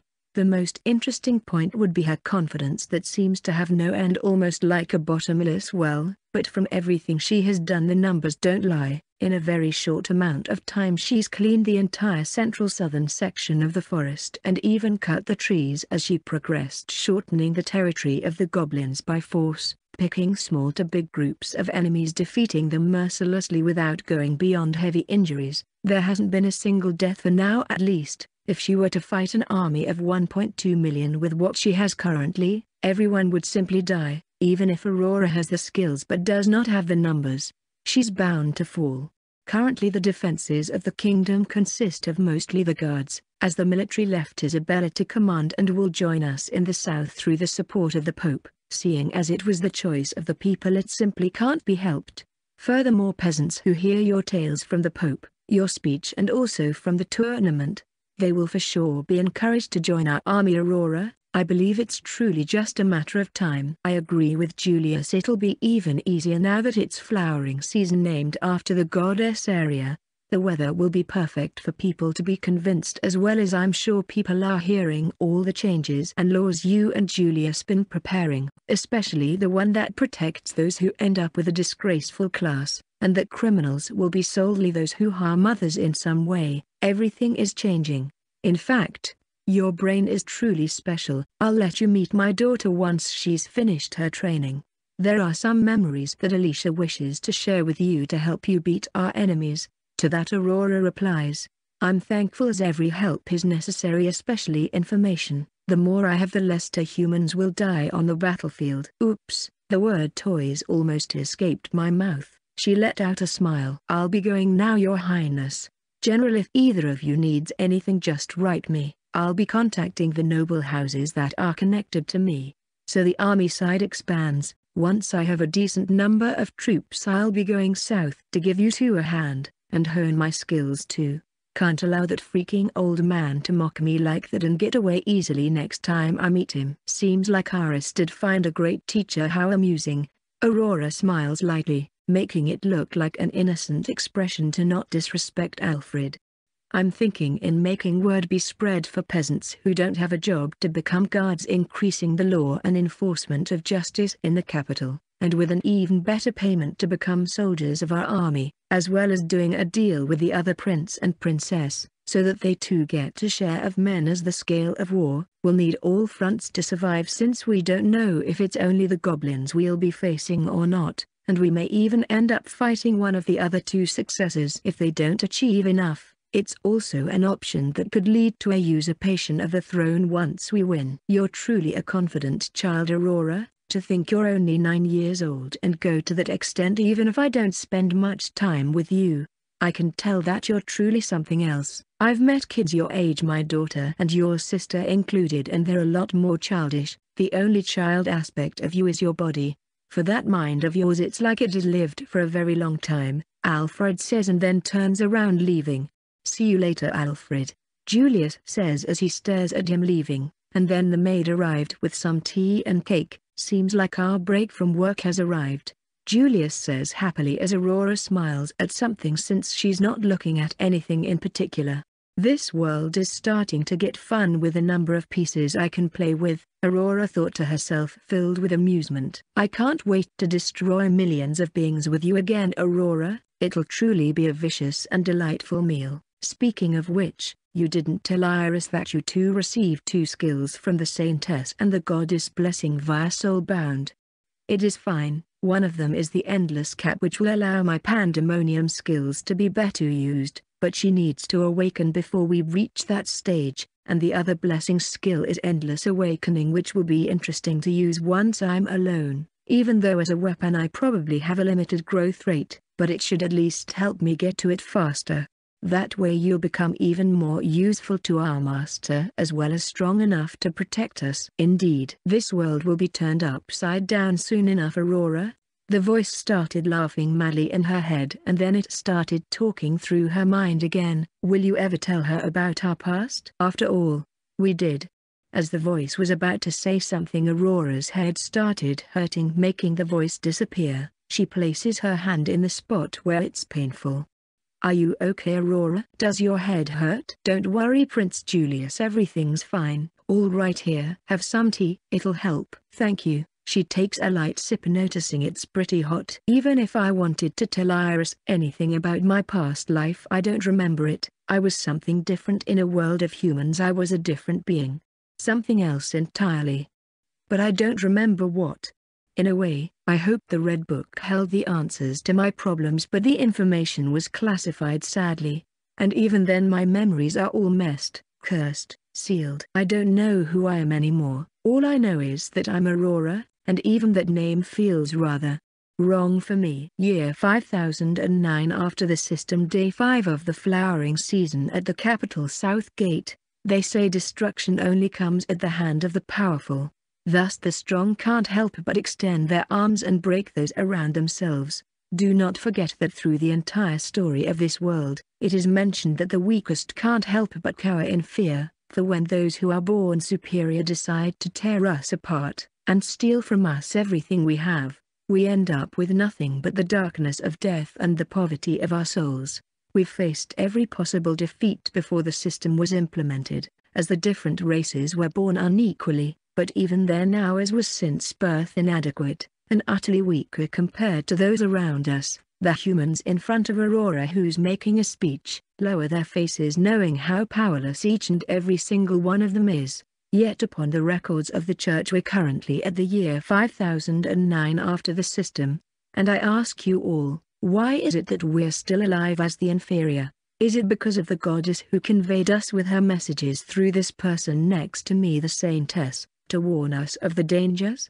No, she shouts angrily with all her strength. Is it because the goddess decided to summons heroes from different worlds to aid us? No, that's not it either. She shouts while raising her hands in the air at shoulder height clenching them into fists. I ask you all, why is it that we as the human race are still standing, and have a decent peaceful kingdom of 10 million humans as the weakest race? Aurora observes as people whisper among each other for an answer while different peasants and nobles trade confused looks with one another. The answer is simple. It is because we're nothing more nothing less than cowards who know when to run when things get dangerous. We grasp our survival as the most important factor because we fear the strong, we fear death, and utilize our brains and wits to its fullest to come up with tactics and even dirty tricks. All of this to defeat our opponents who are fiercer and wilder than us when we are feeling threatened. But all of you who got used to these peaceful times, forgot that the monsters are still waiting for a chance to gnaw and devour those around you, to break, torment, torture, and even make some of you as their breeding materials and enslavement, the citizens' heads gradually started to rise once more in silence while they felt nervous towards Aurora, all of them being entranced in her words. We are weaker than goblins in what comes to the strength attribute, that is true. Not to forget they also have more stamina than us making them tougher and resilient to kill. We're also incapable of using magic as adequately as monsters do and they even have opposite and multiple elements the way they are while we're stuck to the minimum of one. Not to forget, that we're nowhere close to having as much mana and magic power as demons have, as well as the big lifespan that allows them to reach higher heights than us. But I mean, that goes for every race except ours. And yet we are freaking alive as the utterly worms that we are. She extends her hands towards them opening her palms facing them towards the sky. Did you all truly think that we're alive thanks to the goddess Arya? It is true she's been a good supporter of our race and has helped a lot, however, what have you guys done except being lazy and scratching your asses with such assistance? How is it possible that out of 10 million humans, the three human armies barely reached 200,000 men together? The reason is quite simple dear citizens, you're all not only cowards who are waiting to be slain by your enemies, but are also too lazy to do anything about I. If you won't change, you'll all die, your mothers, wives, and daughters will be raped by those green monsters. Your sons, husbands, and fathers will meet their deaths or worse, and yet, all you'll do is experience such fate while complaining that it was inevitable, and that you were born weak. The destiny you were all too lazy to change. I will march today towards the south, and heed my words with your utmost attention. I will expand the human territory to the infinite so that this world can be truly peaceful, and it shall be used by all the humans who support me like the goddess Arya assisted all of you. Alongside the 40,000 men the church kindly lent to our cause, including this almighty beautiful woman Serenity, the saintess, who's a weak woman like the rest of you, yet she's willing to fight. And our little child of nine years old that has become a general, a Milo born like most of you here today, she points randomly from one side to the other of the crowd passing her finger through millions. If I can do it, so can every single one of you peasants and nobles alike. Aurora then points towards the flag and says, I will cut fate and make a new one. I hereby declare it in the name of Prince Julius the oldest prince and next heir to the throne. A ruler who loves humans and seeks to amend the mistakes of the past, so that everyone has a fair chance, be them peasants or nobles, be them owners of disgraceful or fame classes, every single one of you, If you so wish to have a job to become either a guard to protect the Lumen Kingdom, or a way better paid job as a soldier in our army, where your achievements will allow you all to rank up higher, and earn more money and lands, the ones from the territory that you'll help capture alongside me. The citizens started echoing at the greed of promise money and lands, after feeling utterly bad inside from her words, letting it all out at once. I am Aurora, the general, and in my name, with the unique element bestowed by the goddess herself through the saintess blessing, she raises her right arm to the sky and a dark aura surrounds it creating a big enough dark ball for everyone to see, causing them to feel the pressure. She then shouted higher than ever before. I will destroy our fate as the weakest race, and obtain what we humans deserve, the world. The ball then flew towards the sky and exploded, hiding the sun above the capital south walls for a moment, turning the whole place completely dark on the ground into a large ominous shadow, where the peasants and nobles who were assisting her speech went in awe. This was quickly followed by a similar ball of light from the saintess, that irradiated them afterward, making it look like the brilliant hope the one that would bring a new future after the darkness destroyed its enemies, forcing the crowd to go crazy in ecstatic screams, echoing through the entire south wall. The world awaits. It is begging for the blood of our enemies to be splattered, it reeks of the stench of the corpses that we'll pile up as we fight. But that is fine, that is welcome for the ones of us that die. They will become bridges for the rest of us that will walk over their dead bodies. At the end of our journey through this world my dear humans, we'll have completely dominated the world, and offered our souls for our mother the goddess Arya to care of. The people shouted the superior being name extremely loud with all their hearts in unison. The three successors of the king will wait for all of you brave souls, who are tired of being weak, coward, and lazy, to come, walk, run, trip, rise, fight, survive, live, and ultimately become stronger with us. Aurora expands her dark element around her whole body, making her look extremely eerie while the saintess next to her mimics her, making herself look entirely divine. And then, they extend their hands towards one another while holding them, and they start smiling showing that under the name of the goddess be they who they are, they have a place under the banner of the General Aurora. The close to 6 million people assisting this, started shouting the words General Aurora alternatively with the words Saintess while clapping, and stomping the ground euphorically shaking the area around. A new era begins today, Aurora raises her head and looks at the sky making the sunlight turn her blue eyes even clearer, it seems no matter where I go the darkness and the stench of blood will always follow me through. At least this time around I have someone worthwhile fighting for. All is in the name of our savior Iris. Aurora let us show the world the one they called Deathbringer. The walking calamity. The white demon of the bloody plains. The one who murdered billions of beings. The extra voice laughed wickedly inside her mind. Even though that was my past self, in other words, the sleeping one, not the current me whose identity was born in the mirror world. It is not wise to release her unless truly necessary. It was already a miracle we were even able to stop her madness. The reason she didn't overthrow the gods. Don't even dare to mention it. Keep an eye on her and shut up Grimoire. Year 5009 After the System Day 30 of the flowering season at the southern outpost. General there's been the sight of a very strange group of black-hooded figures, about 10,000 of them coming towards our gates. They have finally come, let them in, they are expected allies, and they too are part of the humanity. To place them on the opposite side of the church troops, to avoid confusion and internal struggles. Yes ma'am, at once. Are you really taking them into the army? Their group is mostly composed of dangerous criminals Aurora.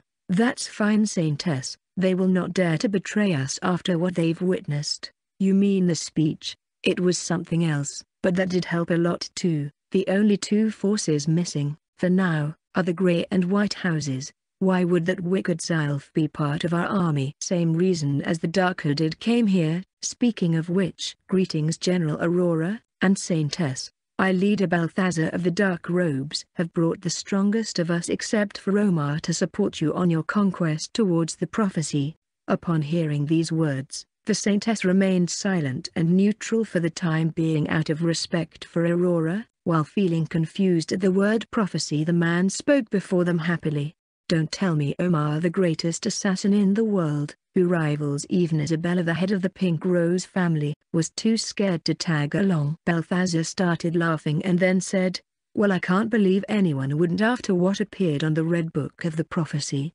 I'm surprised you convinced the Pope and the Saintess to be here with us. He looks at her while speaking effortlessly. She was the one who actually chose me perhaps for my feats as the general of the army despite being born as a peasant. I only have gratitude towards her and the blessing she gifted me, so do treat the saintess well from here onwards Balthazar. This is truly unprecedented, to think you were chosen solely on your capabilities, he knelt towards Aurora out of pure respect, and then added, despite the past, we're willing to support those white robes under you serenity, as long as this lady Goals, aren't betrayed by you at least. Humphrey, don't be a fool Balthazar. I can't even betray Aurora even if I wanted to. After all, I blessed her. One way or another I believe in this little girl. I prayed every day for someone to come to lead the humans to victory, and honestly this child has been doing quite a great job so far. She smiled confidently showing superiority over the black-hooded man. With this, all conditions have been met as I currently have 609,000 soldiers under my command and most of them are training one another upon my teachings. I'll just need to rank up a couple more humans with good enough leadership, and then we'll start agitating the waters to drag the Goblin King out of his nest. Balthazar upon being accepted stood next to her in the opposite side of the Saintess. On top of the wall, there stood a blonde girl looking at the horizon where she'd eventually meet the Goblin King, at the right. A white hooded robe figure that looked like an angel with green long hair coming out of her hood, and on the other side a figure in a black hooded robe, whose silhouette was identical to a demon. The pieces have mostly gathered. It is time to play this war game and bring the first calamity to this world. Ah, I can't wait to consume the soul of the Goblin King. How delicious will it taste? Year 5009 After the system day 31 of the flowering season at the southern outpost. This group is the people that I chose to lead those around you. The ones whose leadership is highest. Heed my words gentlemen for you are the chosen to protect the lives of those under you. Yes, General, the men shouted proudly for being chosen. The men on a line behind you are the ones who you'll take lessons and learn from. Once they claim that you have learned what I taught them then you too will get a group of soldiers to cherish, to protect, and above all to lead as parts of your own body. You're the line of humanity that defends the kingdom if you fall your troops will reach disorder if any of you fail my orders, my strategies, they will end up all for naught, resulting in your own losses, so always follow your orders whatever they may be.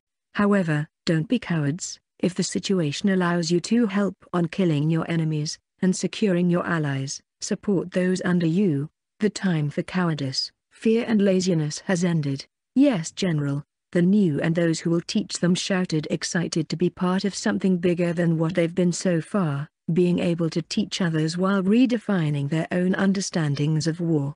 You're all dismissed. Once you train and have some doubts or confusion that you can't sort on your own, come talk with me. I'll be in my tent in the middle of the outpost as you know, and for those who don't, now you do. Aurora goes to the stairs out of the little wooden platform they made for her, where she usually makes speeches, eventually reaching the tent and as soon as she enters it.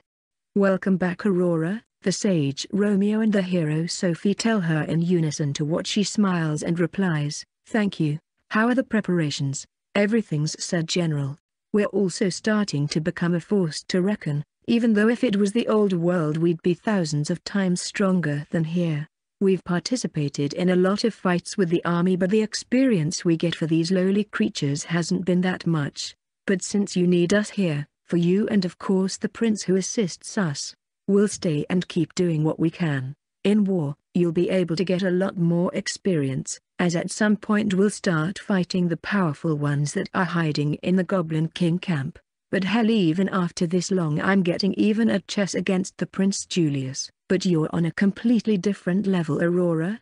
For someone as young as you, you truly were blessed by the goddess and now even the saintess, I bet not even the past generation heroes were that lucky. They're bound to become super strong eventually. All the 30 summoned that the goddess Arya blessed us with, each will become a very strong individual capable of shifting the Lumen kingdom. I just hope it'll be for the best, I really don't want to have to fight any of them. I'd be murdered easily after all. Aurora words gave them a sense of superiority but also a wish to cherish such a little girl in front of them.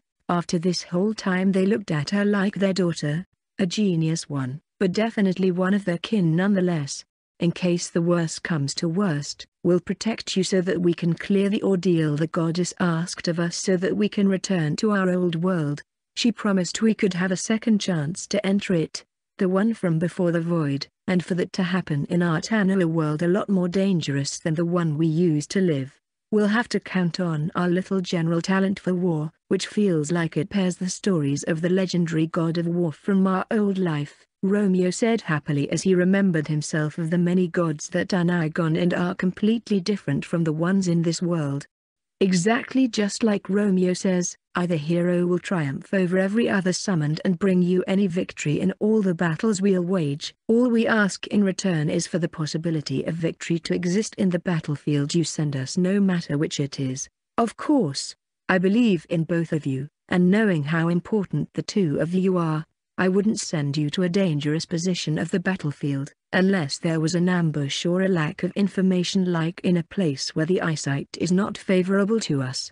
For example, deep inside of the forest in front of us, Aurora points at the forest of the south that has been cut down almost every day forcing the monsters, beasts and even animals that live in there to hide further to the center of it. Sophie approaches and hugs Aurora lowering herself to her height while whispering to her ear. You haven't told us why are we cutting trees even after this long. When are you going to tell me your little secret my dear younger sister Aurora? She looks at the girl making a lustful stare trying to pry on her thoughts on a friendly way. To what she replies.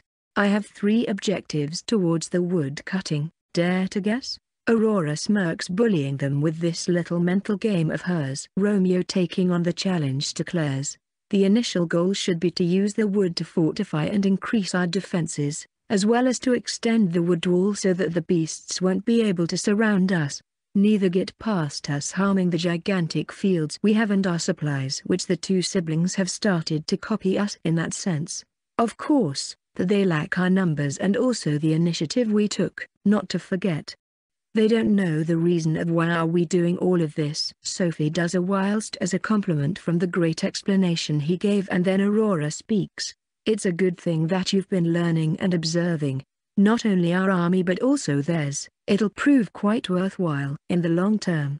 Do you happen to know the three objectives though? I expected that to be at least one of them. Romeo chuckles in disappointment but is used to this by now. Inside the tent Aurora places the chessboard on top of the table and starts positioning some pieces, and then she explains in a very calm tone, and as she's about to start Mark and Ryu who's taking a break from observing the troops return to the tent alongside the Saintess, Balthazar, Zylph, and Alfred.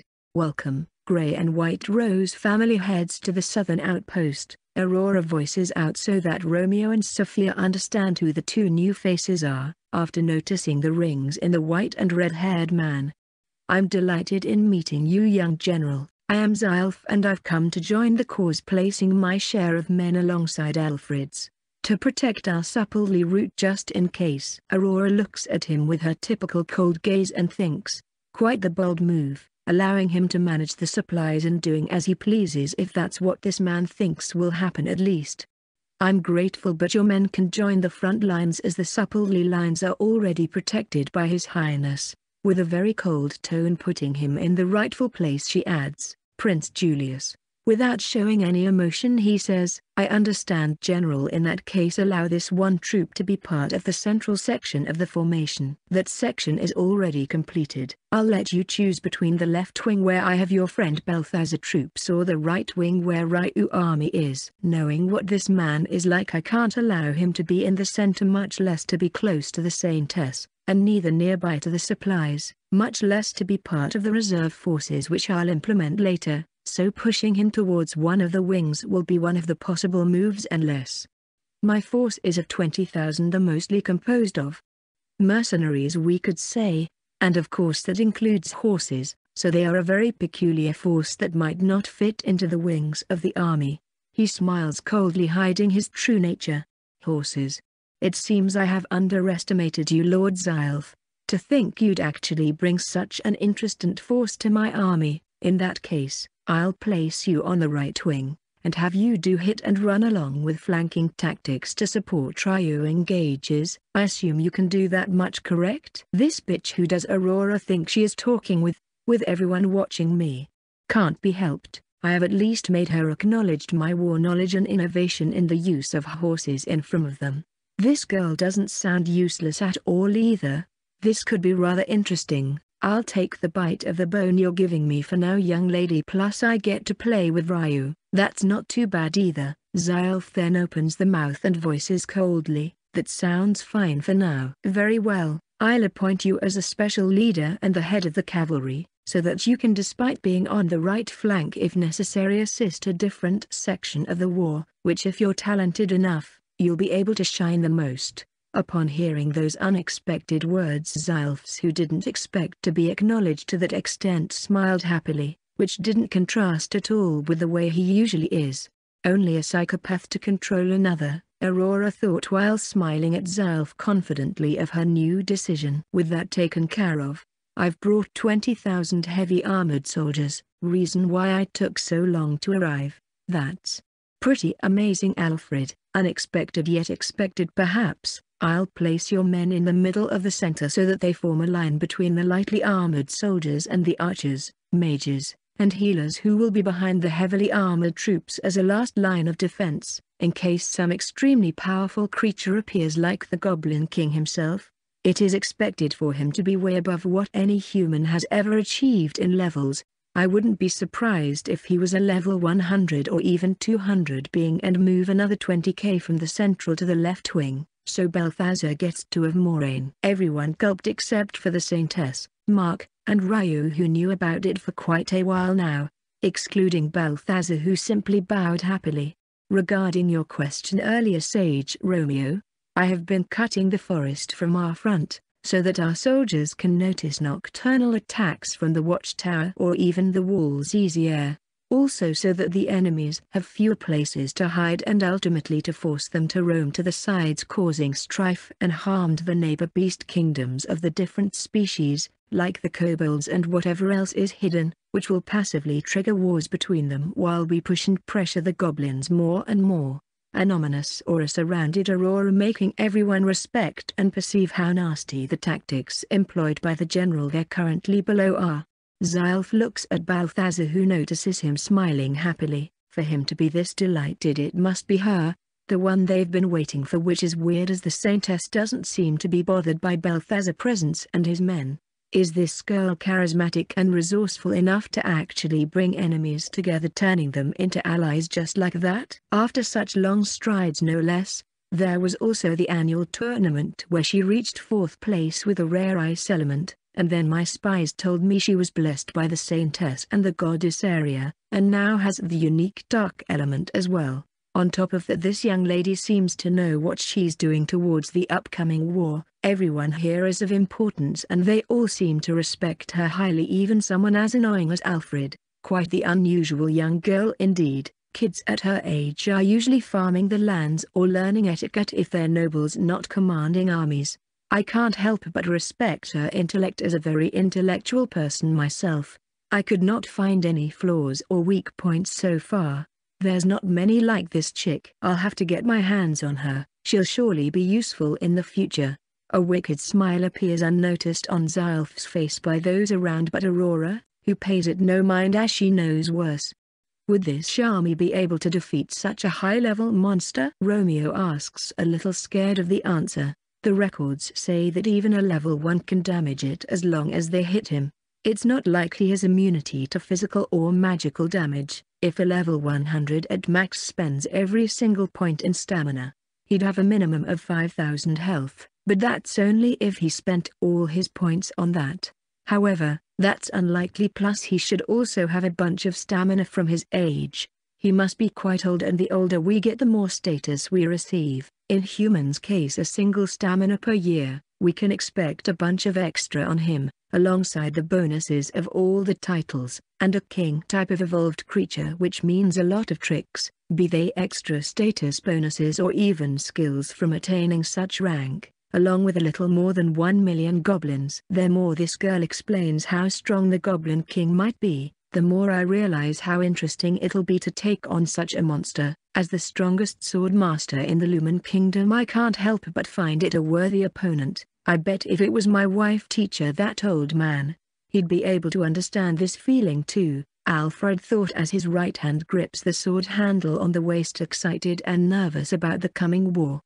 Can we even win this war? Zylphs asks as he now has a clearer perspective of the war that is to come and on his cautious and meticulous mindset the odds aren't that great. Of course, now that we have at least a number equal to half of the goblin army under my command it is a matter of time, but for now the soldiers and the leaders I appointed will have to take the training the first soldiers have done before, and of course I'll be taking this deployment a few steps higher afterward, not to forget the motivated and egotistical soldiers on the other two armies due to my speech, which served to wake humanity up. Do as I say and the goddess Aria will shine victory upon us Zylph. This kid really doesn't lack confidence. One of my daughters in her place would be peeing of fear if they had to lead a thousand men, and yet the prince who's supposed to handle the army that is past 600,000 is nowhere to be seen. Normally I'd check her background to blackmail if necessary but I didn't see Omar yet, so he must be protecting her parents from the shadows. This will be complicated, but this lady will eventually lower the guard down. Even if I must come and find the girl while she sleeps, what happens under the linens stays inside them after all. Year 5009 After the system day 35 of the flowering season at the mansion of the royal family, I'm truly surprised about everything that has been happening ever since the death of my father Ange, and the more I dig the more interesting I take the kingdom to be, it is almost as if I'm making one big puzzle and soon when I complete it, I'll be able to change the world or at least influence it in an interesting way. She's making that expression unbefitting of a princess again. A very sorrowful one.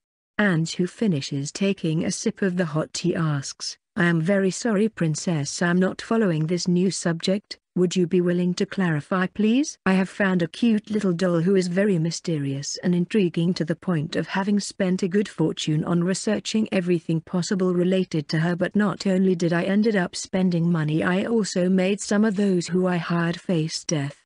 I'm still confused princess, what doll? A cursed item perhaps? And looks confused making the princess chuckle. The blonde, adorable, young, and short doll called Aurora the general of my eldest brother Julius. Oh the one who ended up in fourth place at the annual tournament. People seem to be making quite the ruckus about her ever since the speech she made. In fact, the masses are only talking about her despite me and both my brothers existing. A peasant of that who was made a noble by my brother Julius. From nothing to everything is it? How did she ascend to where she is now though? That was the exact question I had in mind, however, after all the effort I went through, there's some pieces that have yet to connect properly to one another. What could possibly be so hard about a little peasant girl who was born not that long ago, princess? What if I told you that both the doctor who helped giving birth to her says she was born without an element, and that this information was approved by not only Julius but also the Pope? Hum? Wasn't she the one with the rare ice element? I saw a few matches of her unless I'm confusing Aurora with someone else. Exactly, not only has a rare element but she also has blonde hair which is rare and blue eyes which neither of her parents has. Of course, that this could mean nothing but it is certainly interesting. Maybe her grandfather had blue eyes and only passed down on her now? No? Yes, a possibility but what's interesting is that she has an element yet the information I gathered said the opposite till recently or it means someone hid it from me, so things get better. There goes the princess again, that sorrowful stare into something I can't begin to comprehend almost as if she's looking into a completely different world whose gaze goes through me. Princess. You were saying? Seems like I was lost in thought again. Even though I just had an interesting one. One from your cursed skill, Perhaps, even I don't know how to differentiate between them, since some are real and others aren't.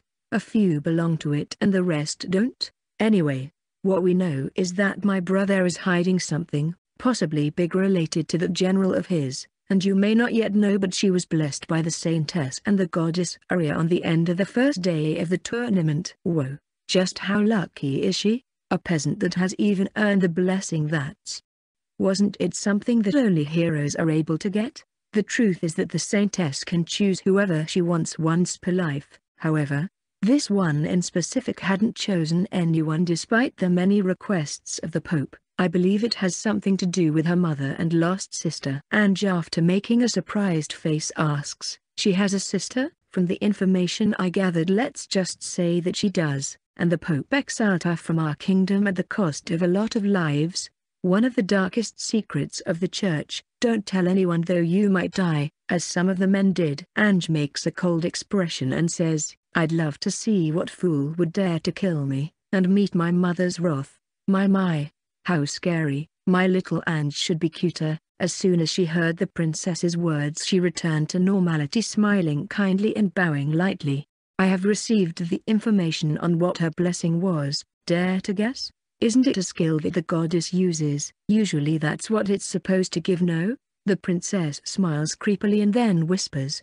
She got the unique dark element which caused a ruckus in the church, as their doctrine is against the demons in the north, that appear from time to time who are brutally murdered every time. That pope is having a hard time? That's hilarious he's usually the one giving trouble to others thanks to all the fanatics, and their stupid ideologies. Well the most interesting part was that the Pope used his skill to examine Aurora's disgrace. And she was completely pure absolute zero, and now even got blessed by the saintess and the goddess probably due to that. Seems like this doll is having a fun time causing havoc wherever she goes. Yes, Aurora is having fun, I don't know what kind of person she is from the little time I've been with her but sounds mostly a troublesome puzzle piece that doesn't fit anywhere. I just can't seem to place her. That would be a first princess, but I'm sure it'll be a matter of time for you to be able to achieve its full progress. I wonder, it feels like I'm missing something important, especially since one of the spies I hired was murdered recently. Oh right princess, you did mention it caused you some losses what was that all about? Her army is composed by the white, blue houses who have an alliance to my brother Julius which is quite normal. However, she also received 40,000 men from the church that would also make sense since the church saintess by whatever reason blessed her, which includes the woman herself. Another reason the church is starting to crumble is the devotees are taking over her side, towards what they call a divine war in the name of the goddess Aria against the Goblin King who is represented by the goddess of Order Luna. Ange bites a cookie breaking it in half making it fall inside the tea doing a gulp little sound and then Princess Liliana continues talking. What I found unreasonable was the Grey House and even the Dark Priests faction to also join her who have been at war with the church, and yet they're actually in the same army. Isn't it unbelievable? What? Isn't that crazy bastard Zylph obsessed by the saintess? Why would Aurora allow someone dangerous like him at close to her? The dark robes too. They're criminals. He might have his issues. A lot of them to be fair, more than most men, but he does know how to wage war, and either we are like him or not, he's intellectually brilliant. I don't deny any talent that man might have, but he's not someone who is controlled by others princess. Don't shout dear, I know that myself. However, Aurora and the Saintess showed those around them that the unique dark and light elements were convergent, thus making it a symbol for opposite forces such as the priests of the Pope and the dark priests of a guy who I found absolutely no information except the name and title Master Balthazar who seems to be the leader of such force. That's insane. How did your brother even allow all that to happen? Apparently he barely leaves the capital doing the control of the supplies. Julius seems to firmly believe his war intellectual is not necessary as long as Aurora is handling things, and this piece of information I heard about him personally, furthermore said there were many issues within the kingdom pointed out by his general that needs to be fixed before she can start expanding towards the south. I don't know what to say, princess. This all takes us back to who is Aurora? From the information I gathered, let's just say that she does not have a strong background like you or Alicia, and despite her further being a famous healer, He's not someone good enough to teach her the talent which was shown in the annual tournament from swordsmanship and magic to the recent achievements related to fighting against the goblin territory which they've been pushing the enemies back, not to forget the girl was born sickly and lived most of the life in such a state, and without an element. Yet the talent with ice was honestly quite capable. I guess it could have been due to her sickness perhaps a cursed skill that she bested recently. Curse breaking is not something we mere humans can achieve otherwise I would have paid someone to clean mine. I do however think of another possibility though I could be wrong. Wondering what the princess sees when she gets like this, days becoming nights and nights becoming days, and yet getting stuck peerlessly ignoring everything and everyone around. Princess R. Ah. Oh right. As I was about to say one of the theories I found thanks to the help of the king advisors and the royal library that only the successors have access to. I found a book about summoned people, but princess, the 30 summoners came recently so that shouldn't be possible for her, especially since she was born here in Artana. Princess gets up and while pointing the index finger at her she shouts, You are absolutely correct, but summoning is not the only thing that can occur in this world. What do you mean by that? I'm talking about the reincarnation portal, but not the one where those that are not already alive in this world go through. I'm talking about the reincarnated ones from different worlds, whereas they receive two random skills from the goddess as payment for coming from far away. At least that's what was written in the book. In other words, she may have gotten two blessing skills one for swordsmanship talent and one for magic talent. What about her war skills? Possibly, her memories from the past world. There's a chance even if small that the goddess Aria allowed her to keep them in exchange for helping the humans perhaps. Seeing as she's moving rivers and mountains that could certainly be true, but princess what about her twin sister Iris? Almost as if the whole puzzle broke down to the princess Liliana, as not a single one of her spies searched anything about the twin, since an unknown piece and was absent from her home training with Ray, like a miracle making she shed tears in front of Ange who looked as confused as a young teen could possibly be, but who remained silent as the girl could tell that the princess had reached some sort of realization. Then as if matching with the thought of Ange turning out she was actually right about it, the princess sat expressionlessly staring blankly at something. Iris isn't Aurora, they're twins, each has an element. Iris the one with ice and Aurora got the darkness element from the blessing, but since she didn't have any element and they happened to be twins the Crown Prince Julius decided to hide this fact and conceal the details of everything. But, I'm lacking a piece how is either of those dolls connected to Balthazar? Why would he behave so nicely even with one of their greatest enemies in front of him? Unless they are allied not to the church but Aurora? In other words, was Balthazar expecting something? Maybe one of them? If their twins could both possibly be reincarnated, since they're twins and one is extremely good with magic and swordsmanship, and the other has a good brain that might not be so, but the knowledge Aurora displayed to my brother to completely make him support her makes me instinctively force me to believe otherwise. It would make a lot more sense if those two weren't normal. After all, normal peasants couldn't possibly achieve that intellect and strength, that power, and authority that only nobles are supposed to own at such a young age if Iris received a skill for magical and another for sword prowess, while Aurora received one for her brain and the other for surviving the disease. You. The princess looks scary though what she does sounds pretty plausible. After all, even though I'm a little strong I did have a lot of help to get here. We can assume that both of them received two blessings differently upon birth then. Can we not princess? Yes, that's correct. I don't know how my brother found these girls or if they found him through their father, but he truly has luck on his side. I must do whatever I can to at least have one of them under my care for the future to come. Should I give both a golden ring then? No one has beaten me yet so I still have the five rings to use, even though Alicia was the one who told me about Iris recently and she already has the white and pink rings, Aurora hasn't received one since she's the general of Prince Julius. I'll have to win this succession throne battle and prove to them that I'm the one worthy of them to help. As much as I love my siblings they'll have to step down on this one, by having the knowledge of the general I'm starting to believe we could conquer this world and for that to happen we need soldiers. The princess starts writing a long text which she then signs and gives to Ange to read and act. One of the reasons that I've found fault in our kingdom is the fact that only nobles receive education.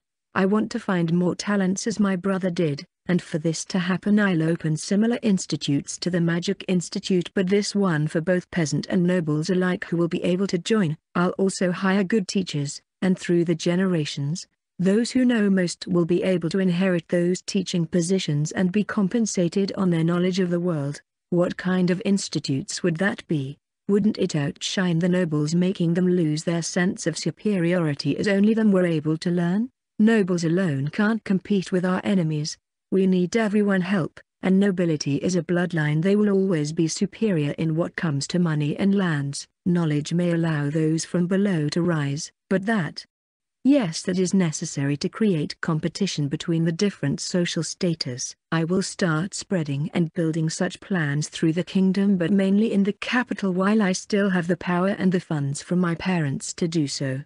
My brother Julius is a humanist and I'm sure he'll accept such propositions, not like he can say no to his younger sister, especially after having refused me once towards the request to have his general for myself. She grins enthusiastically ready to create a significant change. How come you want to do this now? Doesn't this make you a humanist too? Aiming for equal rights and ceasing social classes strife to one another? My dear Ange, in this world, I seek the completion of my desire since my cursed skill is something that allows me to reach any path I so desire. In exchange, I just have to find out what the puzzle pieces I'm missing are to achieve certain things. Once I clear this specific puzzle, and also abandon the disgrace class's belief seeing as the church influence dropped in that regard, due to the most recent blessing of the unique dark element, and the union of the saintess with the general, I believe that now is the time to strike as the next queen of this kingdom and bring the peasants to my side through a different method than the one Aurora is using thus obtaining as many tools as I can. Such resolution, the Princess Liliana truly is fascinating. I'll do what I can to be of help, even though Aurora is starting to become quite the big obstacle for us, despite what the people think that she's being controlled by the Crown Prince Julius. It feels to me that the girl goes way beyond that. The princess finishes writing and then gives the paper to her. Once Ange is done reading what the princess wrote, her face becomes shocked and she shouts, Are you truly sure about this Princess Liliana? Of course, Ange, tell your mother she can announce it, that the soldier of my kingdom be it a man, woman, or any other, shall have me as their wife if they bring me the head of the Goblin King, ascending to royalty, this announcement will surely increase our army size as well which will make things easier for your mother who's in the front lines. I understand princess, I'll pass the message right away both to my mother and the king advisors so it goes across the entire kingdom, as well as all the noble houses who we're allied with which should quickly spread quickly, especially among peasants. As Ange started leaving towards the door she turned back and questioned, in case a woman slays the Goblin King would you be willing to marry her? She asks curiously. Why not? It's not like there's any prohibition of same-gender marriage. In fact, there are some who marry those of the same gender. The church holds no prejudice about it either since the goddess isn't married to anyone. Understood princess. I'll be back soon. Year 5009 After the system day 50 of the flowering season, with the passage of time, the second Prince Marty and Lady Angela the head of the Golden Rose family and general of the army of Princess Liliana adopted the suggestions sent by writing letters from Aurora, from each creating an outpost with two to three watchtowers with an archer on top. Bells were created to echo through the watchtowers so the soldiers would have time to organize themselves or even defend themselves from possible nocturnal attacks. The wooden walls were reinforced by earth and nature mages making them a lot sturdier. Blacksmiths from the capital and merchants were able to prosper in such places, contributing to the strength of the different armies, as well as farmers who took over the fields once the soldiers finished their training. Of course, that with the increasing number of soldiers the fields did too.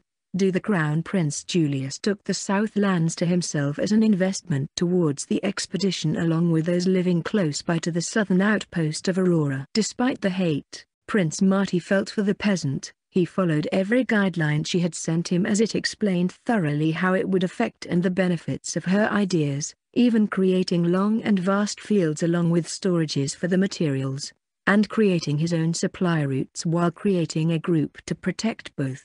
Simple formations were also handed to the second prince and Angela, where each was symbolized by the number of troops the army would be able to gather, meaning that some required 1 to 200 while other more complex formations needed 400 or above that number to be efficient. In such a matter, the second prince disregarded the formations completely as he and his advisers, the head of the Black and Red Rose families took over tactics while the Green one, stood on guard towards the Supplely route, and domestic affairs through all the territories the different houses own. The queen remained neutral staying with the head of the Pink Rose family, who together with her and others would keep the capital safe from harm, while her children would dispute the throne as her husband wished for that to happen on his death will, for the following two years, to be more precise.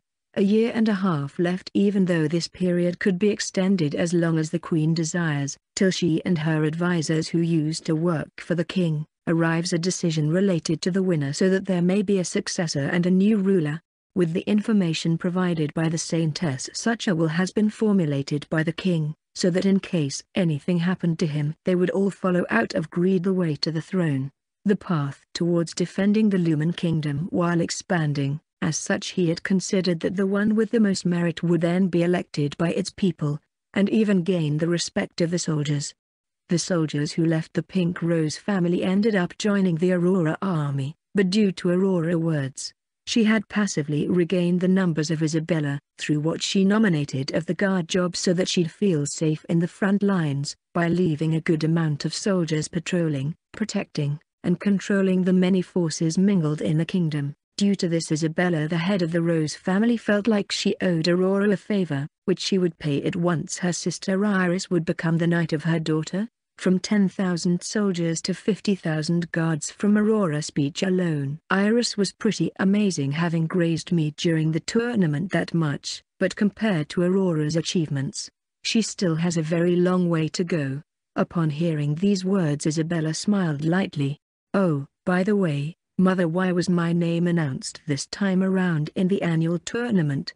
Wasn't it supposed to be kept a secret? We named you after our ancestor, the hero Fafnir there will he left us with to protect the king generations of the Lumen kingdom, from assassins for 5,000 years has ended with my generation, as such, you've received a name that resembles the freedom of such oath. Thus you may choose to keep serving the next ruler as I and those before me have, or find a different meaning to your life. I don't get it mother. What does the name Moonflower has to do with Fafnir? Regarding the oath, I don't know about it. I've ever only thought about the training you made me do. So Fafnir was from this world he called Earth a very cold place at the north, and then one day he decided to go east, where he eventually met the woman who became his. Her name was Hellflower, both of them lived together for a while, and eventually she got pregnant, and then one day they were summoned, and blessed, however, there was a complication that the goddess at the time didn't realize, as the woman hadn't been pregnant for a long time yet, did the baby die or something? Not at all. But it didn't grow up normally. In fact, I don't even know if growing up is the correct term for it. I only know that it grew, not sure to what since there are no records, and the hero Fafnir became a legend for being one of the first heroes ever to slain those who call themselves lords from other races as they are extremely powerful, even if he ultimately ended up dying to one of them since he was always fighting alone. I guess he was strong enough to do something like that, and perhaps those around would only become a hindrance to his assassinations. After all, if one of his companions would make a hint of noise, it could turn his surprise attack into a very bad scenario. Yes, that may be so, but with companions he would have a chance even if small to be rescued. Having allies is a good thing, especially those who do everything they can to see you well. So what is it that you really want to say? Moonflower crosses her arms with a bored expression noticing that her mother isn't being her usual self. We're one of the very few families who hasn't failed a single generation, and we have an heirloom that the hero Fafnir left behind in secret. It is something we have also been protecting all this time, and it will belong to you from here onwards. Eventually passed down towards your descendants. What? An item? A weapon? If it was from the hero Fafnir then a dagger maybe? Come. The two of them go through the mansion towards the basement discreetly, eventually going through a few hidden magic passages that were sealed by an item going further deep underground, eventually reaching a small room with a lot of books, items, and weapons. What's all this? she asks curiously as she's looking everywhere. Isabella then walks some steps closer pushing slowly the things on top of a table and then she lifts a square part in the center of it, taking out a black box with golden strings coming out of tiny holes, giving it to her daughter. Once Moonflower receives it she says, what is this black cube or maybe a box? Mother, I don't know either, but with this, the oath with Fafnir is now complete. From this day onwards that is yours, and yours alone including everything in this little room. From here on, you may try to find clues about it if you wish. Haven't you already researched through this room? I haven't. Since this place is only for you, she smiles kindly at her making her further confused. Why would I want any of this? She places the box on top of the table. I don't know myself Moonflower dear. It is a special inheritance, and it's been so long that it is impossible to understand the reasoning behind it, and there's a chance that the answer won't even be found amidst all these things. Moonflower sighs and picks the box again. I guess I'll hold onto it for now, at least till I find what out what's inside of it. Her mother smiles hiding her expression from her daughter while leaving this place they're currently in leaving her behind. Now you have something to kill your boredom, my little flower. The daughter sits on the table while looking at the box. She starts thinking as she tries things. So it's a black box with a few holes each where a golden string comes out of it. But they're the perfect size so I can't look inside of it. I also can't seem to open it. Should I try cut it with my dagger? I could end up ruining it. Not like I really care about it, she smiled and took out a dagger from her waist and struck the box failing as the material is too tough making it slip downwards. Then she tries to cut one of the golden strings also failing as they too are very tough not even leaving a mark. I could always use my mana coating, and then slice it in half as I don't feel like reading all these things. She charges her dagger with a good enough amount of mana and attacks the box as soon as her mana hits the box it gets sucked by one of the strings, making the dagger once again hit the box and slip a little. Now that was weird. It seems like it is a defensive item capable of negating mana attacks, but what about elemental ones? She mana coats then transform it into her own element and repeats the attack also being absorbed this time by two different strings each absorbing a different type. My my. This is quite a cool defensive item. Let's see what other items the hero left behind in here for me to use. Year 5009 After the system day 60 to day 70 of the flowering season. Inside a tavern in one of the villages at the north. Have you heard of the newest rumor? A man who was eating and drinking to its full content asked excitedly. The one where Monica bought 20 new cows in one go?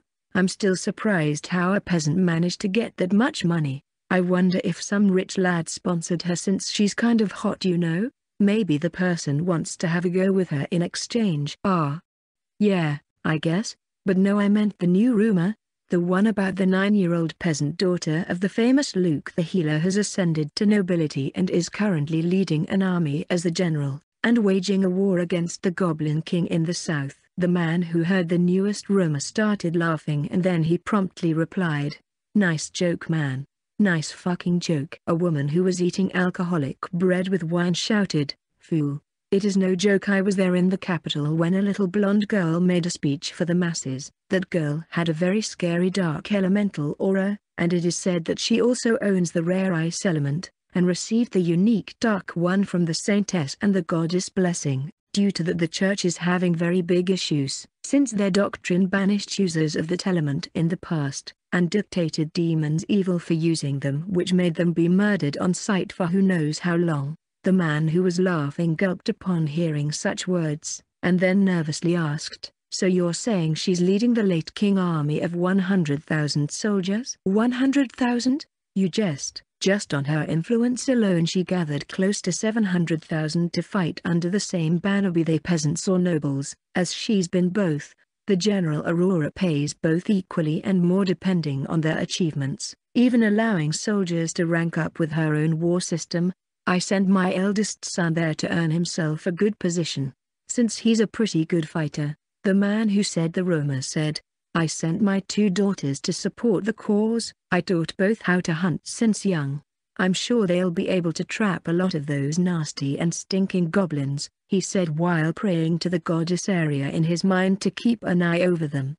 It's a good thing we don't live close by to the southern outpost of Aurora, otherwise we'd be forced to fight alongside her. Upon hearing those words from the man who hadn't contributed with anything the woman said, if the demon forces invaded with a great number from the closest border, with that useless and lazy attitude, you'd be the first one to die. The man smacks the table with a closed fist to cause a ruckus, and as he's about to protest, the man in front of him punches his face and shouts, You fucking idiot look at my clothes you made my drink jump with that, Geez man if you can't hold your own from a simple discussion Harmin, then go to the southern outpost and kill some goblins.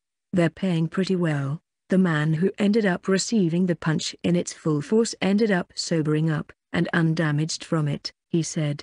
I might just go with my unique graded weapon. The woman sitting at the table next to them said, Yes if you see my son over there tell him his mother misses him a lot. Is this the return of the villager hero, the great wielder of the red hammer? The man who punched Harming laughed happily with respect for him. Can't just let my unique hammer rest to the point of rusting. Harming got up and left the tavern without paying his share, and then went into thought. It's been a while since I fed it with blood, for a weapon that once belonged to the goddess Aria it sure is very wicked. It was quite lucky my ancestor found it long ago.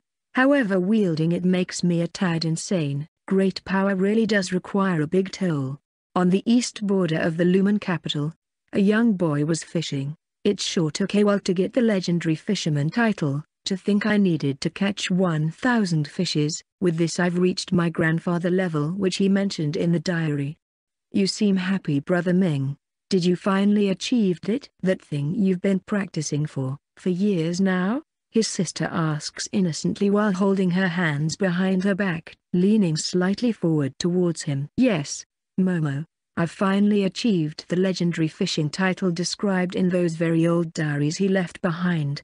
It's a good thing you somehow self-learned how to read, with only the basics mom knew, otherwise, I wouldn't know what to do. Mother says I'm a prodigy, the only one in the entire village who's learned how to read at such a young age, not like there are many who know how to read or even had the chance to learn, or they will too.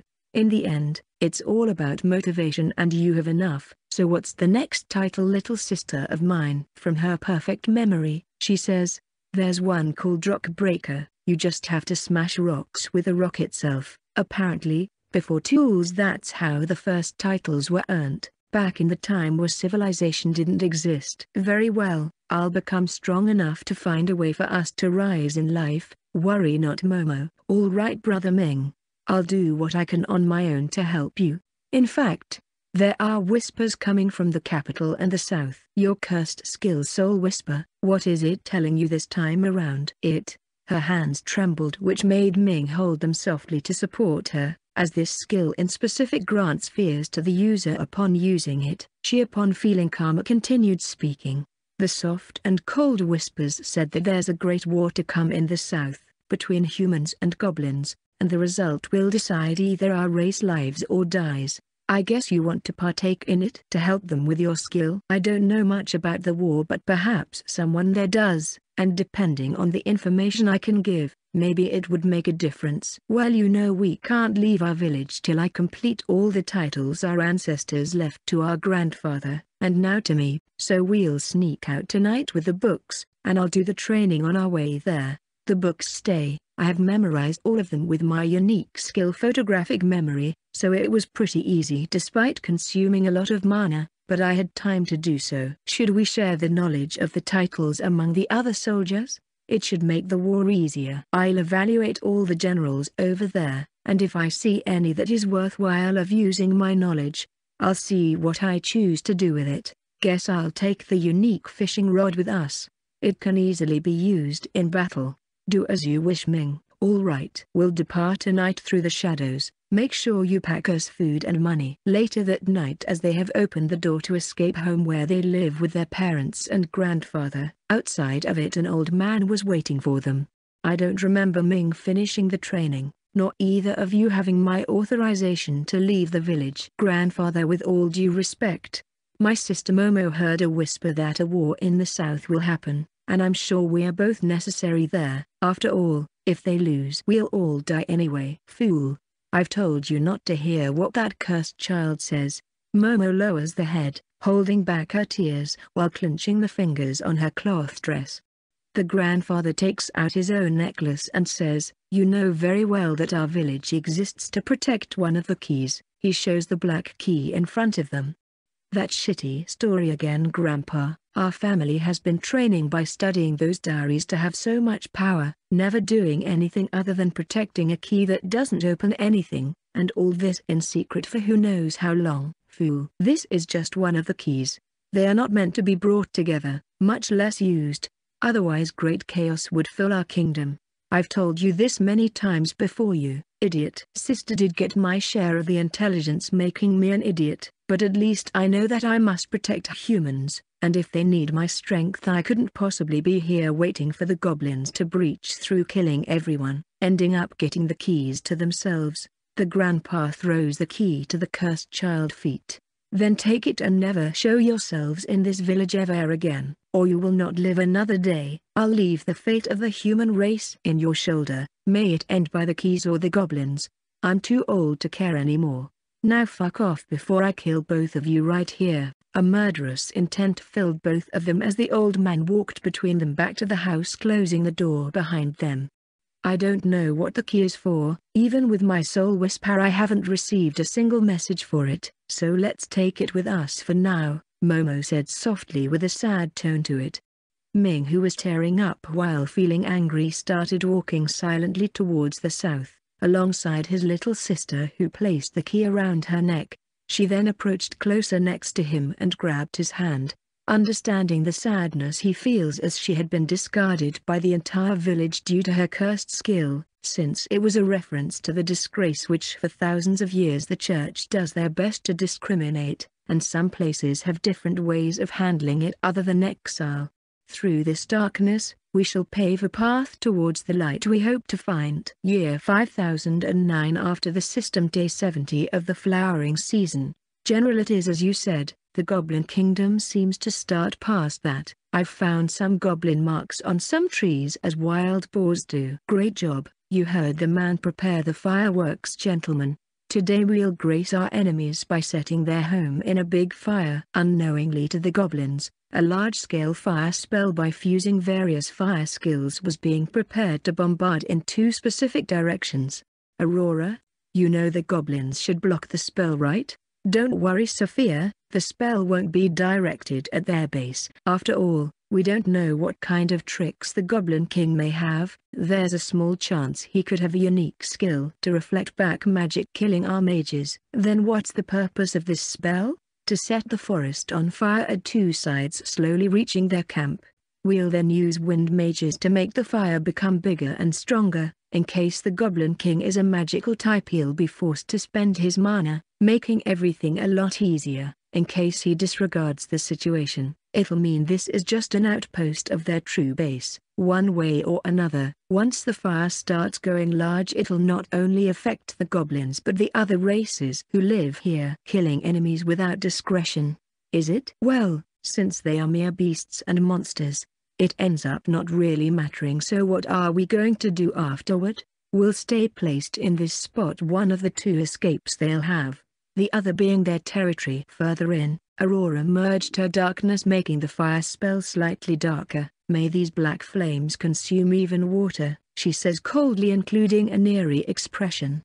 I'll support you Aurora, skill amplification. Romeo shouted while granting Aurora element a powerful buff.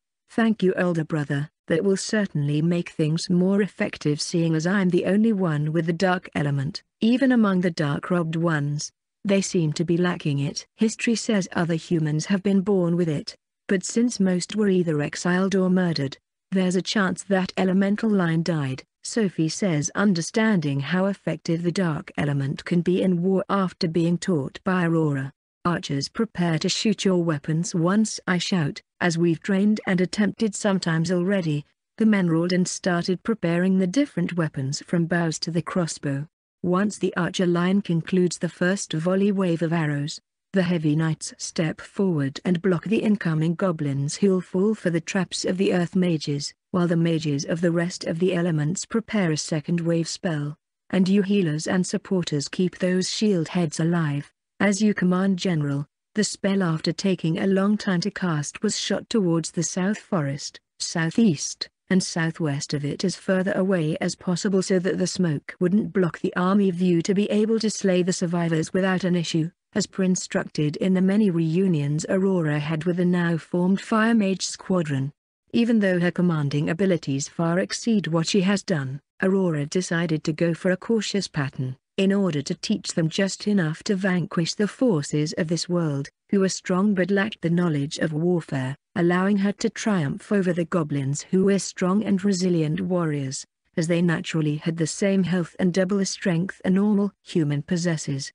At this point in time, she had all the leaders she needed, and they were executing her orders without second questions asked, due to betrayal or refusal which would be considered a crime inside her army alone, allowing Aurora Aura Superior to execute them on the spot. This was how she disciplined them from the start so that they would devote their entirety to her, like the pawns she loved to use in the chessboard. In fact, the favorite chess piece of hers was the pawn, since it could reach the end and be promoted. This was her philosophy to the soldiers in front of her, despite the leadership roles she attributed being based solely on the leadership skill. The roles related to the mage squadron ranks are designated on each individual prowess and achievements. In other words, the one mage who killed the most enemies would be the captain of one of the attack magic squadrons, while the one who saved the most would be the captain of the support one. This would be applied to all the 100-man magic squads who were splitting through the three-sized formation forces. Aurora figured that in a world with magic, condensing too many of her troops, and the same type in one place could be disastrous. To avoid the absolute chaos she taught everyone equally of their roles, so that they'd be able to do their job to the utmost within the possibility to do so. As death and fear rule the battlefield, and a very powerful magician in the opposite side could be the end of a great part of the army. The army formation she decided on splitting her army and was 200,000 in both wings leaving 300,000 in the center. The wings had been instructed to intercept any force that attempted to flank the middle section of the troops so that they could push all they could and pull back if necessary. The right-wing cavalry was also tasked with a pincer movement towards the enemy army if a chance to do so appears. The one in control of this move was set to who after a few achievements on skirmishes was feeling pretty high and mighty with the praise of those around him. Even when he went too deep Ryu would make sure to keep his back secured. It turned out that they were extremely compatible, and each would make the other improve. The left wing was a bit special used mostly for defense and backup. They shown no initiative as Balthazar was the one in command. He had been instructed to intercept any force that attempted to flank, and not influence the center afterward. The reason for this was unknown, but it was within Aurora's plan. Balthazar was thankful, but his eagerness to make himself useful would make him feel bad. However, with the firm belief he had, he entrusted himself to Aurora plans. After all, this man more than anyone else on the battlefield knew just what kind of achievements the little girl had from the Red Book, some that even he had trouble of accepting as real, but after countless tests, and the book is the most important to the cult he did not doubt any of it. She told him that one day the force she'll need the most might be his, so the men she left under his care had to grow the strongest. Once Balthazar passed such a message to the soldiers they cheered with happiness, and the black robes whispered happily the words entrusted ordeal which made the rest of the left-wing soldiers shrug their shoulders not paying it any mind. Aurora selected the most ruthless and cold bunch to join the Darkhoods and also the ones who seemed the strongest. Of course, she had no way of telling other than asking everyone their statuses through personal data, but she had no time to compare everyone. So she made some questions in general, like do you fear anything? Are you ruthless enough to torture and kill a baby if necessary? A few others in that genre made her quickly reach a certain amount of men who she mixed with the dark robes. At first, the soldiers felt some creepiness as many despite not being religious most believe in the goddess Aria, and while notwithstanding the ideologies of the Black Robes cult several remained defensive especially during the night in case they'd be harmed or murdered in cold blood, maybe even poisoned, raped, or cursed, so first the first week they'd feel tired, eventually getting used to being in their presence and even talking with them. Even then a lot of the soldiers only started less skeptical once the skirmishes began and some were saved by the Black Robes' prowess from the disgraced classes as most of them spend a good part of their life aiming to become stronger to one day exact revenge. This wish still remained just the hope of the One and the Pandemonium twin sisters appearing, lighted up a new path which made a lot of them restrain themselves for the time being. The average level of the army currently was around 10 as the last war had been at least a hundred years ago as such this could be considered one or two generations ahead of the time, and only adventurers would gain some real experience killing other races, even assassins like the Black Robes wouldn't get much experience from slaying normal humans as they were mostly all level 1 so 10 experience more or less each one. After some time of the trees starting to burn the ground started shaking as the monsters and beasts alike started moving in panic and fear as this never happened before. Those who ran to the sides ended up getting themselves hurt, and due to the panic, some would end up clashing with one another ending up in casualties. As the fire progressed the beasts and the monsters with the instinct started mostly running north towards Aurora Camp the reason being that south would at some point lead to the kingdom of the Goblin King which most of them feared and knew they'd end up dying. Thanks to the wind mages the fire also propagated fairly easier to the southeast and southwest making similar effects on the beings living there which would affect the neighbor kingdoms along with the second prince army who remained southwest of Astia village and the Princess Liliana army being led by General Angelica on the opposite side leaving Aurora's army in the middle of both, leaving Ryu and Zylph's right wing at the direction of Angelica's, and Balthazar's left wing on Prince Marty's side. Aurora who was currently on top of the wooden wall which had a small margin for one person to walk alongside it from up above made for the archers and mages to shoot freely stood there with a totally blankless expression with Sophia and Romeo at each side of her as they kept on evaluating the tactics that she employed to the utmost detail which were different than the Aurora they knew, but even then they did so to learn with her, improve their knowledge and act accordingly to her requests whenever they were needed. Both of them were currently the jokers who could go any part of the battlefield freely and take command of any force if ordered. Due to the past life, Aurora was extra strict with Sophia who was a muscular adherer making it easy to be stomped in the many skirmishes they fought one another while Romeo was polished as he had some natural talent for it along with experience. The current Aurora didn't fear teaching and improve her past enemies as she was resolute she could murder both if things were ever to go wrong in the far future as now they were surely on their side as every point aligned in her side almost like a cursed fate for the two of them who knew nothing. It is time for the both of you to experience one-sided bloodshed. Today we dye the ground with the red of our enemies. Despite her young age the charisma both of them felt from her, was strong enough for both to gulp and coldly look at what was about to happen in front of them without so much as to blink. Year 5009 After the system day 70 of the flowering season, the burnt smell started spreading further south and the sound of earthquake got stronger towards the north, as monsters and beasts started running desperately facing even bigger despair once they saw numerous humans waiting for them while wielding weapons thus knowing by instinct that the path behind would kill them anyway, so they charged at the army in front of them while grunting and roaring. Enemies were mostly composed of goblins, kobolds, a few monsters-colored slimes who controlled the clear ones below them uniting themselves with the beast races, and a few big and fat orcs with pig heads holding clubs. It is of most importance that no one is left alive, so I'm leaving you two and the few assassins we have, to handle the survivors or messengers that may attempt to deliver information back to the Goblin Kingdom or a other. This way it'll all appear as if it was a natural accident in the forest. Romeo and Sophie nodded after listening to Aurora and rushed to one of the wooden houses where some humans were gathered playing a game of throwing pointy sticks at a straw doll. A while earlier before the fire skills fell, a certain goblin warlord perspective ranked C threat upon the Adventurers Guild. To think I, one of the Goblin King Varrock guards, would be sent this far to explore the reason why so many goblins have been disappearing, the two-meter-tall goblin with a very muscled and large body sighed as soon as he finished speaking.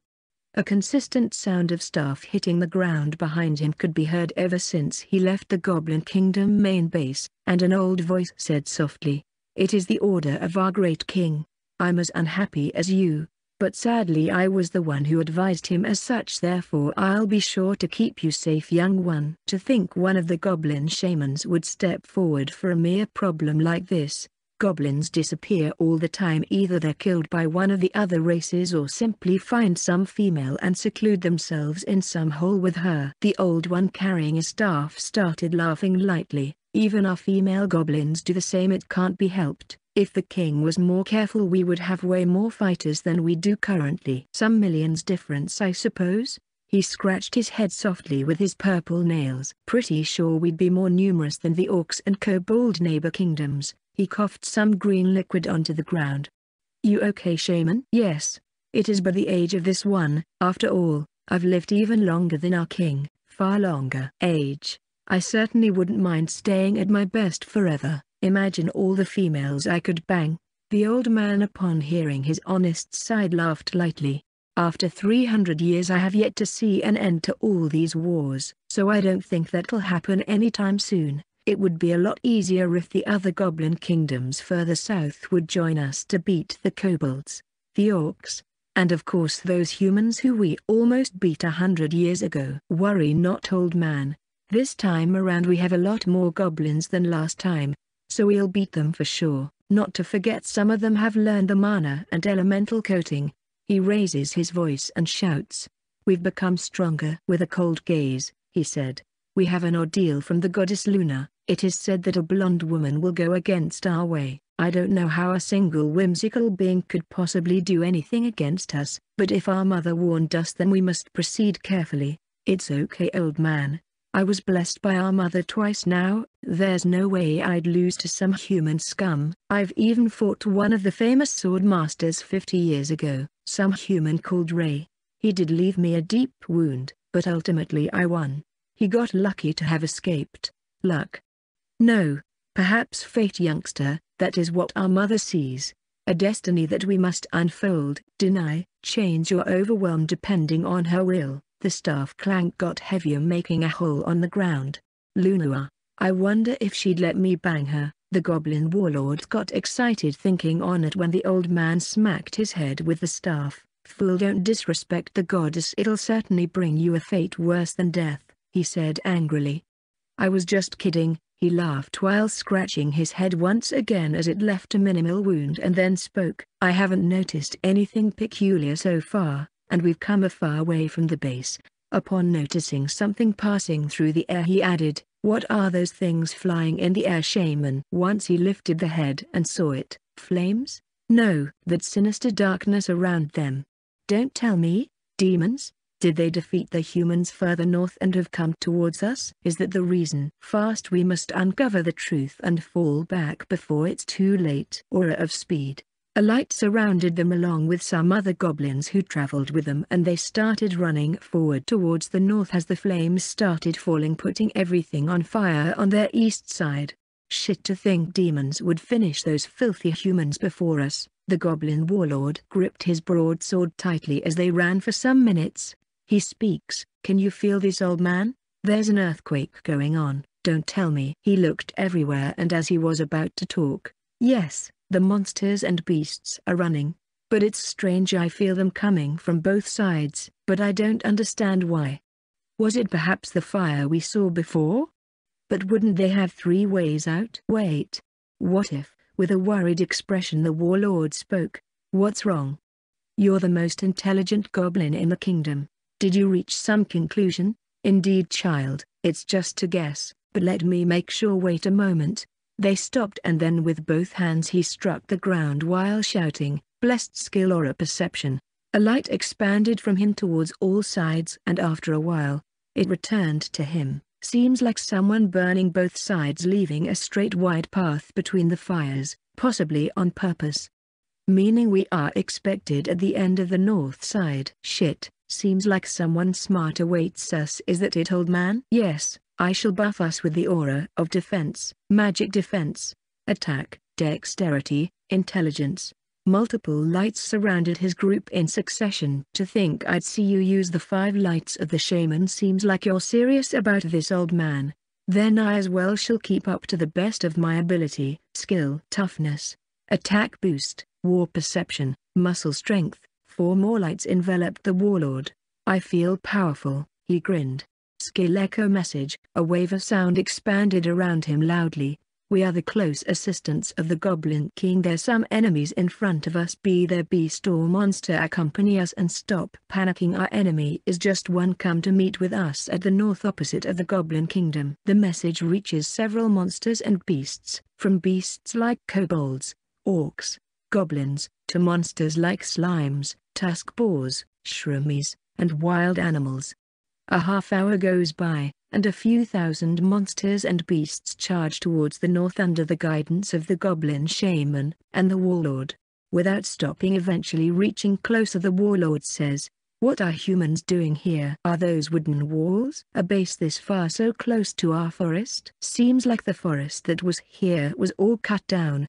To have them face us in an open field? Whoever came up with this plan has my respect. Should we retreat old man? It's too late now the flames behind us will soon close the path, now we must win no matter the price. The old man's eyes looked above finding it strange that the sunlight wouldn't reach him anymore eventually meeting a blonde woman on top of a wall, being able to only see the head as the rest was covered by the wall defenses. No matter what happens here you must kill that woman up there who has the unique dark element aura. The warlord looks up and notices a big dark aura extending so high that it completely hid the sun, covering the field in a vast shadow. Is that the one from the goddess ordeal?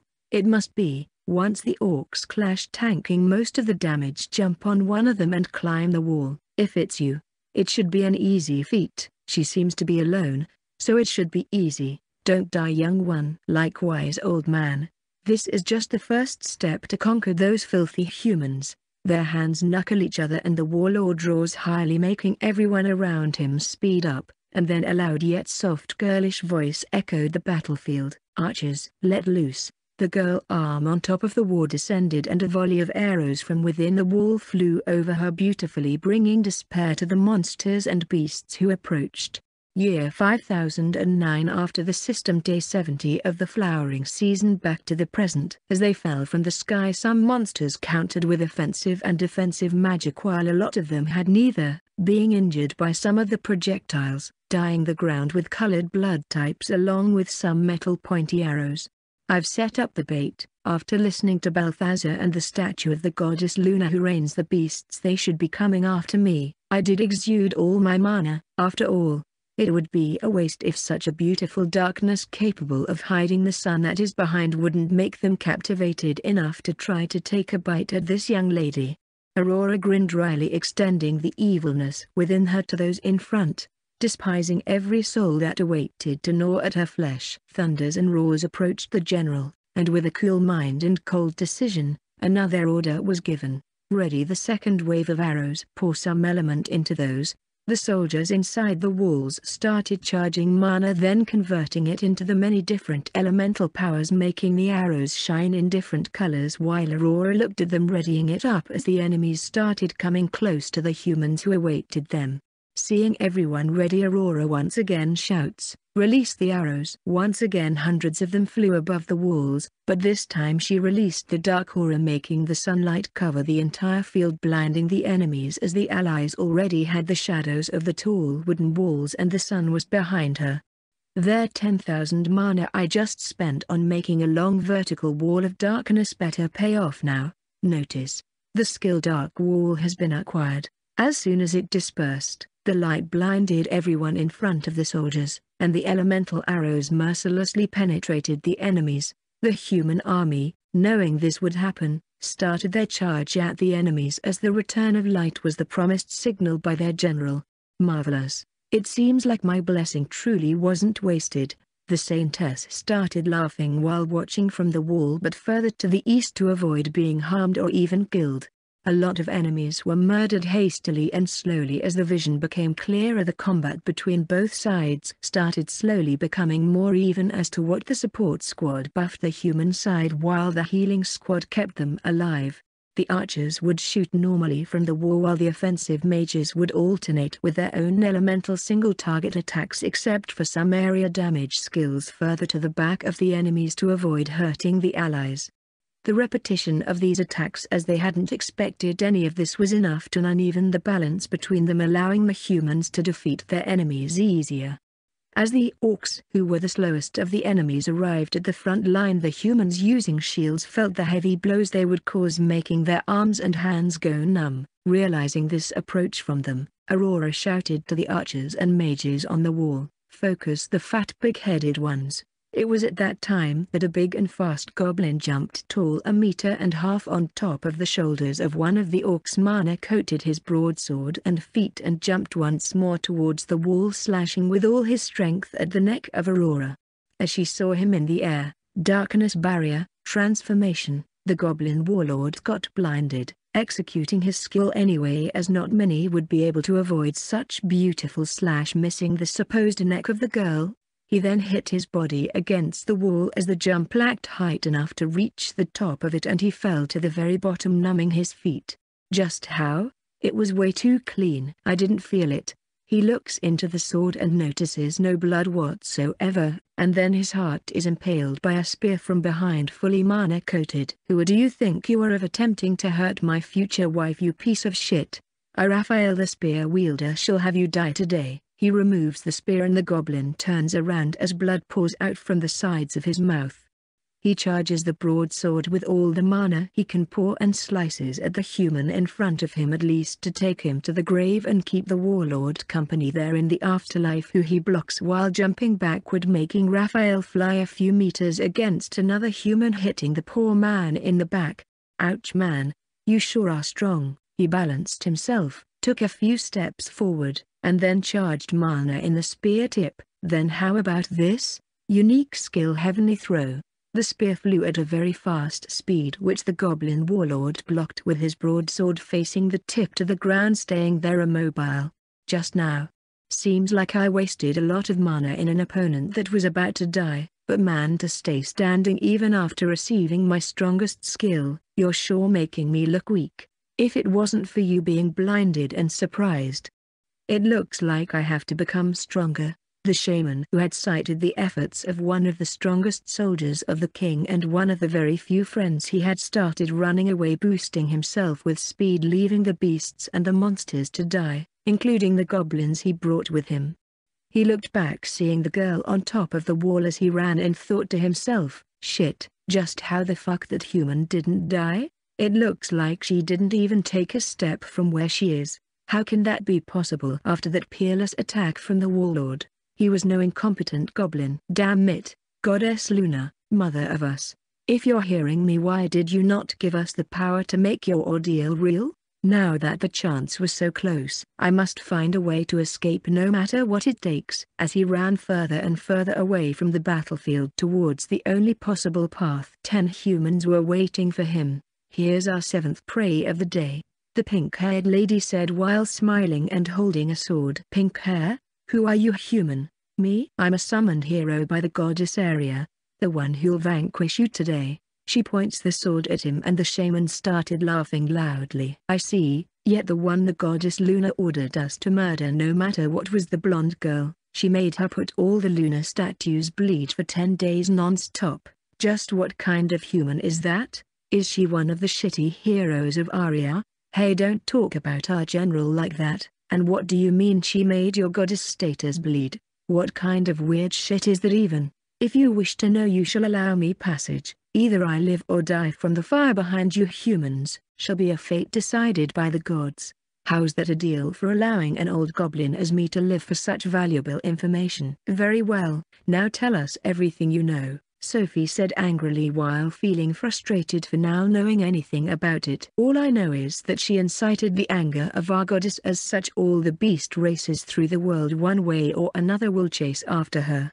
It seems like her talent for war might be the reason seeing as I've completely lost today. Hey Musclehead doesn't just go make decisions on your own. She asked us to not allow any survivors as it would make things more complicated in the future. Romeo pokes Sophie's cheek. Oh fine. We'll capture him then and make him spill all the information about his boss. Too bad I'm a shaman and a very old one so my statuses have long been decreasing as such I don't think I'd beat 10 humans. The odds would be fine if one of them wasn't the hero. Knowing the heroes from the past generations, alone I wouldn't stand a chance. As such, Himana coats the staff, grabs it from the middle with both hands and pierces his heart suiciding in front of them. Loyal people are scary. Romeo muttered softly having seen this a lot in the past as he fought Aurora underlings. Sophie didn't say anything and just watched the old goblin in front of her die peacefully. Should we go help the army? The ten of us could strike the enemies causing them to falter faster, one of the assassins voiced his opinion upon noticing the sorrowful mood coming from both of them. Yes, let's go, and try to capture one of the goblins alive. Information warfare is something Aurora instructed us with, Romeo said coldly as he understood that no matter what he'd either have to side with humans or a different race and for him who wanted to give a good life to Sophie, siding with the Lumen Kingdom was the only possible choice. As they walked back Romeo whispered, are you okay Sophie? Yes. Sometimes it feels like we're used to shedding blood, and honestly, we killed some even before that one came, but I don't know, it felt different somehow. Since he was able to talk normally like a human I guess, most of them don't have much of an intellect. And that one had everything we have, but even in our old world, we killed humans knowing it was required, and in this world the necessity also exists. I'm tired of killing. She places her head on Romeo's shoulder. I know. Let's do our best to dominate this world so that we can retire early and have a good life with everyone else. Yeah. I'll have to apologize to Aurora after this. It seems that her talent is so outstanding that the enemy goddess is trying to hunt for her, and I almost doubted her. She truly is a prodigy. And she was also blessed by the goddess and the saintess herself. So it is normal for things to be like this. If you thought a little you'd eventually reach this conclusion. Enemies ahead. Let's go, Sophie. You'll have to work twice harder as a proper apology. Romeo shouted increasing the range between them while smiling at her. Yes. Let us finish this and go rest. They start running to the encounter of the leftover enemies whose numbers have been reduced by more than half. Year 5009 After the system day 70 of the flowering season at night, the smell of blood and death was so intense that no one dared to approach. The bodies weren't buried as they would eventually convert into soul stones, and the weapons and other types of equipment had been removed both from the enemies and the allies who fell during combat on the battlefield.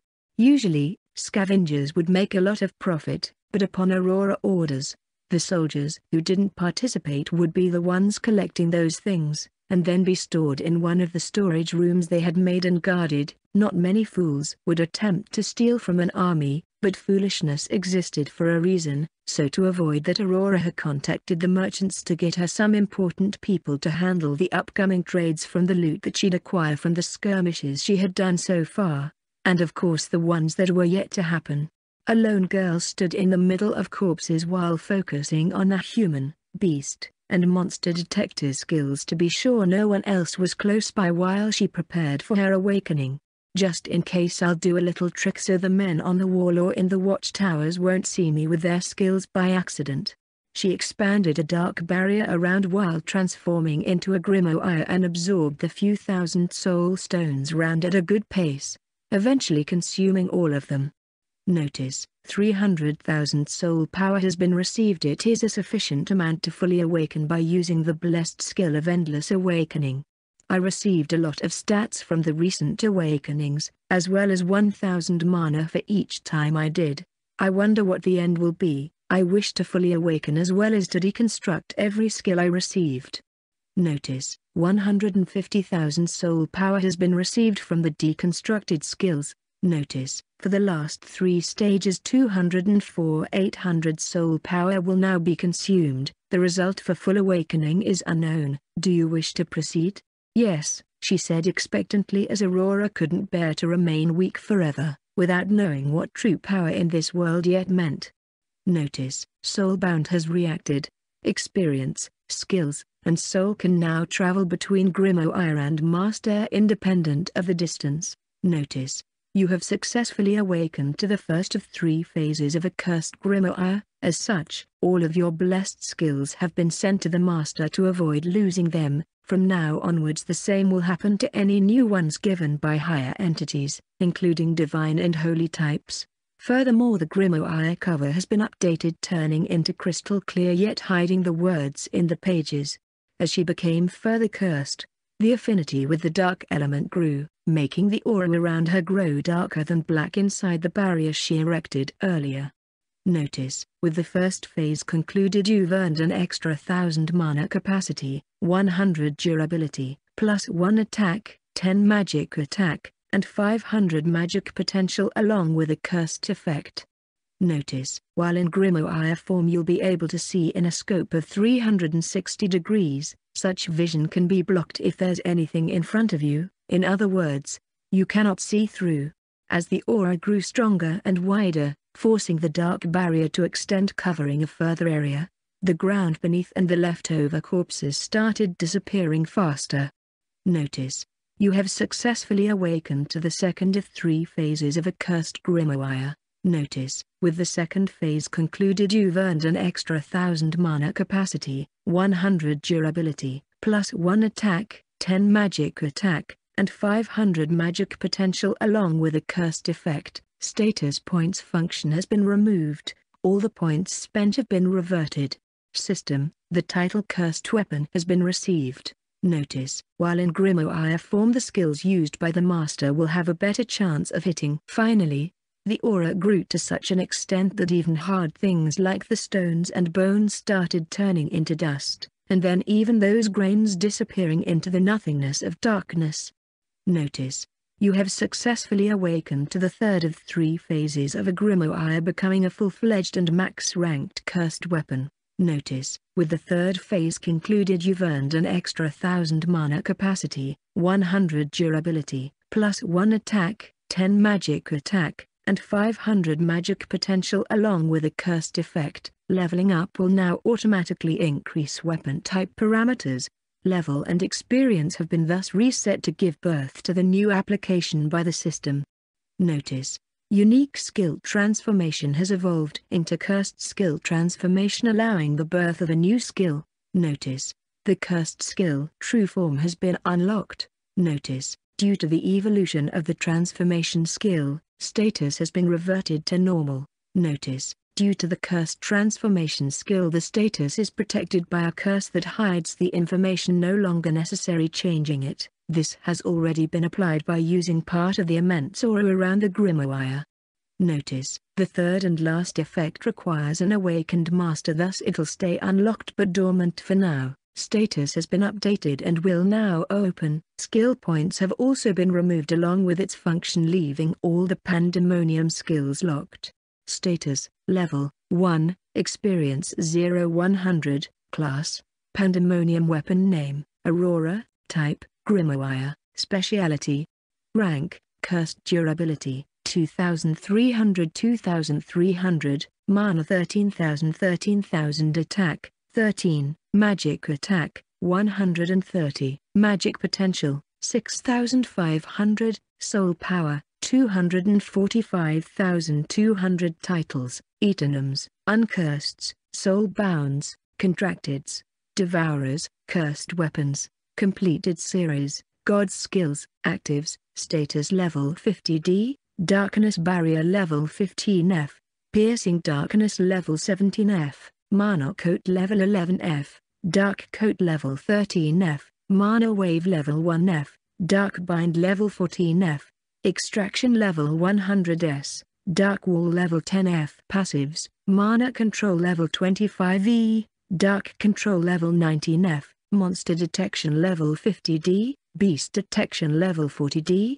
Night vision level 100S, Human detection level 70C, Unique, Killing intent level 5, Cursed, Unidentified, Transformation level 100, True form level 1, Unique element, Dark, Cursed soulbound contracted skills, Telepathy F, Giver E, Deconstruct D, Stacking C, Split B, Imbue A, Consumers, Unique 3 thirds effects, Cursed 3 thirds effects. Consumed skills, seems like I've started from zero once again. She muttered upset into the night feeling weak and powerless once more as having a ton of mana was all she had, and by using her past life memories to get a comparison. It wasn't necessarily the greatest of things. At the very least I have enough mana to play tricks during the many war skirmishes to come.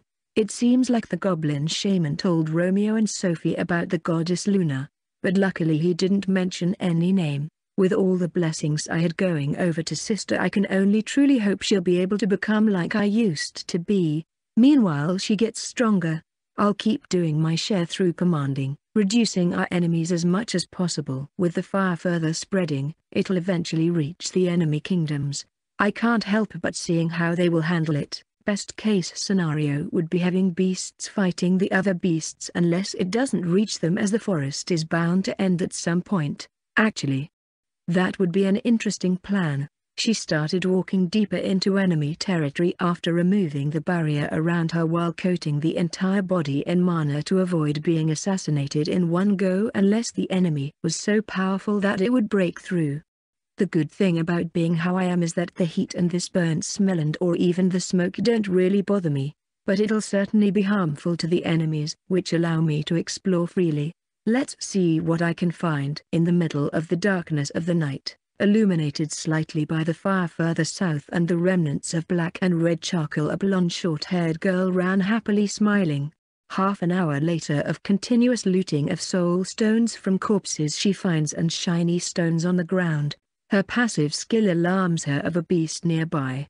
Without much care, she keeps running southward like a moth flying in the direction of the flames while feeling really good about herself. After interrogating some of the goblins that were captured by Sophie who apologized to her for having some doubts due to the shaman words, the assassins obtained a good amount of information. Not even an hour of torturing and they were blabbering all they could with the words they knew. As the intelligence owned by such creatures, young ones even were certainly not the best. Nonetheless, for Aurora it was enough to finally pinpoint with absolute confidence the enemy king base which crossed close by to what she had estimated, and also got to learn a couple of important things such as what type of monsters and whose kingdoms were around it. From the information, one of the kingdoms parallel to General Angelica was the Kobold Kingdom who was wide enough to reach the sea at the west, and on the opposite side in the east, there's an Orcs kingdom reaching all the way to the end of the mountains that start northwest of the Lumen kingdom. What intrigued her the most though was that despite the goblins having told everything she wanted to know, from the things they used as the weapons, skills, classes, evolutions which were something only beasts could do, a better estimation of their number, and of course what was behind, in other words, further south than the Goblin Kingdom, once her question was answered, she then realized how exactly the human kingdom would fall like the Saintess predicted, since further behind the Goblin Kingdom, were three other similar kingdoms of the same race, apparently led by the Goblin King Varag brothers and sisters. In other words, in the future based on the Saintess dream, the odds were that the Varag allied all the Goblin kingdoms destroying the kobolds, orcs, and of course the humans, allowing the goddess Luna to become the ruler of the south. After a lot of thought, Aurora realized that if the first kingdom to fall wasn't the one in front of her army, then even with the knowledge she possesses, it would be impossible to stop total defeat on numbers alone. despite being a weapon perhaps due to having a past personality and soul which remained all the way to this life. She was feeling stressed and impulsive which resulted in this little trip to refresh her ideas. This is She kicks slightly a green thing on the floor. Ah. It hurts. The thing turned out to be a female goblin who turned herself upwards after rolling to see who kicked her. Roasted goblin meat. You look delicious. The wicked perverse side of Aurora who is currently in control said while licking the lips. The goblin female got up despite being injured and looked down at the young girl who was smaller by at least a quarter part. Who do you think you are? Calling me a goblin warrior of level 10 delicious like that? Not even us female goblins when going on a mating season are that straightforward. She shouted angrily at Aurora who was not even listening to her and then she activated it. True form. Once she used her new skill, Aurora appearance transformed into what it used to be heightening up to 180 centimeters, well-built female naked fit body, and a long white hair reaching the ground, with blue icy eyes and an extremely white pale skin filled with very complex tattoos all over her body and her face included. Notice, true form skill bringing you back to a portion of your older self, can only last for a minute per the level of the skill while consuming 1000 mana each time, and for every level, it increases the quantity of power you can use. The abilities of your cursed colored marks all over your body will slowly be unlocked. Notice, 1000 mana has been deducted for the first minute. What's up with this human filled with war painting of different colors, white hair that goes all the way to the floor? She looks very old, grotesque even, the female creature thought evaluating what was in front of her who had been a cute young girl not too long ago. Two voices resounded through the same voice making it sound like an echo. It has been far too long since we have become true. The goblin in front of Aurora started shaking aggressively as the killing intent was naturally activated as the voice spoke. As she looked at the target in front of her an eerie dark aura took shape surrounding her hands and then she opened her mouth where sharp and big teeth could be seen. A monster? AD demon? The goblin yelled confused without knowing what creature the supposed human in front of her currently was. We are hungry, come here, let us eat you. We are starving, the world must be consumed. As Aurora approached, the goblin warrior tried all sorts of things eventually coating herself in mana gaining some resistance against the killing intent that was striking her, no longer shaking in fear and preparing an attack as she got closer. Once Aurora got in the necessary range, the goblin mana coated her fist and punched towards the girl's face in front of her.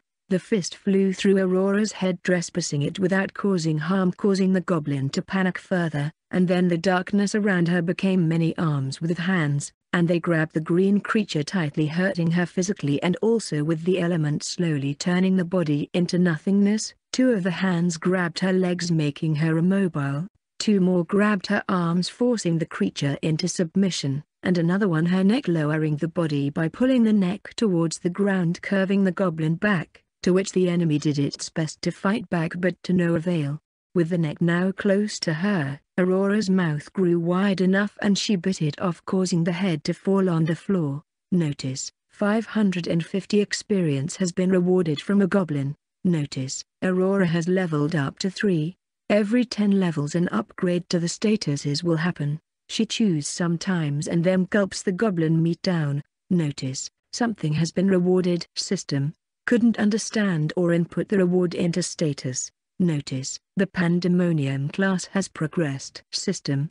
This type of reward has been directed by default to the Tome of Pandemonium who holds the knowledge from a different world. Once she devours the entire goblin which didn't take more than 20 seconds despite the big size, a voice is then produced by the old woman, monster, demon, abomination, creature, god, phantom, devil, calamity, We've been called many names by the old humans, but you're all wrong, we're. She smiled evilly as her mouth was full of blood with small pieces of green meat, and then she returned naturally to her normal human form as the time ended.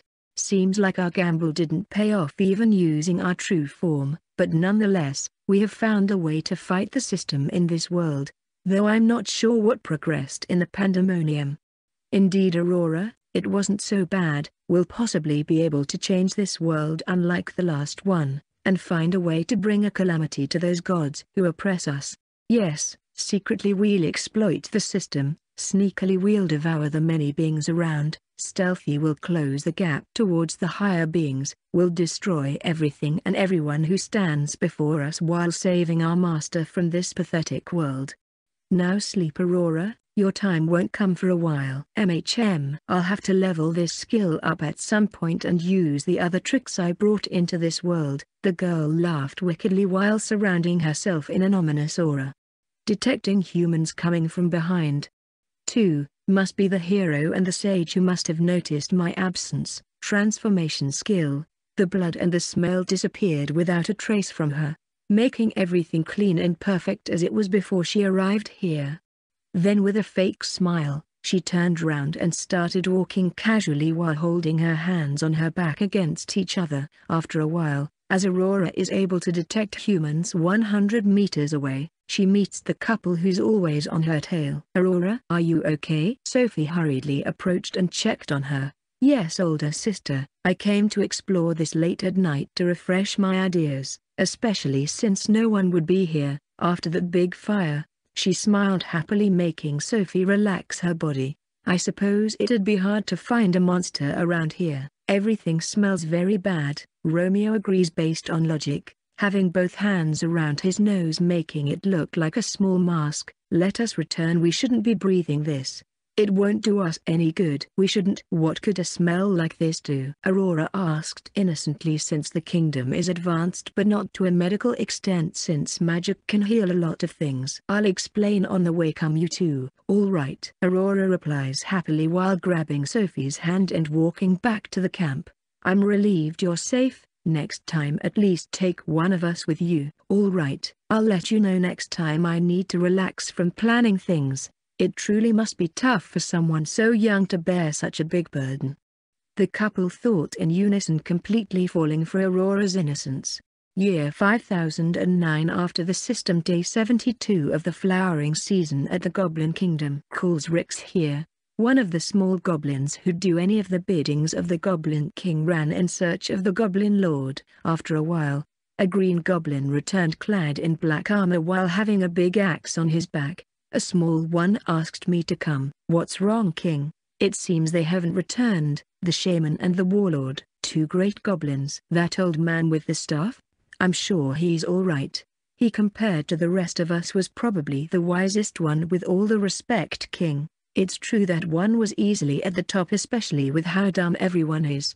I want you to order some goblin assassins and archers to scout the surroundings towards the border with the human territory where I sent them but you will stay at the ridge just in case they fall in a trap or something else happens. As you command King Varag, I'll go at once. Good. Feeling unease for the past days he went into thought. Is it possible someone as smart as the old man really fell for some trap? No.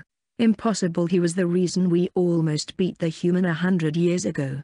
He might be growing ancient, but he wouldn't fail for a simple trap like the ones the humans used to do. What if it wasn't a simple trick, perhaps? Blonde girl. Goddess Luna. A smart human? Smarter than the shaman? Impossible. They are filthy and while not dumb they weren't anything special. If it wasn't for the powerful heroes and the use of shiny weapons, we would have beaten them long ago. This time for sure. Now that the goblins are learning how to make their weapons shiny, we'll surely defeat the humans, but just in case the shaman perished somehow, I'll have to find a smarter goblin. Goblin, go send a message to my sister the Queen Gruag of one of the three kingdoms the one in the south from us, the middle one. Don't get it mistaken, and tell her I asked for one of her smart goblins for a war to come in a year and a half. Tell her the old man shaman died of age, take some others with you so you don't get murdered on the way there. Why yes almighty king, the small one went in search of some helpers leaving the king completely alone. Once I beat those humans I'll take their entire territory and make amends with my two brothers and sister, and together we'll form the biggest goblin kingdom in the world by uniting our four kingdoms. Of course, to achieve it I'll first have to show them mine is greater so they submit to me. He smiled satisfied with his goal. Still. Where's the old man? He's been here since I was born, He even chose me back then during the Goblin ceremony. Year 5009 after the system day 75 of the flowering season at the Goblin Kingdom. King, I've brought back what's left of the shaman from the looks of it he chose to kill himself with the annoying staff he used to walk with. He shows a very dry dark green body with a hole in the heart. What? Why would he do something like that? Varag shouts angrily scaring those around him. From what the stealth assassins could tell there are some wooden walls near the border to the north, and the forest that used to be close by vanished leaving only charcoal behind. I'd assume the humans burnt it down. The Goblin King punched his stone chair leaving a big crack on the right side where his arm was resting. So that's what the black smoke some days ago was. To think someone as brilliant as the old man would suicide. Was it to avoid dying to the flames? Unless someone tried to capture him. No normal human would be able to do so. A hero? 100 years passed so this should mean the heroes are back. Shouldn't we kill them before they get strong king? We should but I need some more time to fully heal from this curse. A hundred year curse from the last war. Once that is gone we'll murder those filthy humans. Till then we play safe is that it? For now we'll increase our defenses and rebuild the forest but further away from us so if those filthy humans decide to burn it again it won't affect us this far. Putting goblins on the lookout and killing any scout of theirs will also be beneficial. I understand king. You may go, and put those goblins working harder on weapons, training, and for those who went to level up tell them to avoid the north due to the shitty humans. I will. As he walks to do what he was ordered the king goes into deep thought. To think humans this time around would be the first ones to do the first strike. They haven't done that for the past centuries. Why now? Did they perhaps go insane and are trying to go all out? It will certainly be fun to slay them if they attempt to come closer to us. An evil grin was shown on his face as he was sure to win any open field battle, and the main reason that he lost the Great War a bit less than a hundred something years ago was due to Lumen Capital Castle stone walls and the heroes who were powerful and tricky to deal with but now they're long dead and compared to the past ones are still super weak to make a difference. The epilogue of the war prelude arc year 5009 after the system day 90 of the flowering season inside Aurora tent with all the leaders. It seems like they haven't moved even after killing a few thousand of them, General, Mark mentioned while scratching his beard as he looked at a map showing as accurately as possible the territory they were in. Didn't expect the Goblin King to be such a coward. But that is fine, we shall bring the war to them. Zylph smiling coldly says, what is the plan O great general? That is simple, you go at them, provoke them as only you know, and then flee.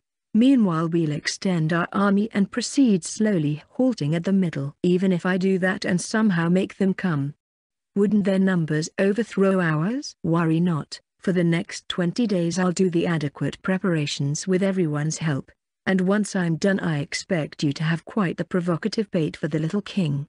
Aurora smiled coldly at Zylph whose hands started tremble of excitement. I have quite fun plans. I suppose I can do as I please? He asked while licking his bottom lip from right to left. Of course, Ryu and Mark gather all nature and earth elemental mages. We'll make some interesting things. The rest of the army shall stick to help the farmers expanding the fields. We'll need as many resources as we can. Regarding the fields, they've been taken care as you requested. We also secured some water sources by digging deep enough the way you asked. Wells were built and the river comes from the capital far from the goblins so we can rest assured that it won't be poisoned. It won't be poisoned. Aurora started thinking deeply as a new idea popped up. Everyone looked at the young girl who looked seriously into the ground inside the tent and then turned her face to the map and placed her finger seeing how the river presented itself in it. She then smiled slightly and took a paper which she then started writing on it. Upon finishing words came out of her mouth, Mark, do take this message to General Angelica, tell her to execute this as it'll affect the enemy kingdom in front of her which should spice things up making the kobold kingdom be forced to act. Mark upon taking the letter and reading it says, won't this make us have to fight two kingdoms at the same time? Don't worry, I'll put some goblins doing the poisoning for us. We did capture a lot of them from the last war skirmish. What will we do once the kobolds arrive there? The old man asked trying to understand how deep the plan went. We kill the goblins and tell the kobolds they've been poisoning our side of the river too, and then we'll ally with them, allying ourselves to beasts. The saintess shouted surprised at Aurora's plan. Why not my dear saintess? It'll allow us to diminish both of the beast kingdom's numbers. After all, from the information we gathered we'll need both the kobolds and the orcs' assistance to completely defeat the four goblin kingdoms. Once we're done with that, kobolds and orcs are next. No matter how meticulous my guidance is, I can't possibly beat six beast kingdoms with this army. Ah, so you meant it like a temporary alliance? Well in that case I don't mind. Even if you minded it wouldn't be your job to decide. I'm here to make the humans and the goddess Aria win. As such, everything and anything that will allow more of our soldiers to survive is the ideal. Upon hearing that the saintess expression dulled but realizing Aurora was right she bowed lightly out of respect. To put the saintess of the Lumen kingdom in her place. This little girl never ceases to amaze me, Ryu thought as he too agreed with the general since for him religion and war aren't necessarily the same despite the Pope passing such an idea when it came to demons. Alfred tell your men to help with the usual activities I've done with every other soldier. It'll make them stronger as they'll certainly receive a lot of titles. The same goes for Zylph though in his case only for the next 10 days. Understood, both said clearly with confidence. To make my soldiers from different noble houses farming, fishing, and who knows what. Though as long as they do become tougher that might not be so bad, plus it'll help our resources for the cold seasons that will arrive soon. I wonder if my mercenaries will enjoy doing such disappointing tasks. Zylph grinned holding back his laughter. Romeo and Sophie, I'll leave the poisoning by the goblins plan for the two of you, with your skills and the assassins, it should go without an issue. Leave it to us. Romeo smiled happily for being relied on while Sophie winked at Aurora. As for the orcs, being on Prince Marty's side, they probably wouldn't hear my request, so I'll have to think a bit more on that section. She once more looks at the map while everyone but the Saintess and Balthazar stay inside the tent. Shouldn't we just let his army fall to the orcs and goblins? Balthazar asked after thinking for a while about how to remove that prince out of the equation. That would cause a lot of deaths on the human side, the Saintess replied harshly to him. Aurora clicks her tongue and then says, I do expect them to fall at some point since they wage war on their own and the generals the prince have are all against me due to their successors dying during the annual tournament. It's not your fault, after all. They couldn't have possibly been a worthy opponent to the one. The one? Saintess thought recalling having heard this man mention such words before and then she said, that it was an unfortunate accident but within the laws of the tournament. War has a bigger weight. In that case, there's something I can try.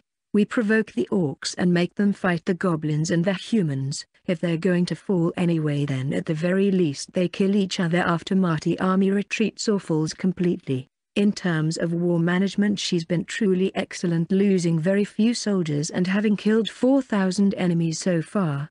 But morally speaking it makes me question my decision of blessing her. Such a ruthless young girl, the saintess frowns thinking about it. Balthazar noticing her expression says, don't doubt your actions now. You couldn't possibly have anyone better than this general to bring your goddess a victory, even if I hate you. I too wish to win, not for Aria, the Pope, or you, but to give the disgraceful ones a place in this world, as we're humans too.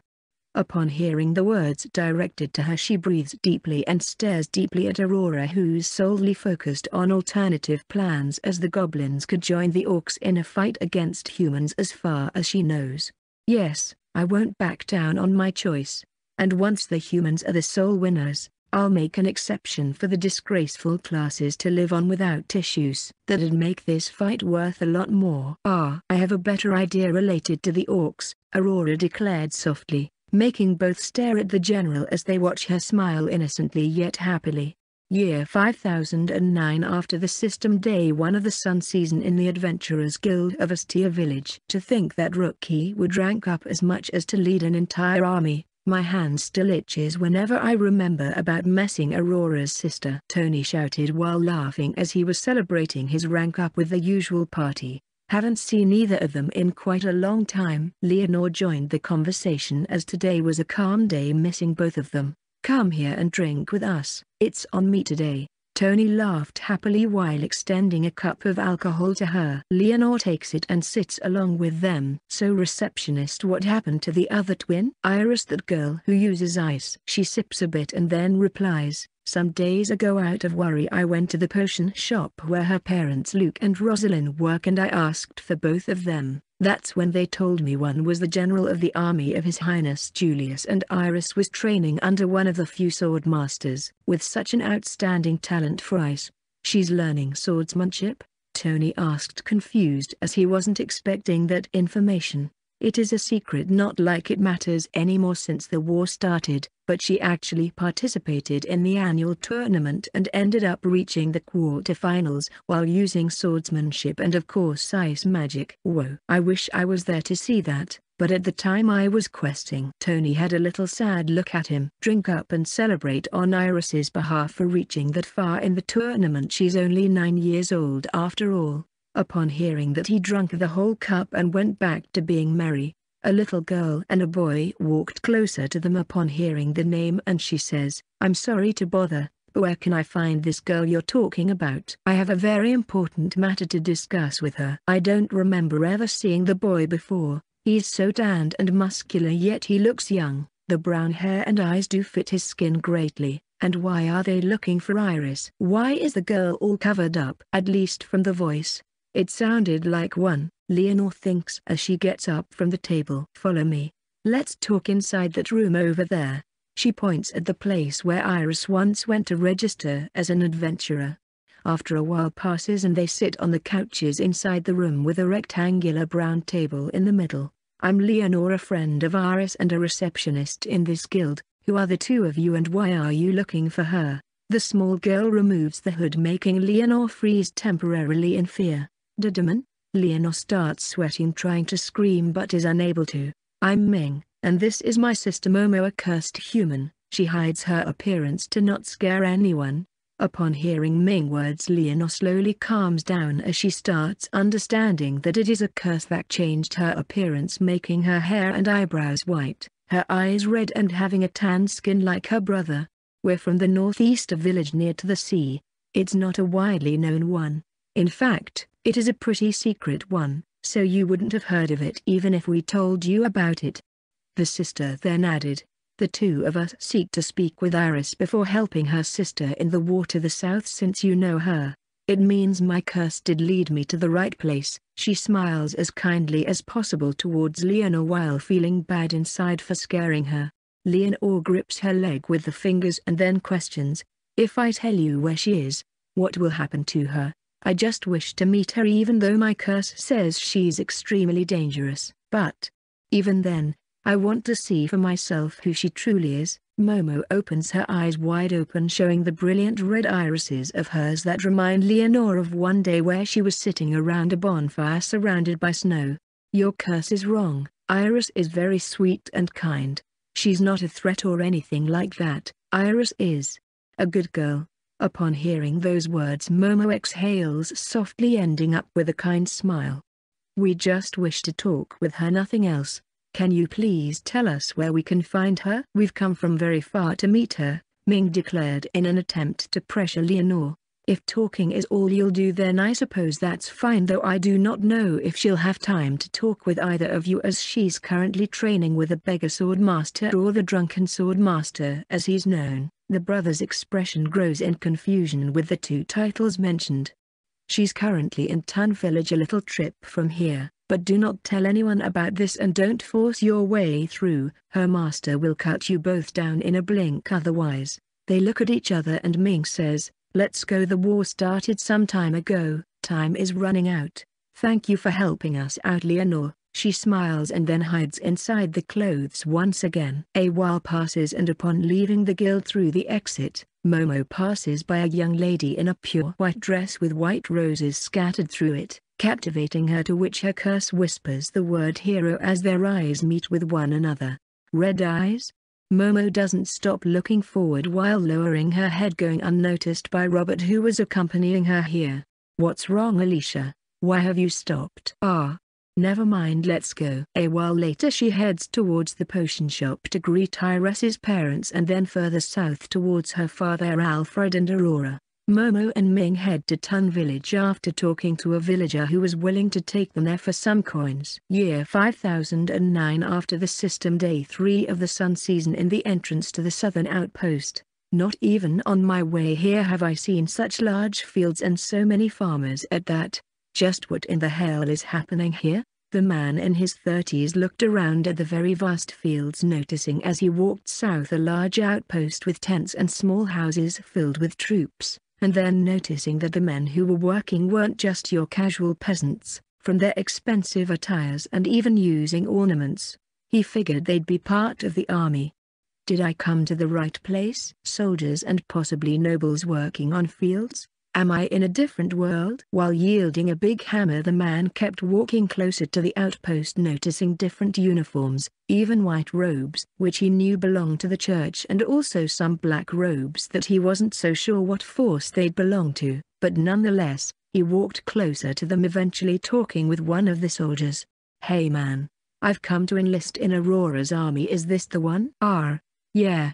You've come to the right place. Even though we're currently preparing for the next strike in 18 days, come I'm heading towards the General Aurora. Oh seriously? Alright, take me to her. That's quite the weapon you have there.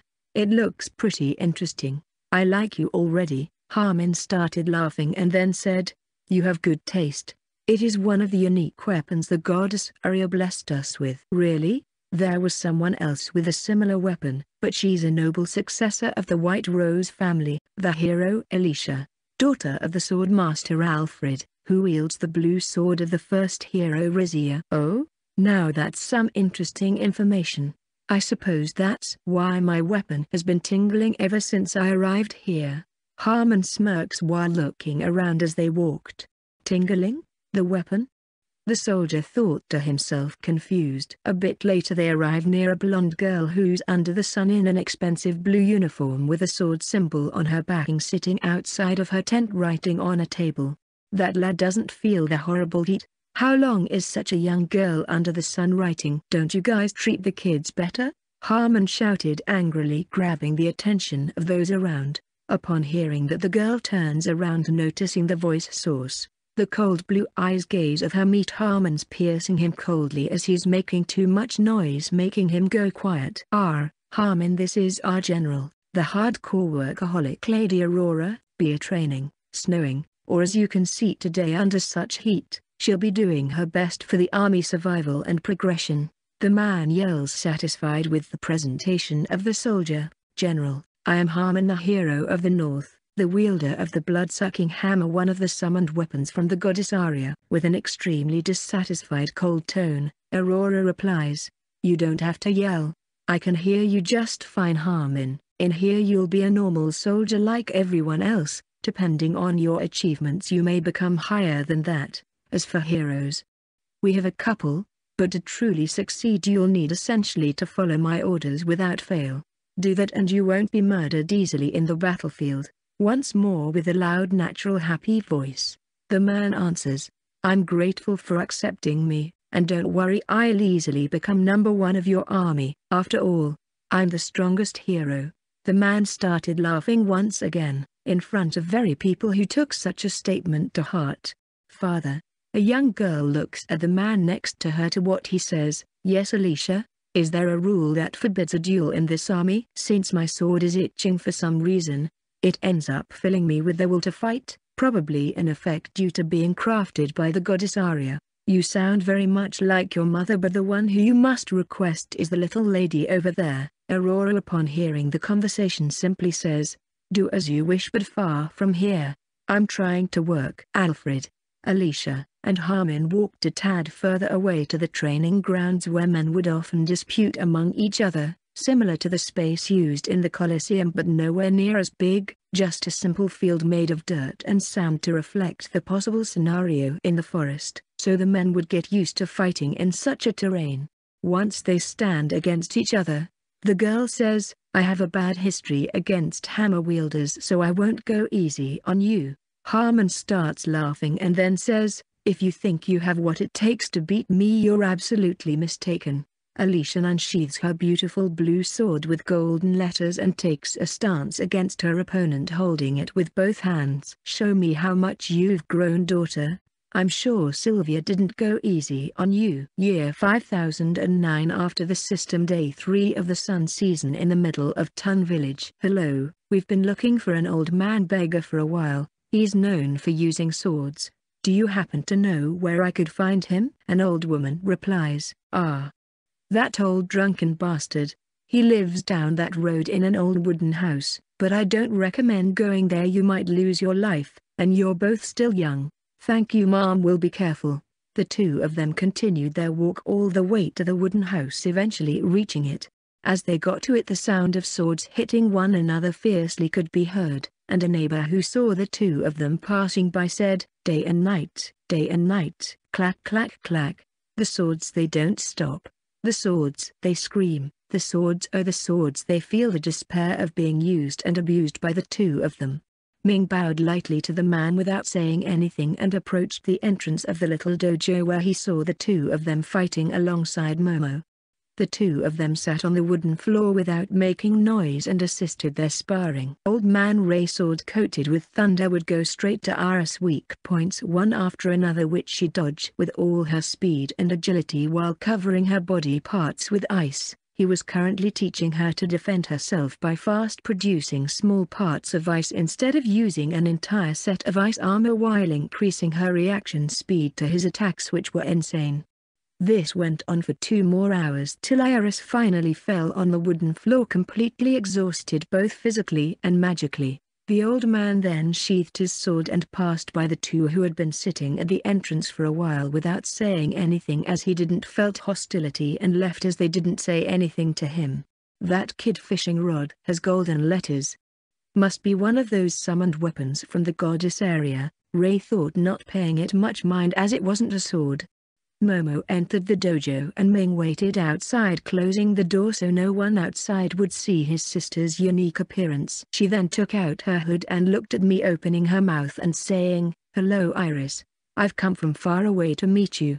I'm Momo a cursed human. Without having an inch of energy left I stared at her for a while appreciating her unique appearance from the beautiful white hair to the white eyebrows lastly those glittering ruby eyes, and said, Your hair and eyes are beautiful Momo.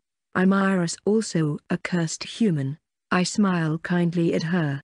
Momo opens her mouth while blushing almost tearing up from being praised by someone else that wasn't her brother, and then said with a trembling voice, since birth, I've had a cursed skill called Soul Whisper.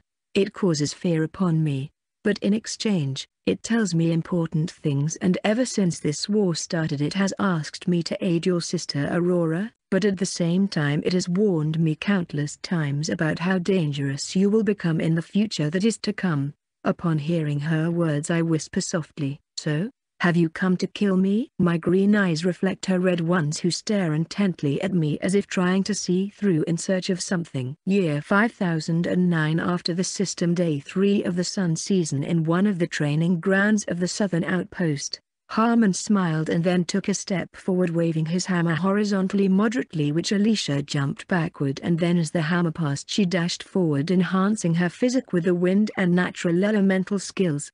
The man started laughing at how fast the little girl is and held the hammer with both hands shouting, flashbang. With an even faster speed the muscular and strength of the body allowed him to wave his hammer to where it came from forcing Alicia to take a direct hit on her body being blown away off the field.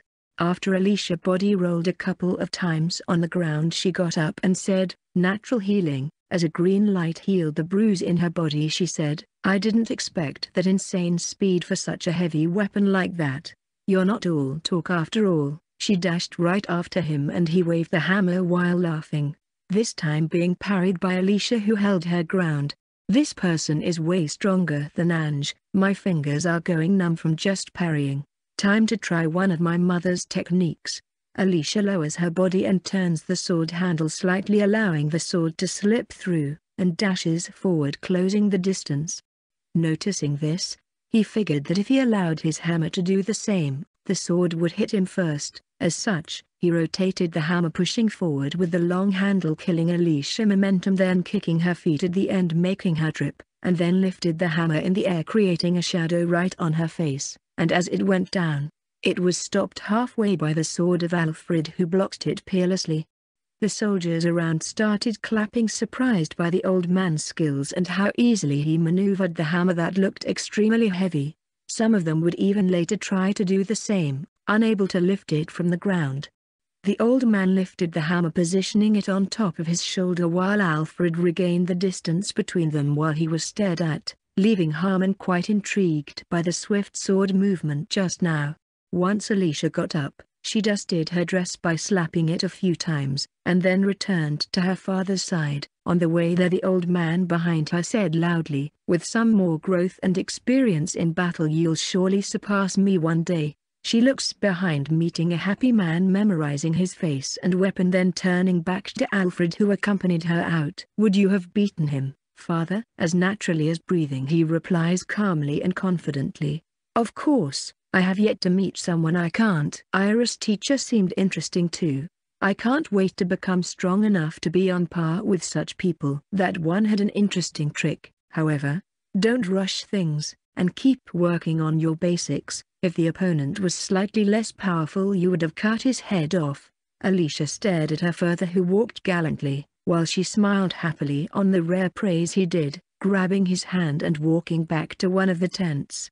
Even with the knowledge I got from Rizia, my body is far from being able to keep up with her swordsmanship. After this war I'll go back to train with my parents, and once I grow up some more, I'll surpass the first hero memories. In a few years I'll become one with the sword. First, all those rumors about the blonde general I heard from the different taverns I passed by, at how peerless and magnificent she was, and now this Alicia girl. For a young lady that was surely an interesting sword thrust, I bet she didn't notice the slight cut on my chin, seems like the new generation is showing some promise, let's hope they don't die in war.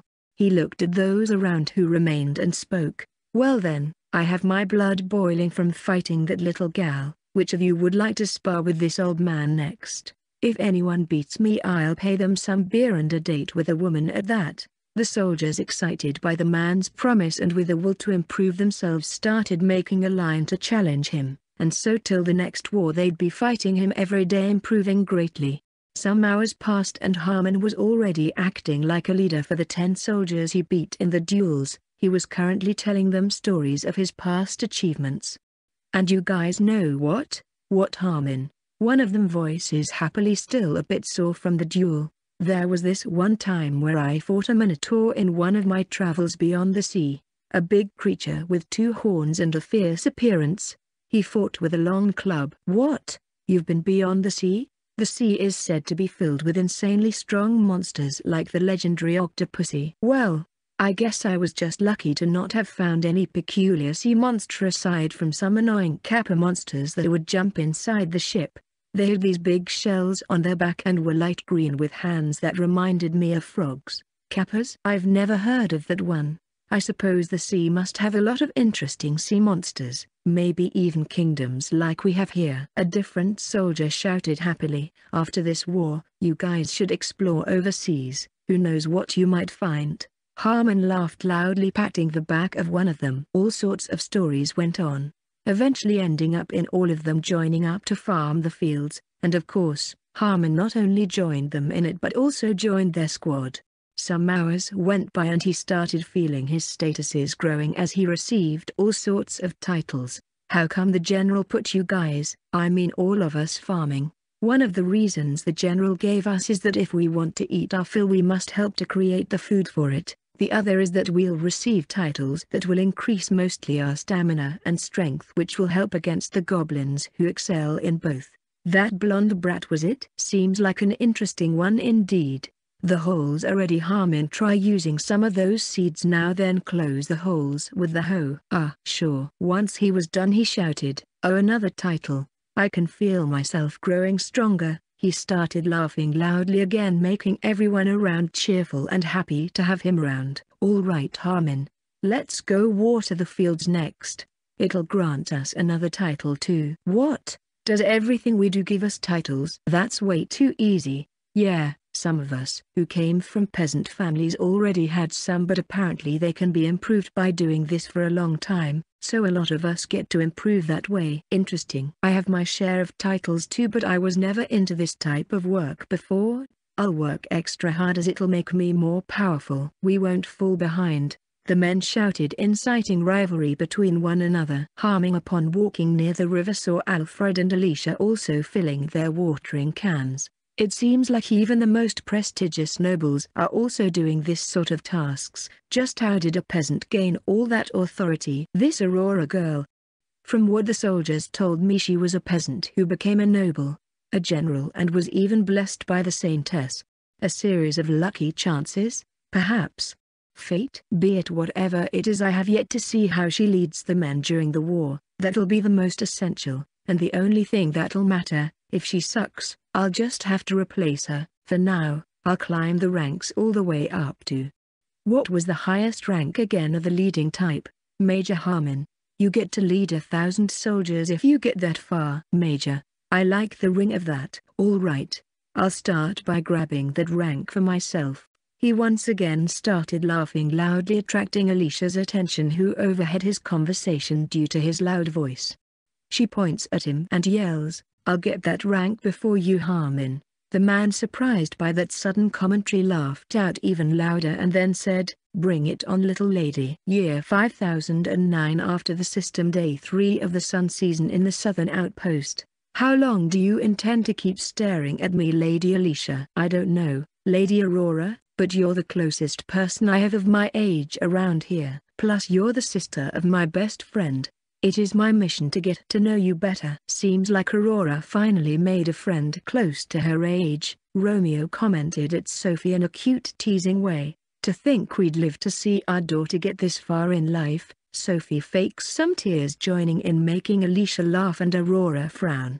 How is it that I have to permanently be working and you three get to be so carefree? Aurora shouted angrily at them. Oh knows the general is mad we must run. Romeo laughed as he said that running away along with Sophie. You fools just wait till I catch the two of you. The soldiers around who glanced at this scenario as they were in the middle of the outpost where there's always a lot of them walking around, laughed inwardly to not be beaten by the little blondie. And, you're still here staring at me. Yes, that's right my mission isn't over yet. Alicia said with a convicted expression. Aurora sighs, so what is it that you want to know? She smiles innocently and then asks, how did Iris know about writing my name in mana in the sword would allow me to become a hero? I don't know the how myself, but I suppose it was a certain skill that she has, that allows her to get information of things in exchange for big quantities of mana. Interesting, that man from earlier has one of these weapons, but his looks less stylish than mine. The loud Harmon person who was here before. He calls himself a hero, however, I didn't feel such an aura, the one that I feel from Sophie for example, in other words, He's very strong while using a dormant weapon. So you came for advice either to tell him or not I guess. Even though the weapon could have been produced by the goddess Aria, but it doesn't mean that he'd also become a hero. If anything it would make more sense if different weapons would grant different powers or classes. Actually you're right. I guess contracting with such weapons would give the user some sort of special power. Perhaps we could steal it and give the hammer to Iris as a repay for awakening you into a hero? Aurora questions while staring at her for the first time since they started talking. Well that's extra, it's just I don't want her to stay behind when I become so powerful as a sword hero, you know? I wouldn't worry about that. After all, she's already contracted with the strongest weapon this world has to offer. Aurora grins looking eerie giving the shivers to Alicia who pulls her cheeks to the sides forcing her to smile. Don't make my beloved Iris face look like that. Upon hearing those words Aurora starts genuinely laughing bringing confusion to Alicia who has never seen her like this. Ah, man you sure do resemble Iris sometimes. Imagine if the two of you spent more time together. You'd even become twins. We'd become a trio. Alicia smiles kindly at the idea. I don't see why not. Now I just need to dye my hair blonde. Alicia starts laughing, as if she did her parents would likely murder her, as for Harmon if you feel like telling him to do it. If not I suppose that's how it is. I'll leave that fate in your hands as I already have 700,000 heads to take care of. Alright, by the way, Aurora you said Iris possessed the strongest weapon is it one made by the goddess Aria as well? I know some from the hero memories, but even her doesn't know all of them. Well let's just say that it's a cursed weapon that doesn't belong to any god. Nor was it created by any of them. If that's true then it's impossible it would be as strong as my sword. After all, it is unique graded, I've never seen a greater sword. I suppose you're right, in what comes to swords your weapon is without a doubt the best, but good weapons without good masters are useless, and you're still quite weak to be using something like that. However, Iris is different, she deserves the one she received. It is part of her and despite being cursed it lives solely to bring her what she desires. How could a weapon like that not be the best? That sounds like a very confusing and complex weapon. My father says they are tools that must be used properly, but you're making it sound like it's alive. Exactly, in this world, chaos is the thing that brings the most confusion and complexity, a matter that no one has been able to solve so far. In that regard, not even the hero, she tried really hard to carry the kingdom and its people on her shoulders, but sadly she was limited by her human race lifespan. Yes, humans are truly fragile. They break and die so easily. I'm surprised on how someone like you exists. So young and with wisdom that even I have difficulties to follow having the hero memories. Iris I can tell she's still childish like I am to some extent, a bit less nowadays since the power I was given is slowly taking shape, but you're totally different and yet you're the same age as her. To that, Aurora smiles silently focusing once again on the papers in front of her, while Alicia places both arms on the table resting on them as she stares at the mysterious girl in front of her. You have too many secrets Lady Aurora. Isn't it normal for a lady to have many of them? Men do like mysterious women the most after all. Alicia blushes as she remembers certain memories of the hero that she did her best to forget. In vain as they did not disappear. You're a meanie, I miss Iris. I met her at the annual tournament, and then at the end of it, I even got to see what her master looked like, apparently. He also trained my mother, but she says they're strong enough to train me therefore not introducing me to him before. Well, Iris seemed pretty happy learning from Ray, despite being an old man he's apparently pretty strong. He did soul-shaped his sword, I've seen something similar when the hero reached the pinnacle of her strength. But since humans have no way of earning soul other than titles she didn't get to do much with it. Aurora once again stopped what she was doing. This time around due to curiosity and so to satisfy it she asked, so you're saying that depending on the soul size the soul coat can do more things? I'll reply when you tell me what the weapon Iris has is. A secret for a secret. An aura of darkness surrounded both of them and then Aurora whispered, she uses a weapon called a grimoire, a magical book basically. Alicia smiled happily and then she said, Soul Coat can cut the opponent's soul. The hero tried it on a goblin. And it died without feeling damaged physically. If a soul is severed enough then that's the end of it. And unlike Mana Coat, it can take shape. In other words, it can bend or stretch, but if it stretches and someone cuts it your soul will be damaged. I'd assume so.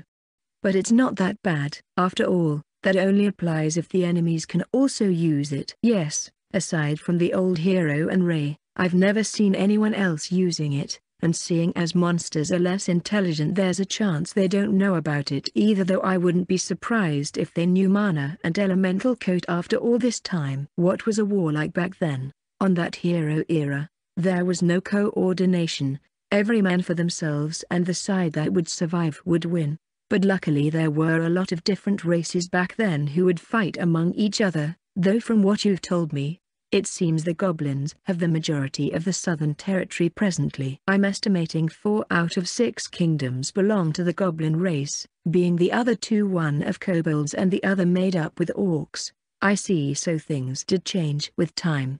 A lot of time passed truly. What other creatures existed in the south before? Supposedly it was a place with barely any monster only beasts. There used to be a tusk-ball tribe, who would rush and stomp their enemies, But then the goblins met the humans and learned how to make weapons, so they must have perished then. That's interesting what other tribes were there as it sounds like kingdoms weren't yet a thing. In what comes to monsters they rank up so they become a certain type of monster being a lord the strongest, and the king the one they follow, so even though kingdoms weren't a thing, they still followed through those creatures who called themselves kings. But thanks to that, they would constantly fight the other ones to be the king of kings, from all that races were slowly perishing or perhaps escaped leaving only the current six kings of the south.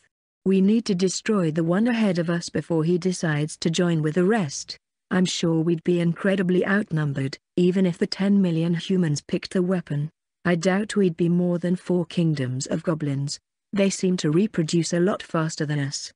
So we're always at a disadvantage. How would we even beat the Goblin King if he can escape back to one of those three kingdoms? I have some plans in mind while others are being produced. I'm just unsure either they'll work, but if they do, we'll be able to temporarily occupy the middle of the south that would directly connect to this outpost. So our supplely chain would simply extend easily, but by doing so there's a chance the orcs and the kobolds join forces with the three leftover goblin kingdoms to retake the territory for themselves. So once we annihilate the first kingdom we set traps and fall back which will cause the goblins to face the kobolds and the orcs who will do their best to expand to that section. But if that works wouldn't we lose what we fought so hard to get? Yes, if that's what we want, but in reality, the objective is to destroy the goblins, the other two races have a way slower reproduction rate, and we can manage them both with the army we have now, especially after making them exhaust their against each others. That's insane. Hum, would the past hero do it differently? I know. She could only expand so much. But the way she did things was a lot safer than yours. That's why I said it was insane. The plan I mean. Well, this is just the beginning. After all, once we conquered the south which is composed of solely beast races, I doubt that one would stay quiet and watch. That one? Who are you talking about? The goddess. Why would the goddess Aria do anything about it? Doesn't she want us to win? Yes, yes. I mean Luna, the goddess of order, the owner of the beast race. What could she do? Summon goblin heroes? Well, she is a goddess. I wouldn't doubt if every god could do it, wouldn't be weird at all. Upon hearing those words Alicia gulped as they were strong enough already if they had to face a hero-classed goblin. Year 5009 After the system Day 5 of the Sun season in the Southern Outpost. General, there's an important man that wishes to talk with you. The man says while having a man in a very expensive attire approaching him from a few meters away. Hum? Who's it this time around? I've been getting a lot of important people to talk with me every day. The soldier looks around her noticing all sorts of famous faces and then says, It is the Merchants Association leader, have him wait a while. I'm currently handling a different affair. The soldier nodded and turned around to deliver the message when the merchant leader just passes by him. The man arrives observing a lone table with lots of notebooks and books on it, finding a little girl seated in front of it while in the middle of many adults says, I'm Ricardo Colapzo, the Merchant Association leader, the richest man in the entirety of the capital. I wish to talk with whoever the superior is. Once he finishes talking he starts noticing some important figures like the prince left and right arm, Ryu and Mark who were discussing the preparations for the next war in some days, the saintess who's always glued to Aurora, and a pink-haired girl who he automatically thinks being one of the summoned as there's no such color in the kingdom if there was he'd know as he hires a lot of people for works. Aurora completing ignoring him focused on finishing writing a paper with the trap processes for the formation she'll be using next. The man feeling ignored and having his ego hurt speaks once more. I wasn't told who commanded this army yet. Did I not arrive at the right location? Seeing as the Crown Prince advisor is here alongside Lord Ryu. Actually, aren't you the general of the army Ryu? Without His Highness Julius here, I'd assume you'd be the one in charge. Ryu does eye contact with the man who interrupted their reunion and says, I'm an advisor along with Teacher Mark of the new generation. General Aurora, As he finishes talking he shifts his serious gaze to the girl in the middle who finishes writing and delivers the paper to Mark.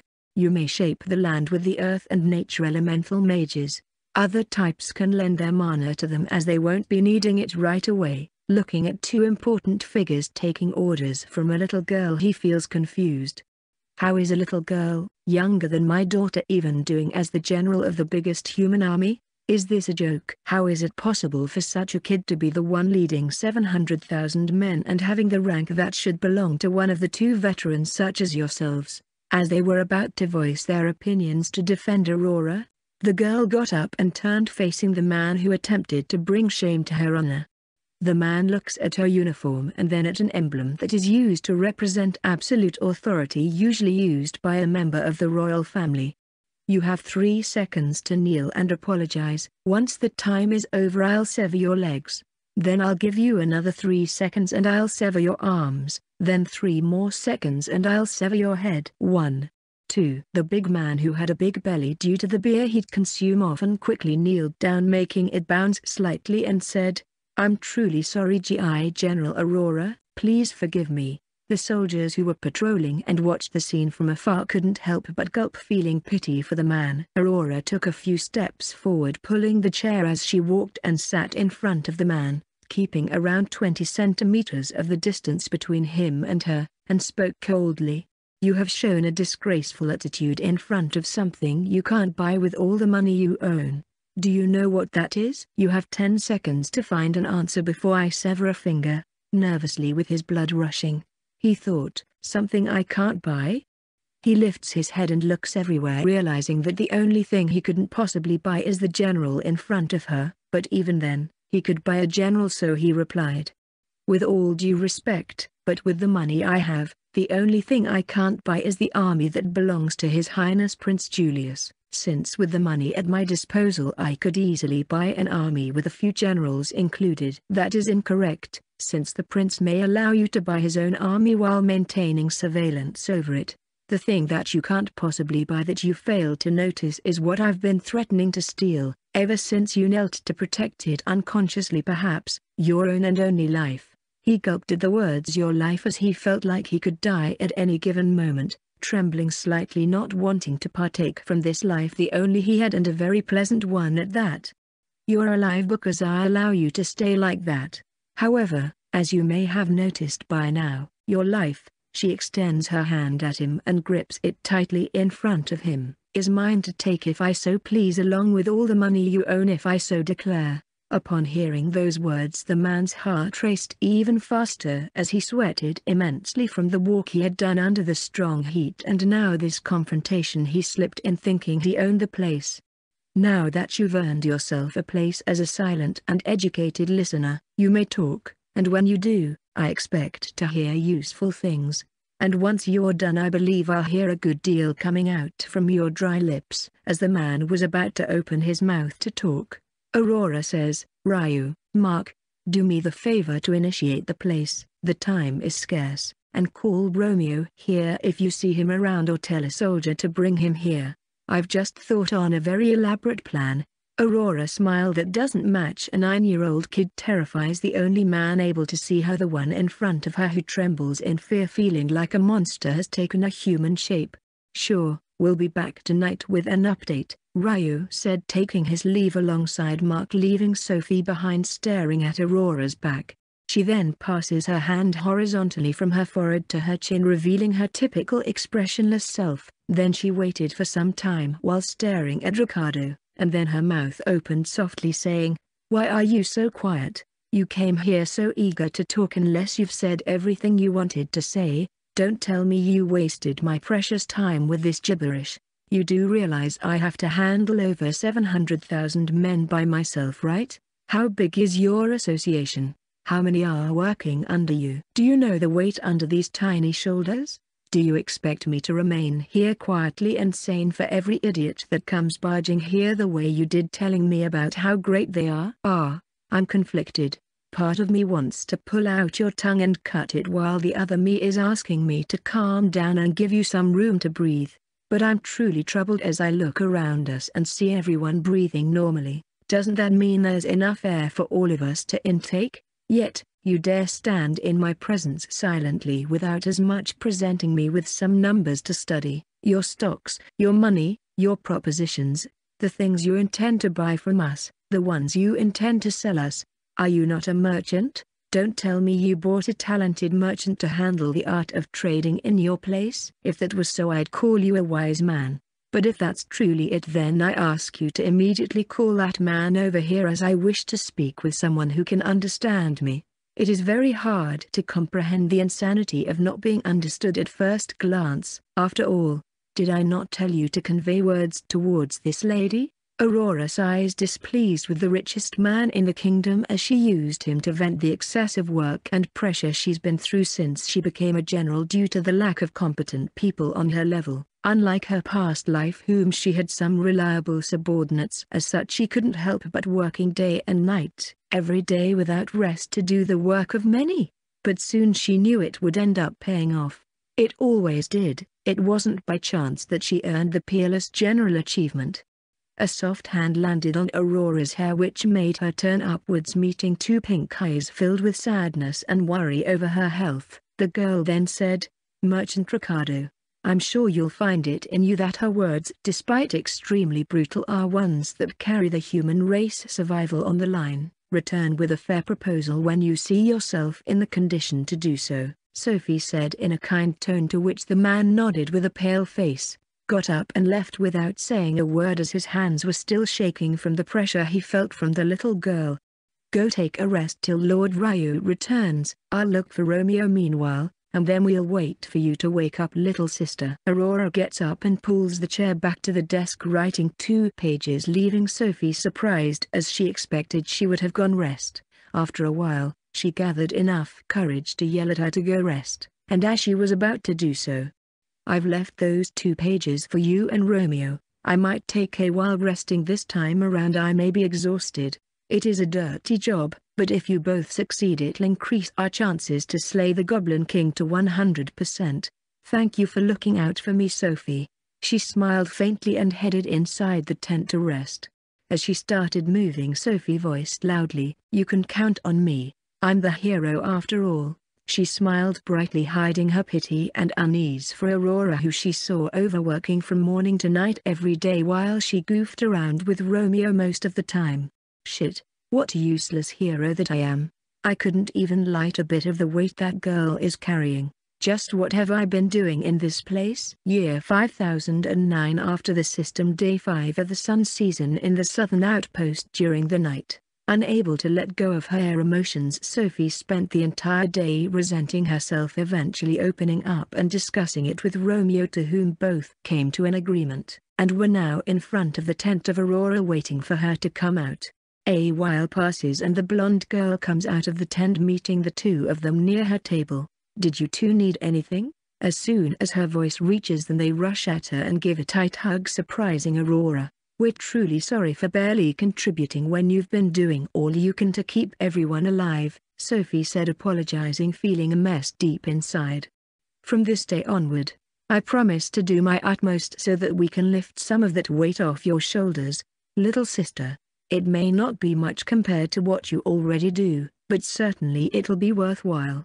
Aurora allows her head to fall turning it slightly allowing her cheek to hit their shoulders softly smiling happily which Romeo notices making him grin brightly as he patted the cheek of Sophie wiping off her tear. I've read what you wrote for both of us, it is a pretty dangerous mission, but from its contents in the next year during summer it should be highly possible to achieve. But are you sure you can pull the Goblin King out of the base Aurora? She lets go of them and stares firmly at Romeo. Yes, if it's about war then I'm sure I can make the impossible turn possible. For that I'll be spending the next entire year bothering the Goblin King reducing his numbers with hit and run tactics. Most of the merit will go for Zylph, who'll do most of the work since he's the leader of the cavalry force of the army, till we get more horses at least. I'd like a similar force on the left wing, it'd increase the possibilities a lot in the future wars as this one is but the first of many. Hum. From the information we gathered from the tortured goblins, they have around a million goblins. If you poke him for such a long time wouldn't he all out on us? I thought about it, but then I realized that after the recent defeat he didn't particularly move, meaning that he's not ready to take action yet. In other words, it's the perfect time to annoy him plus if he does come we'll manage him to some extent, falling back if necessary as losing is not an option. Worst case how far do we retreat with the army? All the way to the great walls of the capital. Aurora thinks of the consequences for that. I've never lost a fight on a defending position, so in the worst case, I'm sure it'll be quite alright. Making the men walk all the way there would tire them endlessly, but the same could be said for the goblins who'll have to face strong walls at some point, and they're in a pretty good shape, with fresh soldiers and guards defending it along with a plan I devised for the Queen and Isabella if things go to that extreme.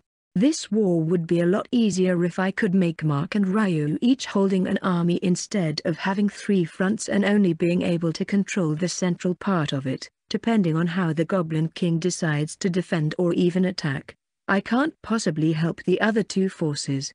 I'll have to delay a total war even if it takes more time to vanquish the goblins. This will give time for the Queen to decide on Crown Prince Julius to rise and become the Royal King seeing as we've obtained the most achievements. After that things will become a lot easier, as I'll be able to do anything I seem worthy with the entirety of the army. Otherwise if one of the sides gets blown, we might receive a pincer attack or worse become totally encircled by the enemies leaving no path to escape. There she goes again thinking 1000 things, Romeo chuckles making Sophie follow through in the same manner. It must be tough being a prodigy, Sophie says teasing Aurora with such a statement to which the girl replies with a smile, it must be tough being a musclehead, and the three of them start laughing together. As some people approached a young feminine voice from there reached the group who was laughing happily. You really do resemble Iris with your appearance General Aurora, a hooded figure says loud enough to grab the group's attention. She turns around with her cold gaze meeting a fiery stare from close, making the blue eyes of Aurora become blue flames from reflecting the ruby gems in front of her to which she says, Oh my, to think there was a similar me in this world, and a pretty beautiful one at that. Though you mentioned someone you shouldn't know anything about, Aurora's body started irradiating an ominous aura making Momo feel intimidated taking a step backward. I met her a few days ago and killed her. She said she had never seen such a pretty hair color that resembled her of snow. She removes the hood from her head surprising those around her, except Aurora who was used to white hair. Aurora released her killing intent aura affecting those around making them immobile and in fear together with her ominous aura who enhanced the effect further, causing cold sweat to slowly crawl down their backs. If such an effect had to be described in a different way, it would resemble as if death was approaching them unable for them to do anything but give their lives to the aurora, or even of a deadly poisonous spider tingling their skin with every step wondering which spot to bite.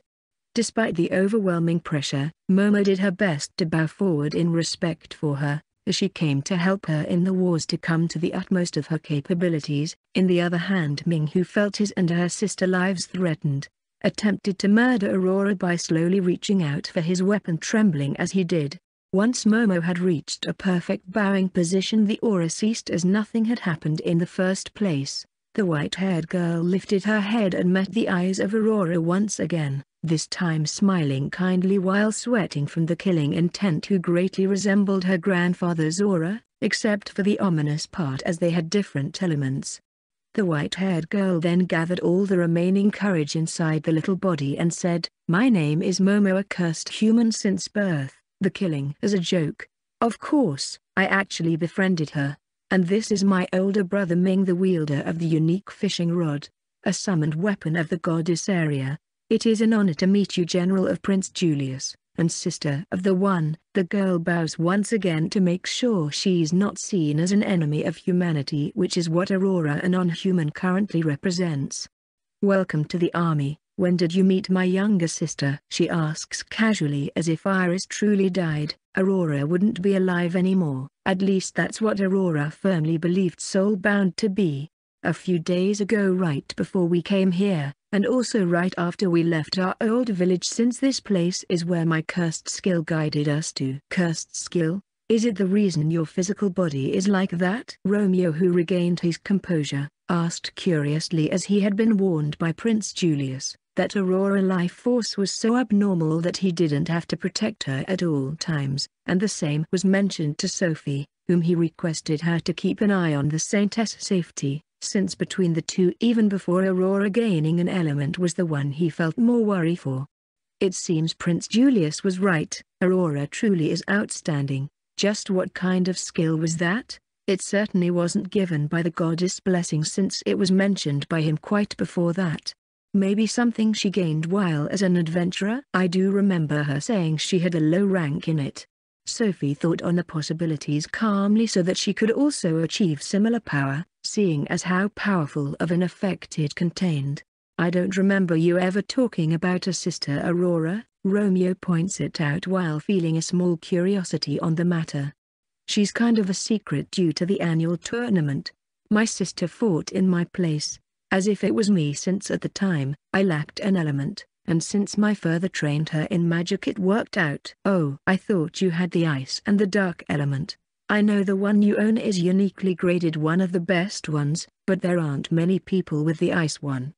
That I know at least, Romeo replied as he's been gathering all kind of knowledge from everywhere he can since he was the sage, one could view it as a class of knowledge, at least it had been in his past life. On that note, the grade of the element doesn't quite matter as every element has its own properties, advantages, and disadvantages, if anything even the hero class and the skills that come with it after a long discussion with this pink-haired hero, it didn't feel amazing. There's not even an experience boost or something that would allow us to make a difference in this world. Aurora right after hearing that softly replied, you can't possibly expect to learn how the system works in the little time you've been here. After all, don't you find it suspicious for there to be a level for everyone's class? Romeo opened his mouth and then closed it, looking down while voicing out his realization on the matter. You're right. There is a great chance for the skill list to be increased as we level it up. He raised his head facing Aurora, Perhaps I'll even get the abilities I had to create skills like in the past world, being able to help everyone easier and even seal some powerful monsters if we find any, maybe like the red dragon in the north. Ah! How much I want to kill him and revive him to kill him again, and again, and again, and again. In a loop, this went on and on inside her mind while Romeo talked about all the possibilities he thought of in the past while the others heard quietly. This went on for a while eventually leading to everyone's exhaustion ending up with Aurora taking the siblings to sleep in her tent while Romeo eventually grew tired going to a different tent with Sophie, leaving her alone looking at the night sky. Year 5009 After the system Day 6 of the sun season in the southern outpost during the morning, as soon as Aurora wakes up she sits and takes a look around finding Momo and Ming still asleep nearby. She gets up walking in inaudible steps towards Momo, reaching her and looking at her from up close by bending forward. For causing a ruckus yesterday you sure have the decency to still be asleep with a smile on your face. And even drooling. Disgusting, she pokes her tiny nose making her turn around splashing her cheek on the wetness of the pillow underneath. That shall be your payment from the ruckus yesterday, be glad it wasn't anything worse, though I guess that if Iris didn't kill her she must have some sort of value. Or probably not. Aurora spread the hair from the girl's right eye. Actually, my sister isn't like that. In fact, Iris is kind.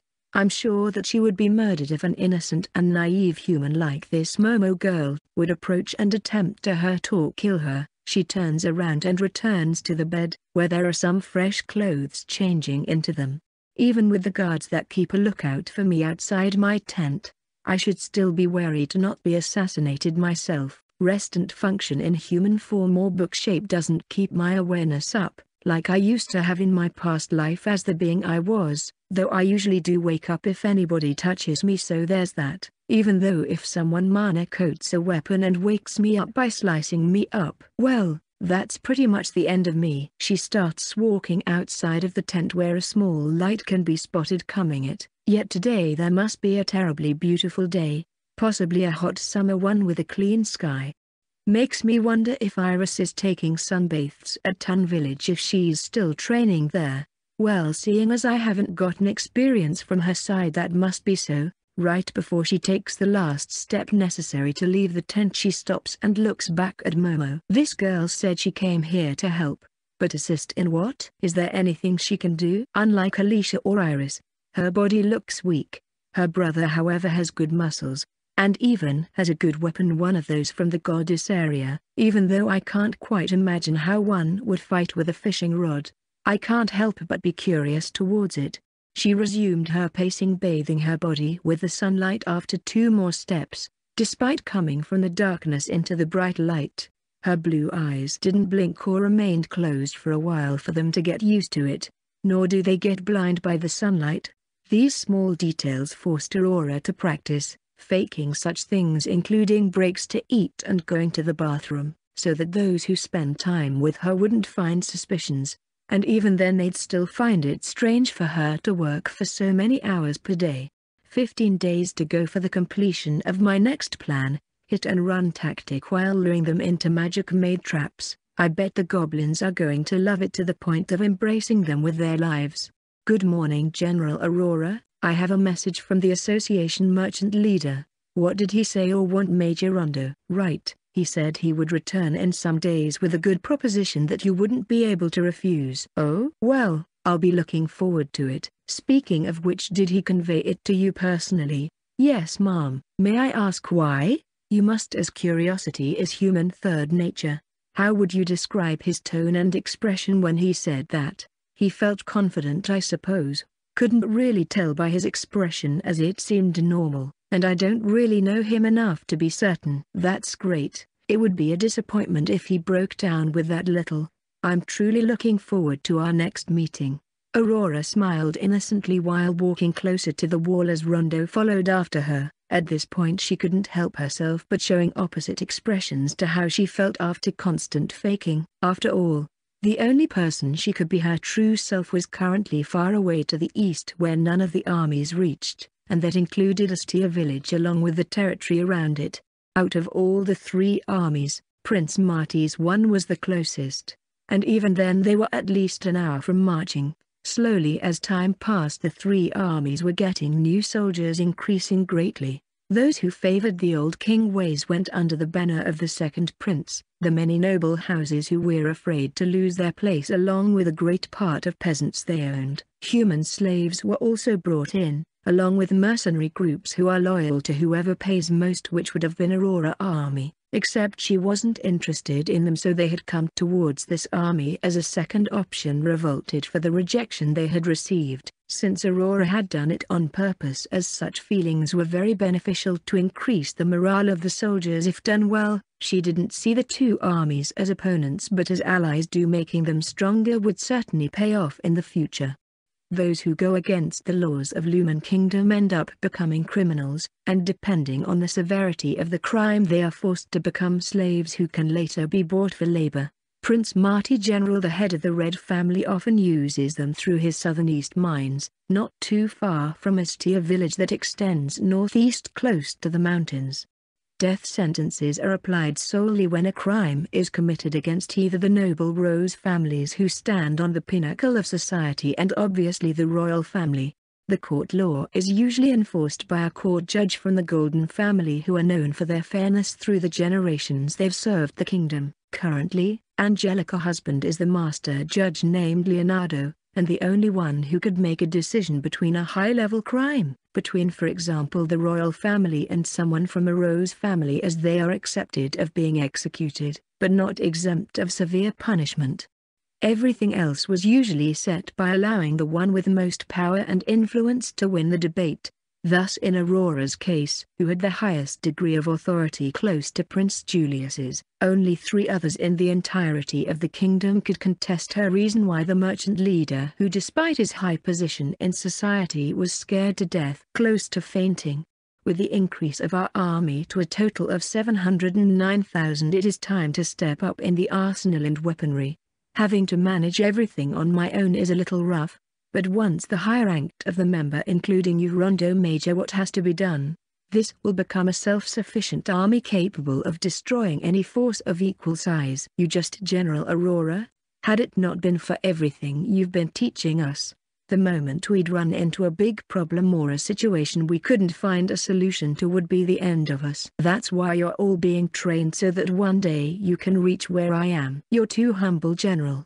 I'm 28 years old and I can tell that even if I had studied my entire life, I wouldn't have come up with the training theories much less these formations you've been passing on to us. If all your eyes had seen was war since your birth, she looks beyond the wall yet not quite as she loses herself in a certain memory. General? The man looked confused as she stopped talking to which she looks at him coldly upon waking up and saying while pointing diagonally towards his face, if by chance, death chased after you every single day of your miserable life, you would be forced to put your brain to work, to think on every possibility on how you were going to die, to search for a solution to survive. Rondo gulped and spoke, if that had been my life since birth I suppose you're right. But we only have a big war every 100 years with some skirmishes against hordes of monsters and beasts who appear from time to time from the south. She lowers her arm and dedicates her gaze to him noticing how clean his armor is. I was one of those who became enraged with my own self for hearing your speech. The second one where you called humans lazy, I've worked my entire life, but I realized a few things back then.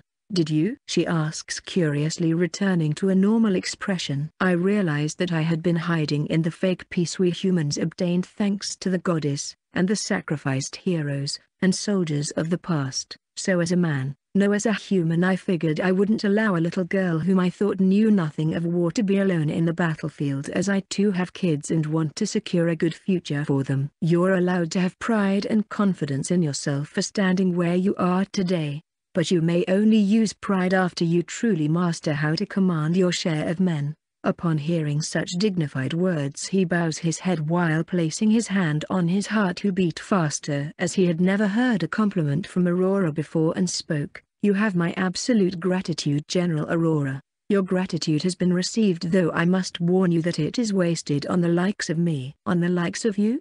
He shouted angrily and confused, as you're rundling. And you being the person whom I respect the most in this entire army, I do now allow you to speak badly of yourself. Everything you've done, all the work and hours spent to take us to this stage, there's no one else who could fathom to perceive half of what you do. That's how amazing of a girl, no a lady you are. With a sorrowful expression filling her face she went silent as she heard such words. I do understand Aurora that for someone extremely young such as yourself that you may go to the extent of even having nightmares towards everything that you've seen, all the bloodshed, the allies and enemies turning into corpses, the recent battle where thousands returned their souls to the gods. I know that it must be overburdening, that your shoulders, your head, no, your entire body must feel like it has the world on top of it. But even then you must not halt or give up. I am here as a major and I'll do my best to master your ways. I promise to become the best leader in this army after you, and alleviate your responsibility. As Aurora looks down her eyes glitter and then opens her mouth about to say something, and then it closes clutching the hands as tears fall softly on the feet and on the ground splashing calmly to the sides. If you weren't so peerless young lady I'd have asked the Prince Julius myself or his advisors to remove such a delicate child from the army, but sadly we need you. Take your time crying, I'll be here if you need anything young lady. He takes a step at her and bows slightly at her causing a shadow to cover her momentarily. One day after the war is over I'll introduce you to my children and let them know how amazing of a human you are. With a trembling voice she mutters softly, that would be nice. Year 5009 After the system Day 6 of the sun season in the southern outpost during the afternoon. I appoint as a General Momo, as soon as Aurora's voice echoed through the many people who had gathered around the group of important people everyone became dumbfounded. The usual scorned cursed human girl blushed at the stares of those around her. She had been sitting in front of Aurora who had spent a few hours testing the capabilities of the little thing who had her face drenched in drool not that long ago. It's astounding how this little girl is able to remember everything you've been teaching her without committing a single mistake. Just how good of a memory does she have? Mark asked while rubbing his beard amazed and proud of the human race. Yes, funny as how it may be, due to her being a cursed human, and thankfully for that, she has a unique that allows her to surpass even me in the future. What do you mean by that General? Rondo asks surprised as he believed that no one would possibly be able to surpass this girl. It's simple really, she owns the unique skill photographic memory, which allows her to never forget about a single thing she sees, so even the most complex formations I've been showing are already permanently stuck in her brain. That's how prodigious this little girl is. From the low to the high-ranked ones hearing that they couldn't help but feel that this girl who received a compliment from their general who rarely does it, and to such a great degree that couldn't help but be jealous not of what was considered cursed, but thinking of it as a blessing instead, as such, the men and women wanted to be cursed the same way as Momo to become generals too, since it was the only rank solely appointed by Aurora, unlike the others who could be obtained by merit and skills alone. Momo. Yes, Aurora, the girl asks still blushing as she's not used to receiving such attention especially compliments which is one of her weaknesses. Starting today the entire left wing is yours to control as you see fit, even dispatch it to a different place if you deem it worthy with your other extraordinary skill. Ah. Are you truly sure about that? I literally just joined the army yesterday. With an extremely cold tone, Aurora questions her making those around gulp. So? Are you doubting my capabilities as the general pointed by the Prince Julius to recognize talent? Ah. No of course not it's just, as she was about to continue her justifications she gets interrupted. What are you still sitting here for? Left wind waits for you go find Balthazar and let him know what transpired here today. Now, with fear mixed by nervous she gets up from the chair making it fall behind her which Ming picks it up and places it, where it was after his sister leaves the spot and then he places a hand on top of her hair and says, You came here for a reason, so you'll have to embrace your new fate. You're the one who told us to come here Momo. I I I understand older brother. Good, let's go meet this Balthazar person. Speaking of which what does he look like General Aurora? Search for the black-robed men and ask where you can meet them under my name. Understood. Come General Momo. Why yes. She follows the brother feeling nervous while blushing as he leads the way. Seems like I have a great rival for the future to come. I'll do my best to be appointed as a general in the future too, Rondo thought picking a book of the army formations from Aurora table and taking it with him, making Aurora grin that goes unnoticed by him. A loud feminine voice coming from not too far away reached this place. Is this where I can meet Aurora? The girl who I fought during the annual tournament? Seeing a crowd of 30 people around she approached eventually meeting the one in the middle of them a blonde hair with blue eyes sitting on a desk. You. No, not you. Who are you? I'm General Aurora, and if my memory doesn't fail me you're that Ava girl, the explosion elemental mage. I came here to help the one who defeated me. But even if you say you're who you, I would never forget those green eyes that were so terribly calm as we fought. So if you're who you say you are, who was the one I fought? A smile appeared on her expression and then she said, that would have been my younger sister Iris, a wizard owner of the rare ice element and a sword wielder. Is she around too? Not quite. She's training under a sword master named Ray, it seems that she was not very happy to have lost in the annual tournament, so she's trying to hone her skills for a few years. Is that so? Quite a shame. Well no matter. I already came here after all, where do I enlist? Considering your skills. You can join the Fire Mage Squad. If you do well you might rank up and become its leader one day. Alright, whom am I supposed to talk with? I'm from the Earth Mage Squad but the Fire one is close by I can take you there. A man from the crowd says while lifting his hand. Sure, take me there. Ava starts walking passing in front of Aurora's table looking at her eyes from the side who is focused on the papers ignoring her. Wasn't this kid a peasant like me? She feels totally different from the Iris girl I fought. From the appearance they must be twins. Even her sister already felt like a monster considering her age, but how about this one? I can't sense anything from her aside from emptiness. Should I test her out? I don't really intend to fight under someone weak. Ava hand aimed underneath their aura and a red circle appeared below the chair and the table and then as an explosion was supposed to happen, nothing did as darkness enveloped it. An eerie expression gazed at the explosion girl whose body trembled slightly being stared at by an ominous human. Ava bows her head and walks faster than before towards the man who was going to help her reach the fire magic squad, and as she did, a voice resounded by the little girl sitting. Next time you attempt that will be your last, don't consider this as a warning.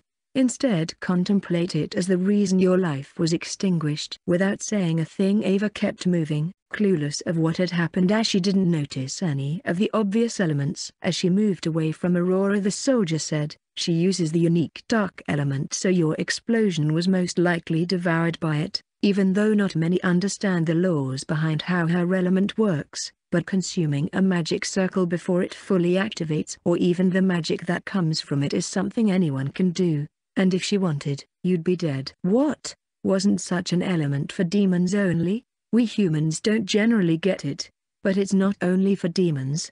Nevertheless it's for anyone really, even though from what I know she got it from the goddess Arya herself through the saintess blessing. Perhaps there are others with the dark element in the Lumen Kingdom territory, but due to the church they haven't shown up as they'd be called heretics. Could be. But if that's true then it's a matter of time till they do. Due to the goddess giving such an element through a blessing the Pope and the Church are receiving protests from the citizens and since the Saintess is in favor for both disgraceful classes and any element, she might become the leading role in the future. Wouldn't that be interesting to see? It'd be certainly a fair thing to pass throughout our kingdom. I also do not agree to the differentiation the church does and the exiling among other things they do to fellow humans. I understand. Say I didn't catch your name and rank. Oh, apologies Ava was it? I'm Hugo the leader of the Earth Magical Squadron. Yes, I'm Ava. Nice to meet you. A leader. Does that mean you're like the strongest of them? The strongest? Probably not but I'm the most cunning at making defenses and traps, he smugged surprising her with his declaration. How so? Doesn't the most powerful get a higher rank? That's what I heard before coming here. I even expected Iris to be the leader or perhaps a member of the Ice Magical Squad. Aurora uses our squad mainly to create traps and defenses along with the Nature Element 1. We often work together with them, as such the ones who are the most elaborate doing what she says are the ones ranking up the fastest. As for an ice squad we don't have one, the rare ice users we have work with the water one which is more abundant, unexpected, but understandable. I suppose not many would have rare and unique elements so mixing them with the basic elemental squadron sounds. I see. It is as you figured out, the young general thought about that from the very beginning while selecting them. We had to go through different and complex trials, but the fact that you have a special element and participated in the annual tournament, you'll most likely be exempted of that. What kind of trials were there? Just in case I have to do them. I'd like to know more about it if you don't mind telling me that is. Of course I wouldn't mind it. It was strange exercises apparently she learned them from her father, from stretching Aurora, be it made of mana or elemental, to pinpoint multiple targets at the same time, and even battling opposite elements that we were sure to lose against making us think of different ways to deal with them. She eventually made a standard and everyone who was above it got to be part of the magician squad. Those who didn't become part of the melee troops and learning mana and elemental coating on weapons. That sounds like a lot of organizing, and in a way, she started by checking everyone's aptitudes while training them at the same time. Like a certain man named Balthazar mentioned while with her during that time, she's befitting of the title Peerless General. Isn't that an exaggerated title? To master something requires decades if not centuries even if we don't live that long. I can't even fathom how hard it would be to master something called war. From the reports, she gives us from time to time her army is currently the biggest and also the one with the least casualties and the most kills since the competition for the throne has started. That's normal though the more allies we have the easier it is to subdue our enemies. Since she had a bigger army compared to the other two candidates that result is kind of expected. If you put it in such terms I suppose you're right. But there was something very captivating that she mentioned once. She captured your heart or something? The man started laughing at such words to what he replied. No of course not, she's too young. I'm not into kids. Then? What was it? Oh yeah right, she said that war was a ferocious and uncontrollable monster capable of destroying that which is most precious and that she had tamed it too. As he was about to finish the sentence Ava shouted interrupting him. Bullshit, she couldn't have possible tame war. She started laughing. Anyway, as I was saying, she had tamed it during thousands of years along with a different monster called death. Upon hearing the rest of the words Ava went silently for a moment, and then she spoke. Just what the fuck is that supposed to mean? Captivating isn't it? To the point of infinitely think upon such words without truly realizing their true meaning. Alas I don't know the answer or the logic behind them either. But time will tell either they're true or not. Till then I'll do my best becoming the greatest mage of Lumen Capital. You jest, the title won't leave the leader of the Magic Institute that easily the greatest of all the elemental mages in the kingdom. Him, ah, the man closest to have mastered three elements, and with the strongest firepower in possibly the entire world. Ryan old man, he was the one who taught me how to handle my explosion element. I'm a peasant but the truth is that my father is a noble, my mother a peasant, so I got to learn in the Magic Institute. That makes your father pretty wealthy.